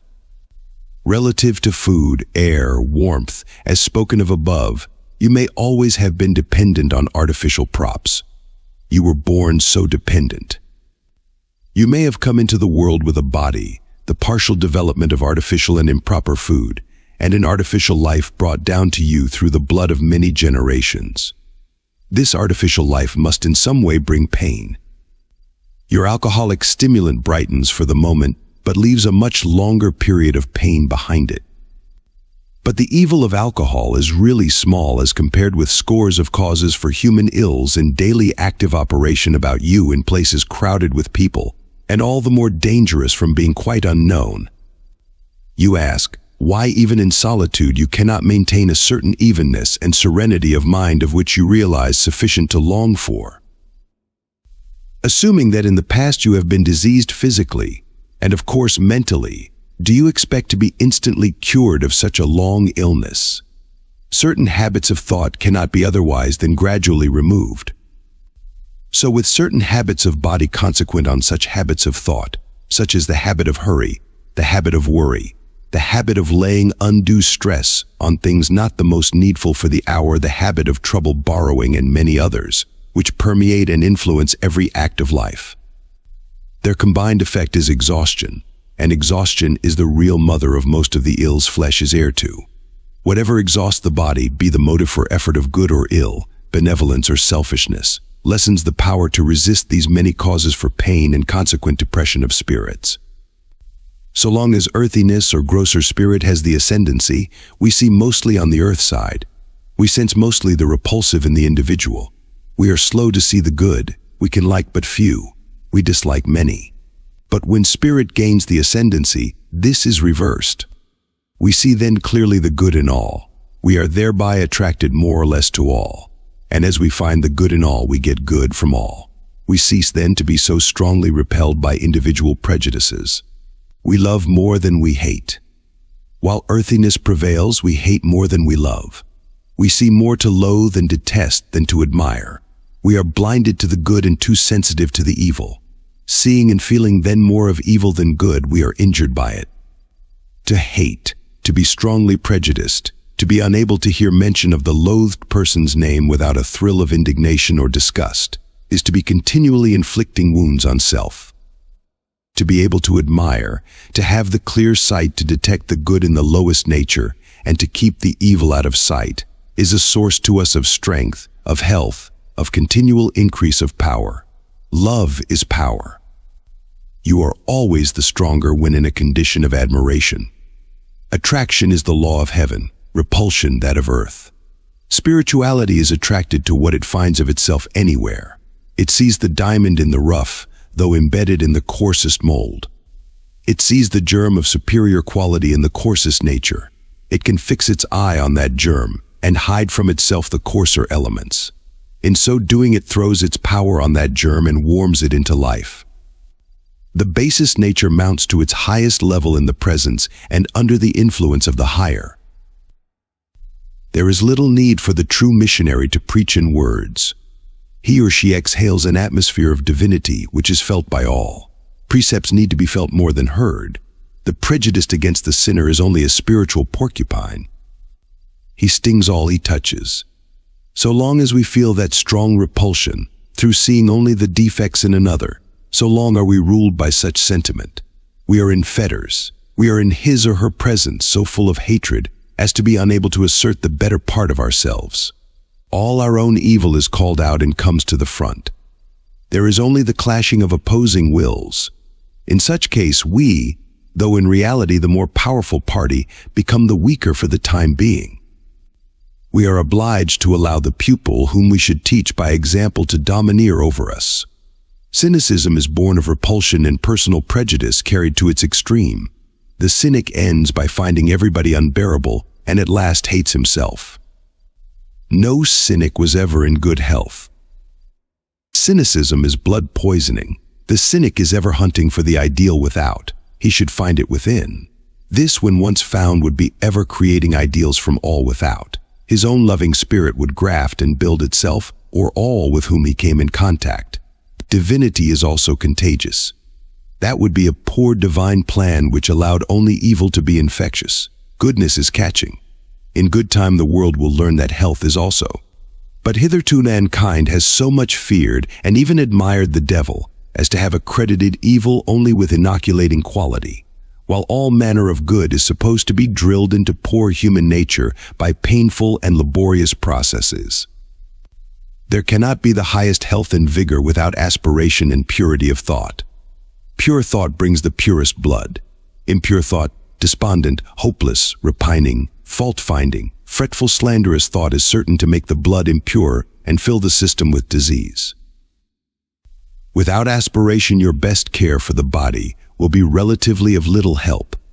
You may as to garb and person be scrupulously clean, you may pay the utmost attention to diet, yet after all you are but cleaning the outside of a vessel which within is ever filling up with uncleanliness.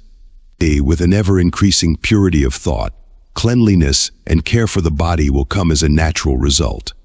The vessel will clean itself. Proper care for the body in all respects will be a loving effort for that body. Bathing will not be an enforced task but a recreation. Diet will be regulated by the natural demand of appetite. Taste or relish will be the standard for acceptance or rejection. Excess will be impossible, so watchful will be the healthy palate to regard the first faint sign of sufficiency as the signal to cease any kind of indulgence. It is this aspiration for the highest and best that in time causes an actual new birth of the body, a total reformation. Throughout in the quality and composition of flesh, bone, blood, muscle, and sinews a change in the material organization corresponding with that of the spiritual. The flesh by it is spiritualized, that is, made up of finer elements. In all aspiring minds is this process going on. The rule of spirit over flesh brings perfect immunity from disease, intensifies every power, gives far greater capacity for effort in any field, and at the close of the earth life ensures a painless passing out of the spirit, a simple falling to sleep of the earthly body, and a waking up on the other, the spiritual side of life. The path of self-healing lies in the calling for the elements of health and strength to drive out disease. That is, you pray for such elements and they come to you. Strength or vigor is an element of spirit or more refined matter. The more often is your will exercised in praying for it, the quicker will it come. This is the secret for the perpetual maintenance and increase of vigor or any other desired quality. When sensible by signs quickly detected of lack of power, call, pray, desire more. Its rapport with the elements causes such power immediately to flow in upon it. You may become weary. Your will put thus in operation causes an immediate influx of strength, as soon as it places itself in certain conditions for such inflowing. Say you arise in the morning weak, languid, with no physical or mental energy. Keep your mind as much as you can from dwelling on your ailment. Keep it as much as you can on the thought of strength, vigor, health, activity. As aids to erect this frame of mind, fix it as much as you can on illustrations and symbols of nature's force and power, on storm and tempest, on the heaving billow and majesty of the ocean, on the morning sun rising in all his glory to refresh and invigorate man, animal and vegetation. If there be in prose or poetry any illustrations of this character which affect you strongly, recur to them. Read them aloud or in silence, because in so doing you are setting the mind in the right direction to receive strength. In brief, think of strength and power, and you will draw it to you. Think of health and you get it. Let your mind dwell on weakness, on never getting well, on the dark side, on everything of discouragement, gloom and darkness, and you draw to you the contrary and hurtful elements. As decay attracts and generates decay in the things we see, so does any weak decaying order of thought attract its like of the things we do not see. Unconsciously many sick and ailing people nurse their complaints more than they nurse the bodies carrying such complaints. They are always thinking of them and talking of them. They actually crave sympathy for the hurt more than for the body afflicted with it.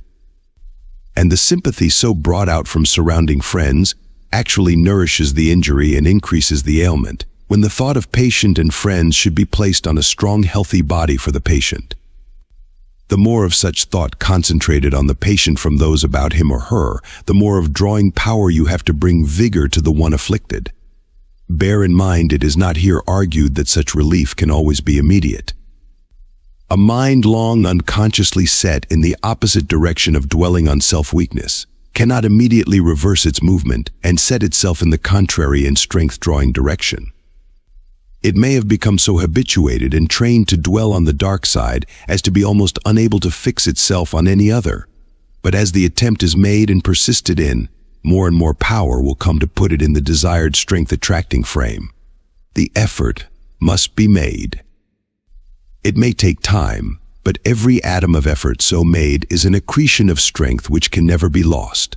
Do not demand arbitrarily or despotically that any member of your body get well of a hurt that any organ or function becomes stronger. Your body is as a whole an individual separate from your spirit and with a peculiar physical life of its own. As a whole, it is an organization made up of a number of other organizations, each charged with a specific duty, as the eye to see, the ear to hear, the tongue to taste, the stomach to digest, the lungs to breathe. All of these are in a sense individual organizations.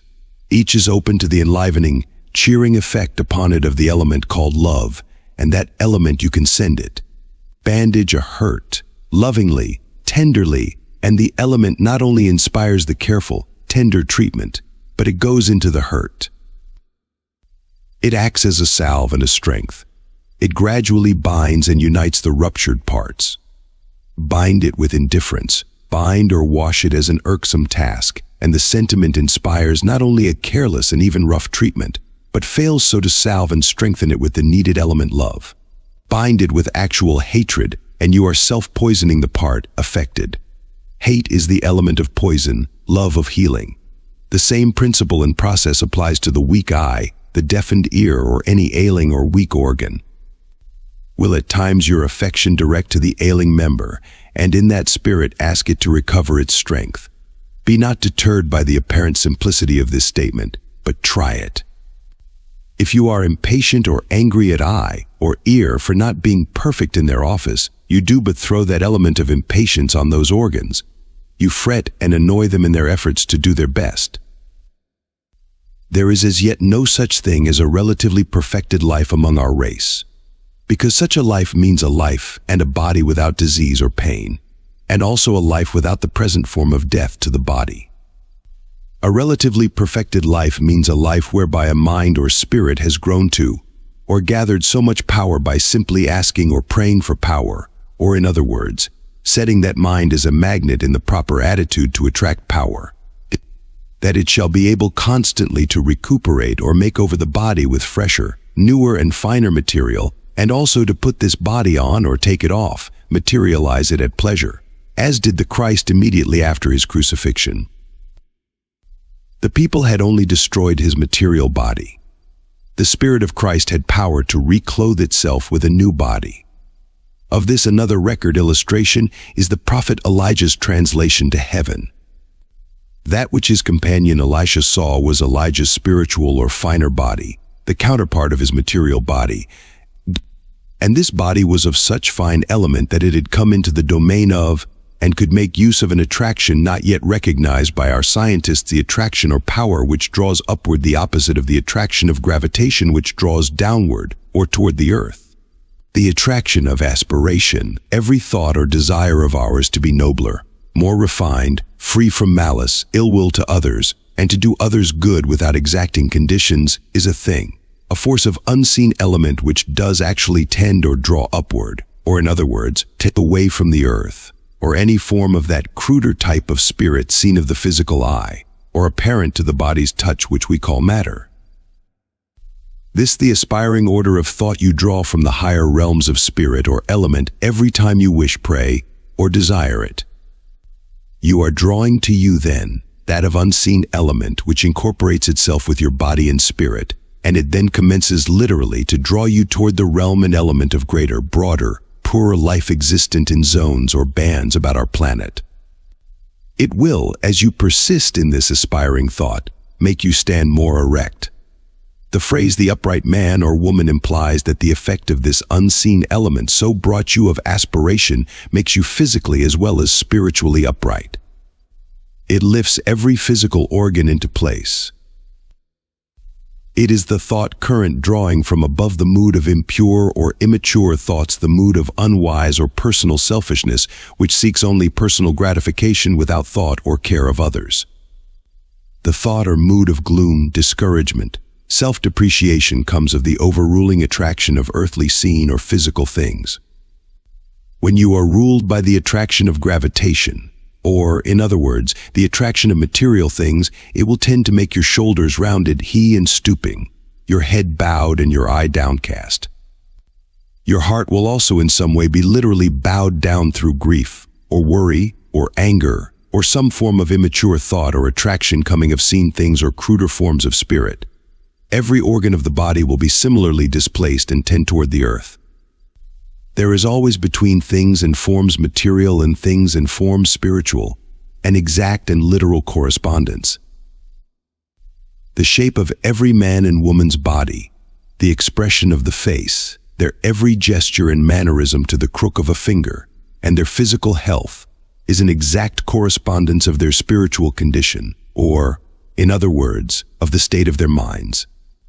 It is a duplication in seen matter and movement of what they are thinking in unseen matter. As you are ruled more and more by the attraction of aspiration, the desire to be more and more of a god or goddess, the determination to conquer all the evil within you, which is the only way to conquer any and all evil outside of you, your form will in accordance grow more upright. Your eye will be more open and uplifted, your heart will be lifted up, your cheeks will bloom with fresher color, your blood will fill more and more with a finer and powerful element, giving to your limbs strength, vigor, suppleness, and elasticity of movement. You are then filling more and more with the elixir of life, which is no myth but a spiritual reality and possibility.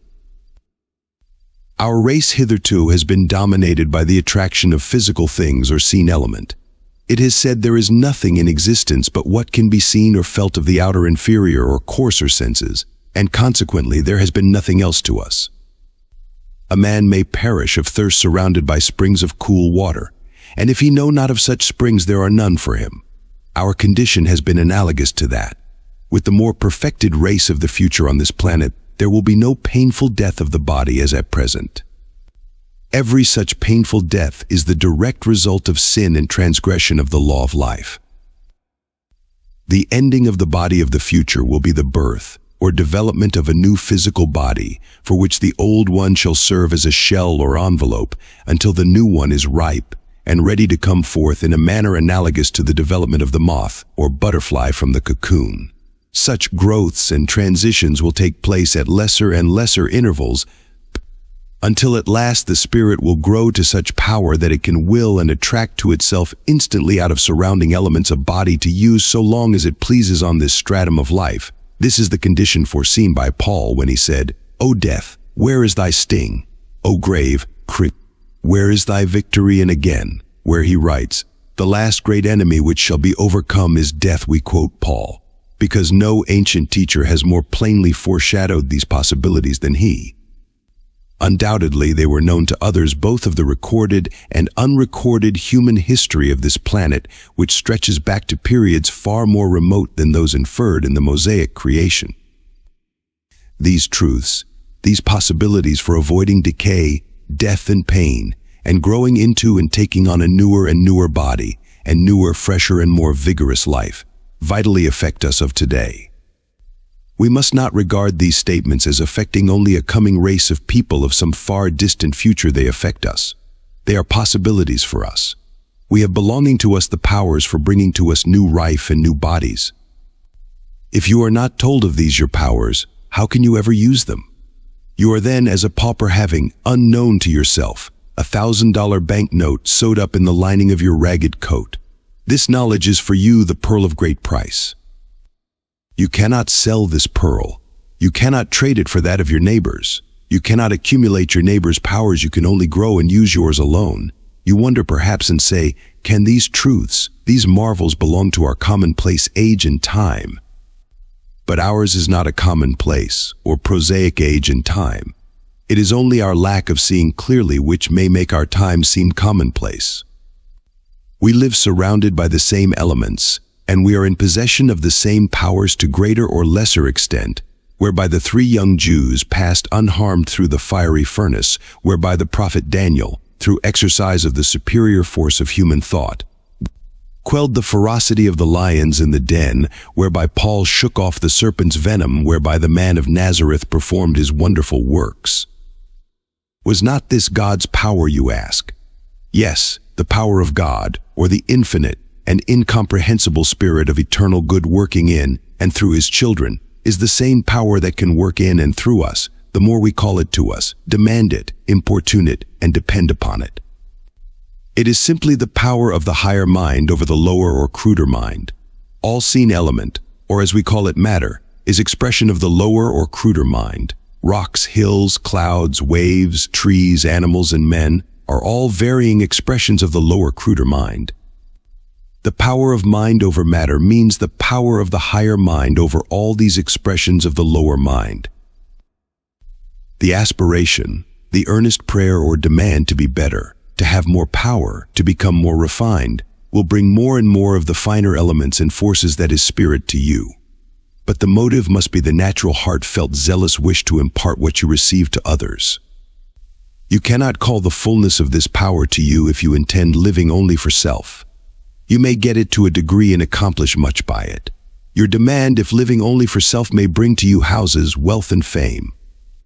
But the demand based on the selfish motive will, in the end, bring only pain, disease, and disappointment. Chapter 13 The Accession of New Thought When an invention, a discovery first breaks on the inventor's mind, it fills him with joy the blood in his veins surges with a fresher impetus. The author or poet is lifted into ecstasy of emotion by a new conception. I mean the relatively few creative authors and poets, not the many who, borrowing the fire of genius, put it in their own lanterns and pass it off, often successfully as their own. A piece of good news. As we term it in a period of gloom, depression, discouragement, the possible realization of a hope, the removal of an ill or danger, is but a thought after all, is but the picture in the mind of the thing desired, is not the thing itself, yet how it brings strength to the whole body.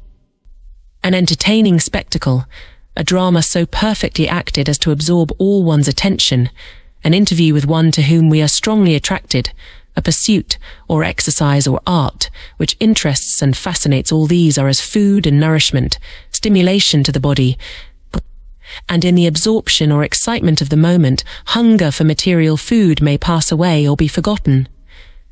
So we do not live by bread alone, but our natures demand ever new and newer food of thought. The play so charming when first seen may become tiresome through repetition. The air so fascinating when first heard becomes worn through familiarity. There may even be longed for, a change from the quality of the thought of the mind most attractive to us. I mean for all these a change, but only for a time. The play, the opera, the artist may in time be seen again, and with increase of pleasure, either from the influence of former association, or from new growths and shadings in the artist's rendering, or from new capacity in ourselves to see what we could not see before. Call, then, all new thought, and if you please new emotion, food food as necessary to make the relatively perfect physical and mental man or woman, as is the bread we eat. We desire ever fresh food, we similarly desire and need always new and fresh thought. Old thought constant repetition of the same thought involves decay, sluggishness of mind, sluggishness of body, Suppose that we rose each morn with the absolute certainty that each day was to be a day involving to us more or less of the excitement of discovery in something useful and enjoyable, and also of similar use to others something endurable for us, and others endurable for eternity, some unexpected branching out of yesterday's truth, which for yesterday seemed fully grown something telling us how life may be made still fuller of durable and harmless enjoyment.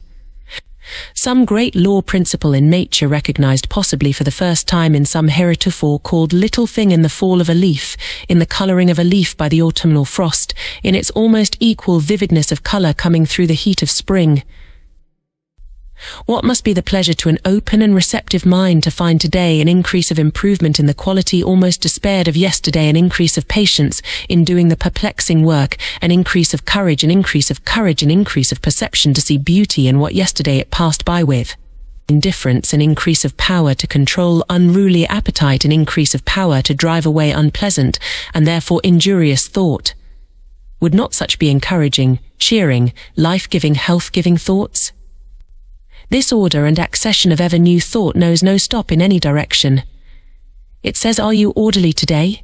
You will find some power and room and capacity to be more orderly tomorrow was your last effort in music, in painting, in composition, in acting, in oratory, your greatest triumph.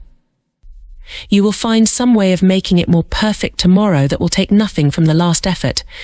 It is only a more beautiful and delicate tint for some already beautiful picture. The consciousness of such never-ending growth of improvement is also food for the growing mind, other than bread. Yet it is bread. It is the bread of life, and to be desired as our daily bread.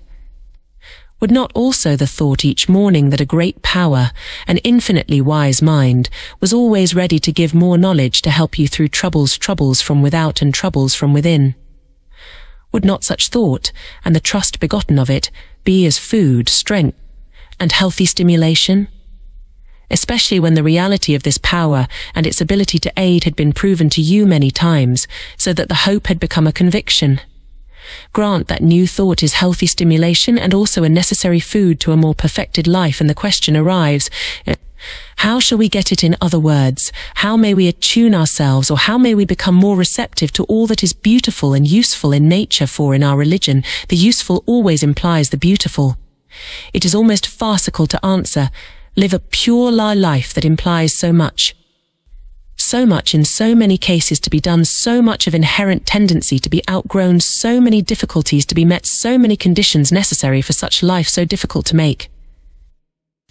The desire for accumulation seems a law of our natures. In its cruder working, it accumulates higher form, it would accumulate higher form, it would accumulate powers and qualities of mind. I am $100 or $500 richer than I was this morning says, with satisfaction and pleasure at night, the money accumulator.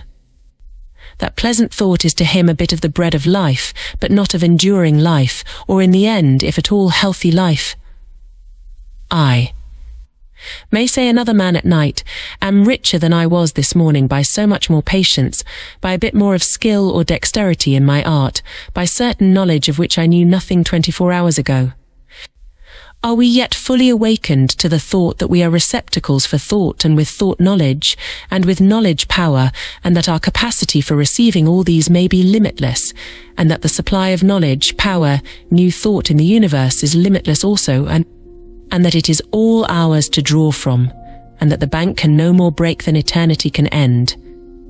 There are thousands of things, events and scenes in your past life which it is more profitable to forget than to remember. By so forgetting you allow entrance for new idea, which is new life. By remembering you prevent the coming to you of such new idea and life. By forgetting I mean that you should avoid living in unpleasant past scenes and remembrances. absolutely to forget or wipe out completely from memory anything it has once taken note of is impossible. For everything you have seen, learned, sensed, or heard is stored away and is capable under certain circumstances of being brought to view again. In place of the term forgetting it would be better to say you should cultivate the power of driving from your mind and putting out of sight whatever makes you feel unhappy or whatever you discover that is unprofitable to remember. It is impossible absolutely to wipe out anything your memory has once written on its tablets, for whatever the scene, event or experience may have been, it has become a part of your real self or spirit.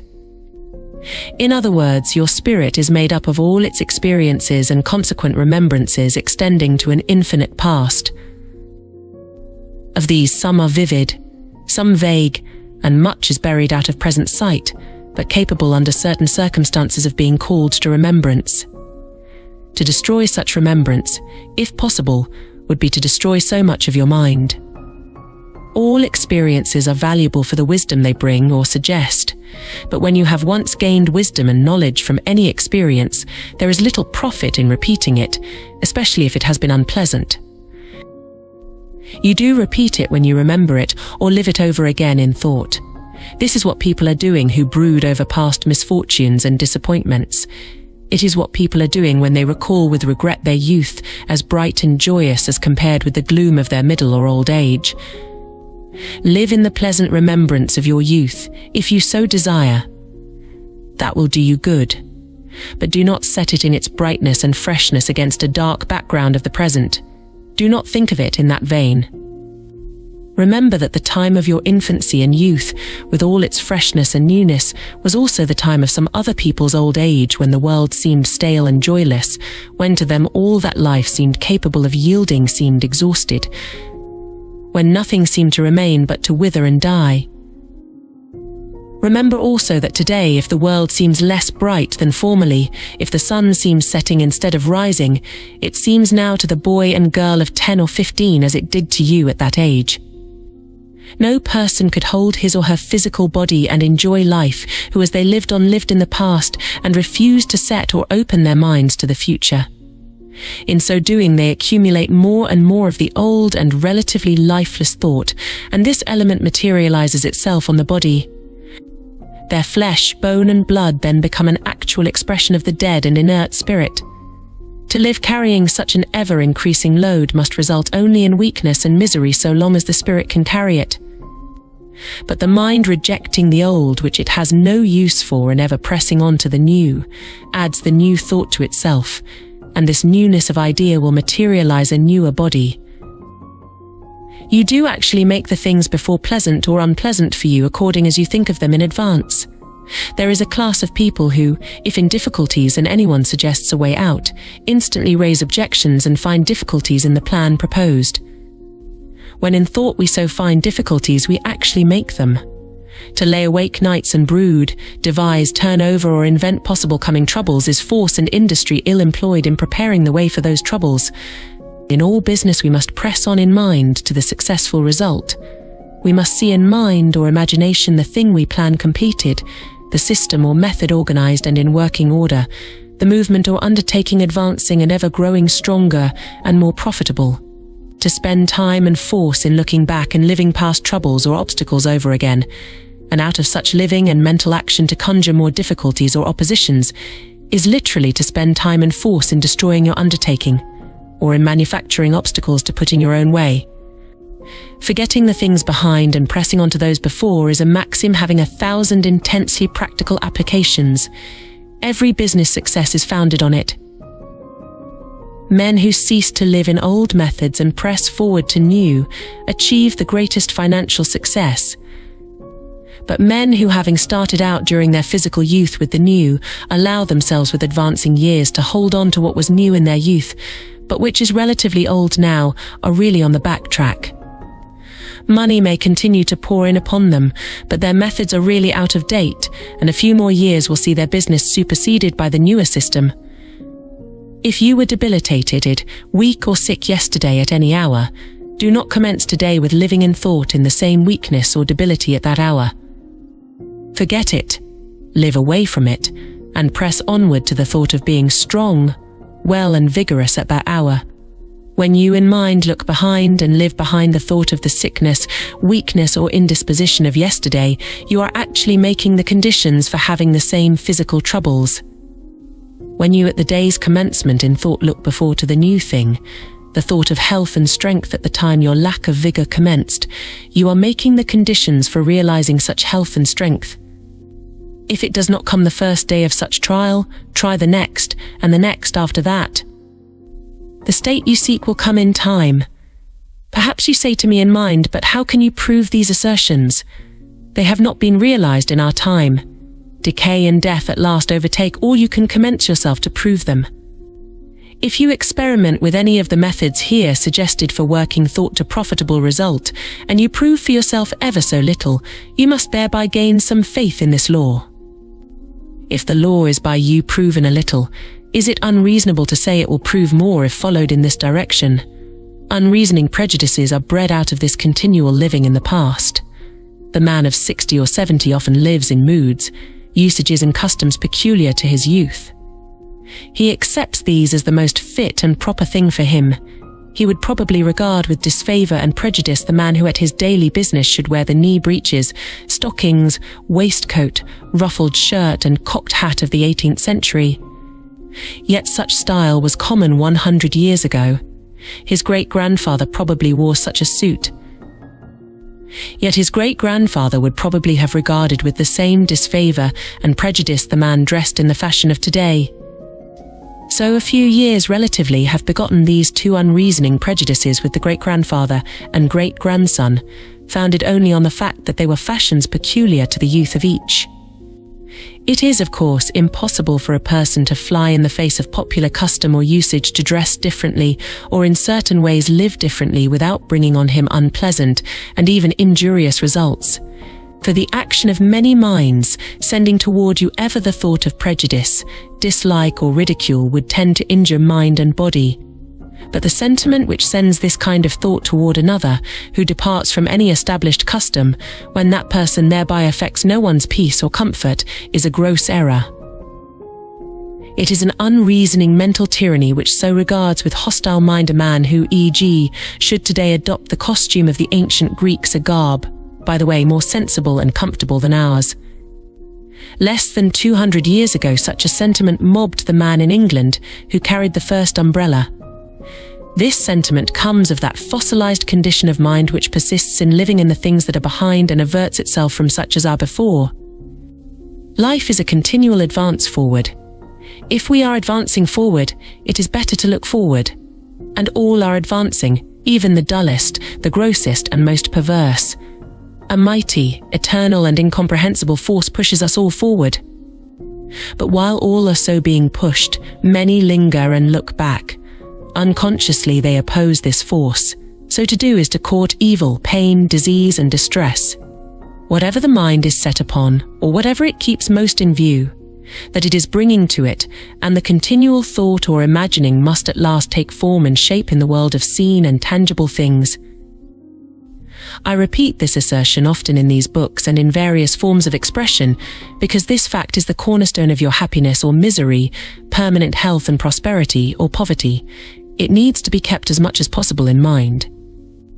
Our thought is the unseen magnet, ever attracting its correspondence in things seen and tangible.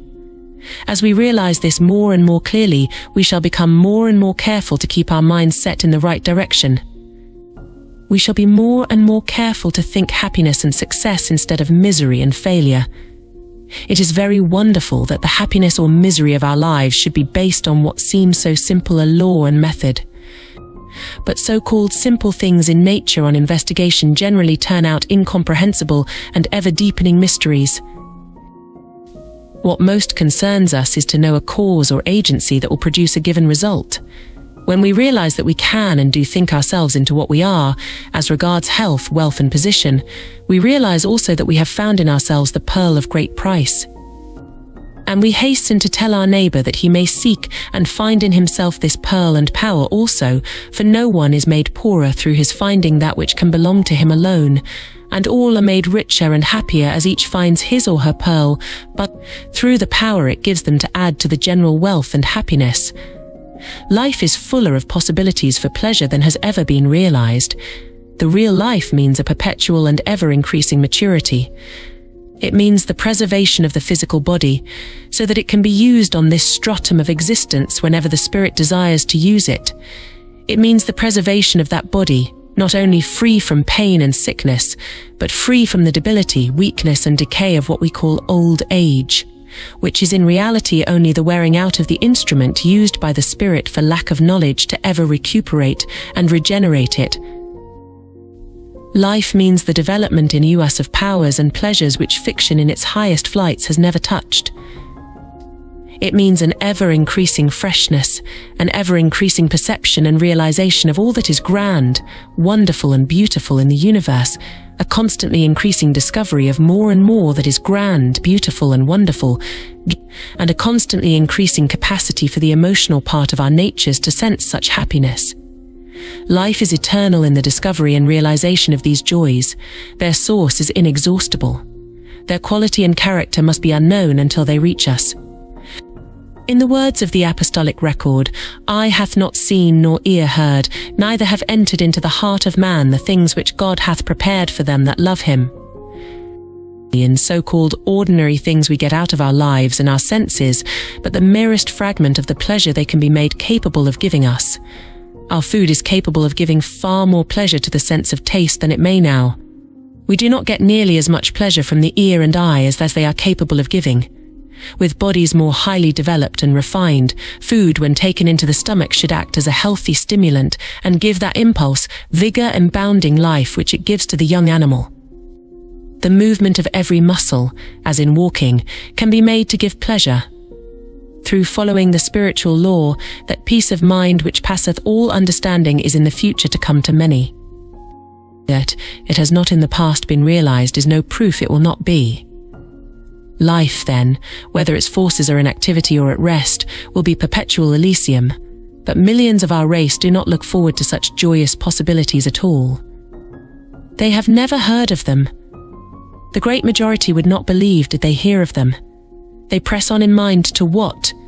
To a belief which grows stronger with years that life is short, that old age and decay are absolute certainties and must come to all, that at a certain age of the body its powers must decrease, and that as weak and feeble old men and women now are before their eyes, so in time there must be it, and that one great aim of life should be to lay up a store of money to provide for old age.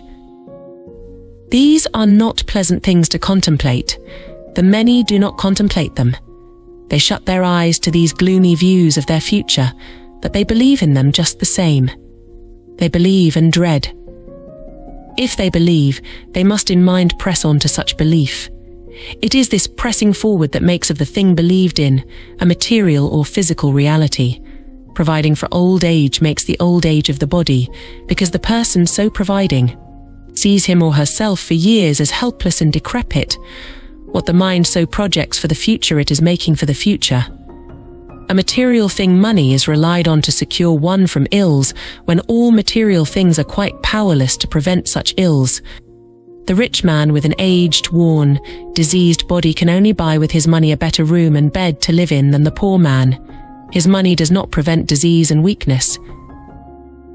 It cannot give him an appetite for the costliest food. In pain and anguish, the emperor is in all respects on the same level with the pauper, for in extreme misery, a soft bed and numerous attendants give little or no comfort. Now, in all this, thought element worked in ignorance in the wrong direction proves that it brings a result, but a woeful one. It is only the cultivation of the power of the spirit over the body that can prevent these ills. That power we first begin to cultivate and increase when we come to recognize and believe that mind or spirit is the power governing our bodies, and that whatever mind persistently images, thinks or imagines, it makes. Now, unconsciously we image in the wrong direction. We think the old age or wearing out of the body must be, because so far as we know, it always has been. We press on in imagination and unwelcome belief to gloom and physical decay. We hold these sad pictures ever in our minds. Having no faith in the brighter view, we do not look toward that view to life, and ever increasing life. In the New Testament, the last revelation, we find the Christian and apostolic teaching full of the sentiment of life and life everlasting. Death is not argued or implied as an absolute necessity, but as an enemy which is ultimately to be destroyed. It was never said or implied that the advent of greater revelations was not to be until millions on millions of years in the future.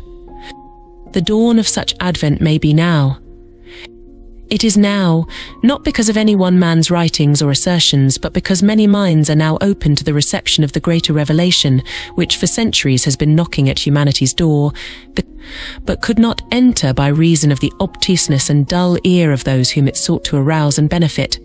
The only dead people in the universe are the spiritually dead, those dead in trespasses and sins, who have not as yet learned to forget, or rather to refuse to live in and depend on the relatively dead or inert element of earth instead of that drawn from a higher source.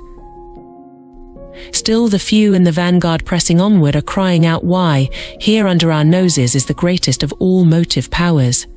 Why human thought is a real element, a real force, darting out like electricity from every man's or woman's mind, injuring or relieving, killing or curing, building fortunes or tearing them down, working for good or ill, every moment, night or day, asleep or awake, carving, moulding and shaping people's faces and making them ugly or agreeable.